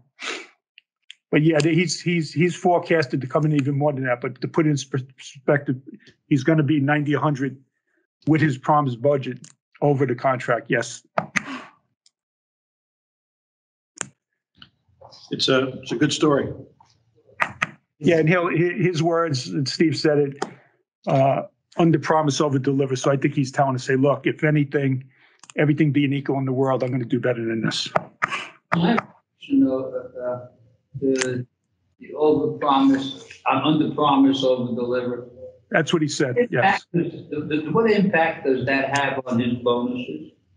Uh, So Saying, Yeah, no. that fee, It's half. So, so, okay, so that's good. So, right. So, so- so again, he doesn't lose anything right now, but if he comes in a hundred favorable to the number that, whatever that number was that Dick said, you figure he gets half and we get half after all the expenses for payroll and all that. His management fee doesn't change. Uh, obviously the bonus does, and he's in that territory where we split everything 50 50. So it's 50 grand to him. Go ahead, Steve. but I think, I excess think of, anything that's in excess of the budget We split No. Fifty. No, not the, hold on, hold on. No, so I mean, I think what you're asking is, this budget has no impact on his, what he would potentially make as a bonus. He, it's contractually bound. We've already agreed to that number. So we're setting this budget based on his expectations. The contract number of hundred and ninety thousand dollars is the over and above number that we split. Right. Okay, all right. Okay, so if he's coming in at two eighty, those three numbers, I think that's what Dick said, and he does another hundred, the three eighty, I, I thought that's what John O'Connor was asking. What does that mean to him if he does another hundred favorable? Then he And would the answer is get another fifty. fifty thousand to him, fifty to us. Okay, so we split anything that's in excess of the budget. Correct. So, so it is, it, it is advantageous to him, Not in excess of the budget, in excess right. of hundred and ninety thousand dollars right? per the contract. Okay, he, right, let's get that, because it's the one ninety, not the budget. You don't do it on the budget, it's based on the contract. Right. Fine, fine, let's back up. Exactly. So, so, so it's kind of a contradiction in terms, John saying, because the budget happens to be the two eighty. But right, John, they just want to make sure you understand, it's not the budget in cases, but, okay. I understand he has a flat fee, no matter what. He has a flat fee. Once he reaches, once he achieves those levels, yes. Once he achieves a level, Over the contract, Contract, John, in the contract, whatever's, the contract and the budget don't go together? not necessarily. no, no. No. Did in year one, but then we rewrote it. Yeah. So the year, year one, well, let me just go, in year one, they had no history. I I They got, came- Okay, that I understand. all right, so then what is it that, This is my question. He gets a flat fee for the coming year, right? Just like he did this year. Period, period. yes, he, correct. Okay. If he exceeds the budget by a million dollars in profit, does he get any more than his Yeah, flat let me fee? ask. He gets fifty-fifty, you told me. Yes, but I, I just need you to understand the term. Right. In this situation, because the budget is higher than the contract, when you ask me, what if he does another hundred thousand over this budget? Let's take the budget word out of it. Let's say that number, whatever that number was, the two ninety or two eighty that Dick said. That's over the contract. So it puts him into that realm where anything additional to what just happens to be called the budget number this year, the answer is 50 50. But it's not based on the pure budget. If the budget's lower than the contract, then that's a different story. Good, Steve? John, you got it? I think I have it. uh, What I Okay, don't, so is- what I don't understand is a contract that's talking about his bonuses that's not tied to the specific budget. That I don't understand. All right. The budget is, the budget determines assessment. I'm sorry, what? The budget assessment Okay. dollars. But he entered into a five-year, Off mute, I can't hear him. If he hits certain targets. His bonus is based on that contract, and it really has nothing to do with the budget. Is that right? Okay, so the contract has nothing to do with the budget, the budget solely for the Assessment. assessment That's correct. and has nothing to do with measuring his performance. That's correct. From a bonus ah. standpoint. Okay, so now with all that said, let's just say this. Performance. The number, the number in the assessment called a budget, Dick, was how much? 280,000, right? Yes. Okay, Yes. okay, operating profit. Let's just call it operating profit, John, in this budget, the 280. If he does another 100,000 of re- of operating profit Above this budget, a- above the 280, Which is in the budget. which is. which is in the budget, which is in the budget for the assessment. If he does another, which is what I thought your, your question was, if he does another hundred, which would get him kind of where the forecast is this year, if I remember. I thought you asked me, what is it, what's in it for him? Well, he'd get another fifty thousand and we'd get fifty thousand. Okay, but you both just told me that his bonus or his fee is not related to this budget at all. No, wait, the fee, His fee is in the budget. John. It's not. He gets a fixed, he gets a fixed management fee. fixed man, He's got a fixed fee no matter what the budget is, correct? two hundred thousand dollars for the year fixed. So that comes out. Out of the budget. Then basically you have a contracted number that we've entered into three years ago. It's a five, five-year contract. And we escalate, we escalated that target. We had a target net operating total combined income. So it's your clubhouse, your beach club, and your yacht club combined, hundred ninety thousand dollars. Doesn't depend on any of the budget numbers. Profit share. Okay, so he makes hundred ninety thousand dollars no matter what happens, correct? No, No, he makes two hundred thousand in a management fee, no makes matter two what hundred happens. thousand dollars. One at a time. He's getting hundred ninety thousand dollars. What has to happen for him to get it? Anything? John, What? he gets two hundred thousand dollars for operating our food and beverage operation. Okay, that's his fee. That's his fee. All right, no problem with Okay, that. so now, contract says that if he makes a pro, if, if there is a real profit, not a budgetary profit, a real profit. Real profit. For, o- for certain amounts of money. For a certain, well, time, now, my question, are those certain amounts of money in this budget? They're in the contract. Uh, are those amounts in this budget has no value, because you're telling me that he's gonna get paid based on some set of numbers out to left field, left field, this, this side, as opposed to that side, left field, irrespective of what happened, what's in the budget. That's correct. So why, are we- Well, this, John, this, this. I give up. Yeah, this. I bud- flat out give up that, that, that we have a contract paying money for the performance of our restaurants, and we don't have a budget for that performance anywhere. It- we- we- I guess we, we, we do, and in that, in this budget we're looking at right now, and I'm looking at, you look at all three of them together. Yeah, okay. And they, they total out two eighty profit.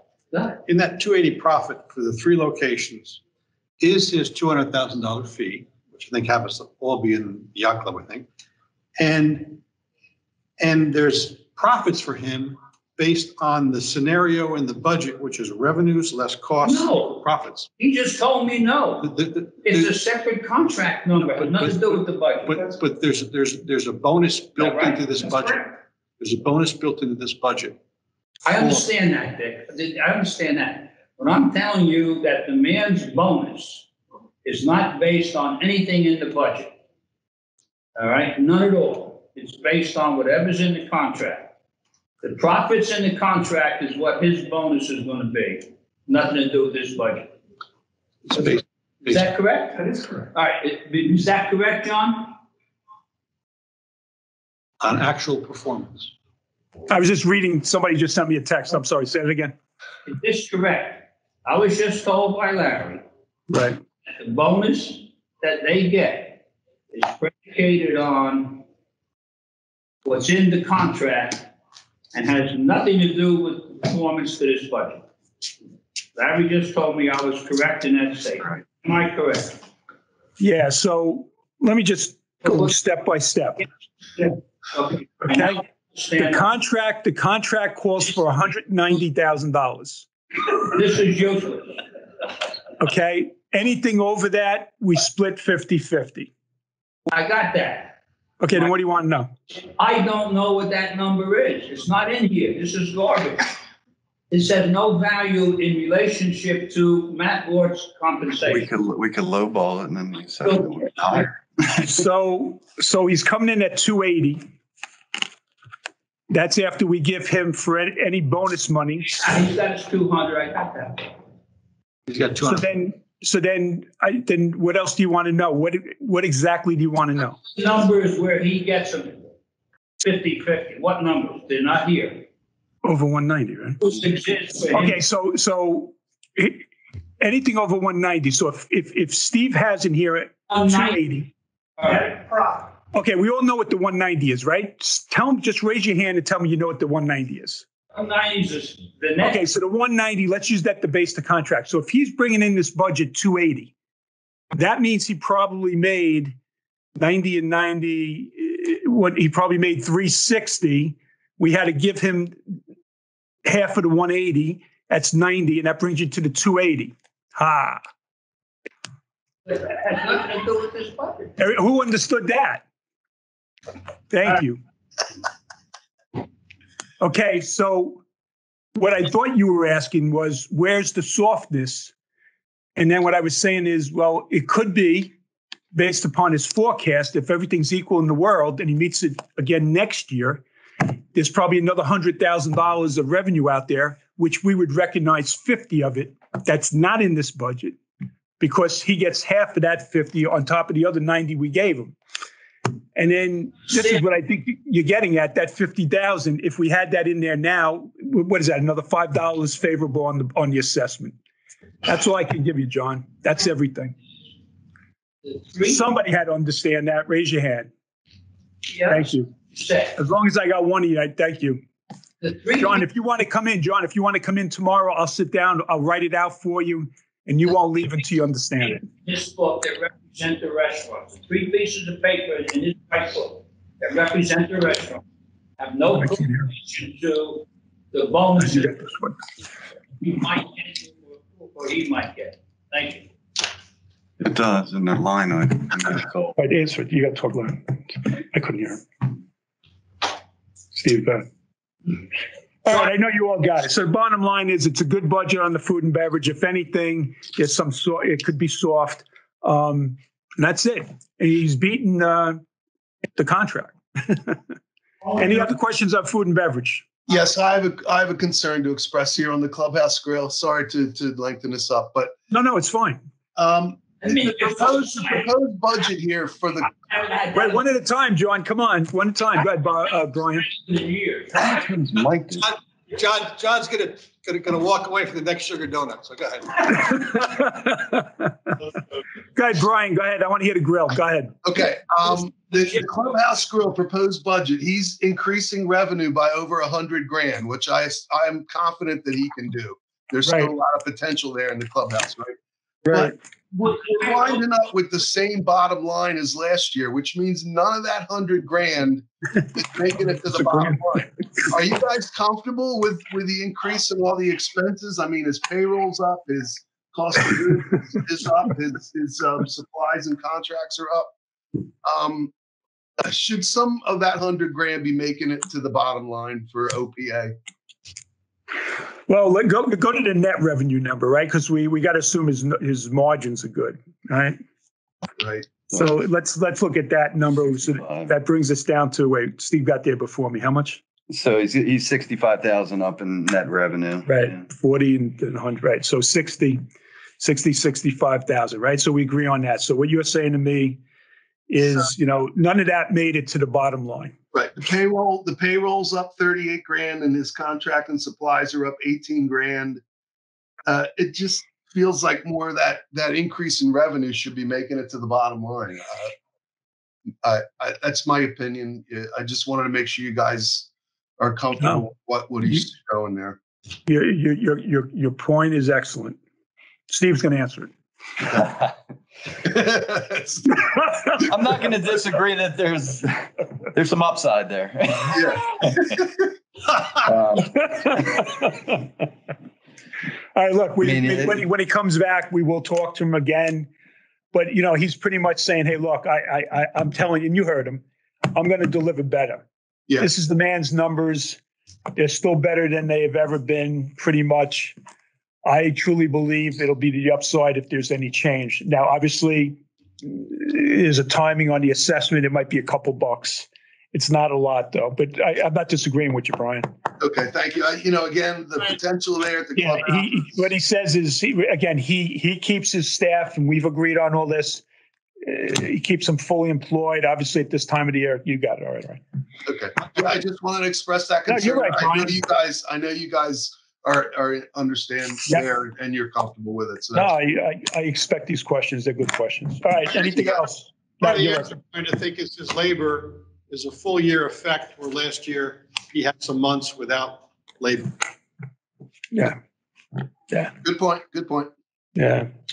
I mean, we're going to see nothing but upside on that grill. I truly believe it, and especially with the golf. He sat here and told us the golf factors in there. All right.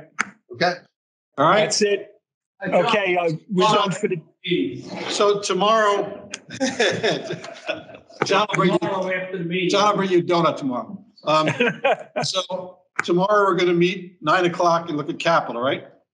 Capital, I'm going to ask, please, right on time, because uh, uh, John Malinowski has to leave. Uh, But we're going to do him first, the golf at nine o'clock. Obviously, that's the big number in the room, and I need to address that. So nine o'clock tomorrow, we're going to start with golf sharp. That's the big number of the room because of the, the replacement. Irrigation, irrigation. Okay. irrigation, which, which decisions have to be made. Um, I will certainly make recommendations as, as requested. Um, which also then affects the reserves, and I've explained that, and we have a schedule for you, of course, we always have a schedule, how to tie that in to answer the questions about the reserves that everybody's asking me on, whether it's a proposed legislation or you will want more money in there, we'll tie it all together. But I just need some input on the irrigation, and I will make a recommendation on my end, all right? All right. All right, Dick, thank you. Thank you, everybody else. Thank you, guys. See you in the morning.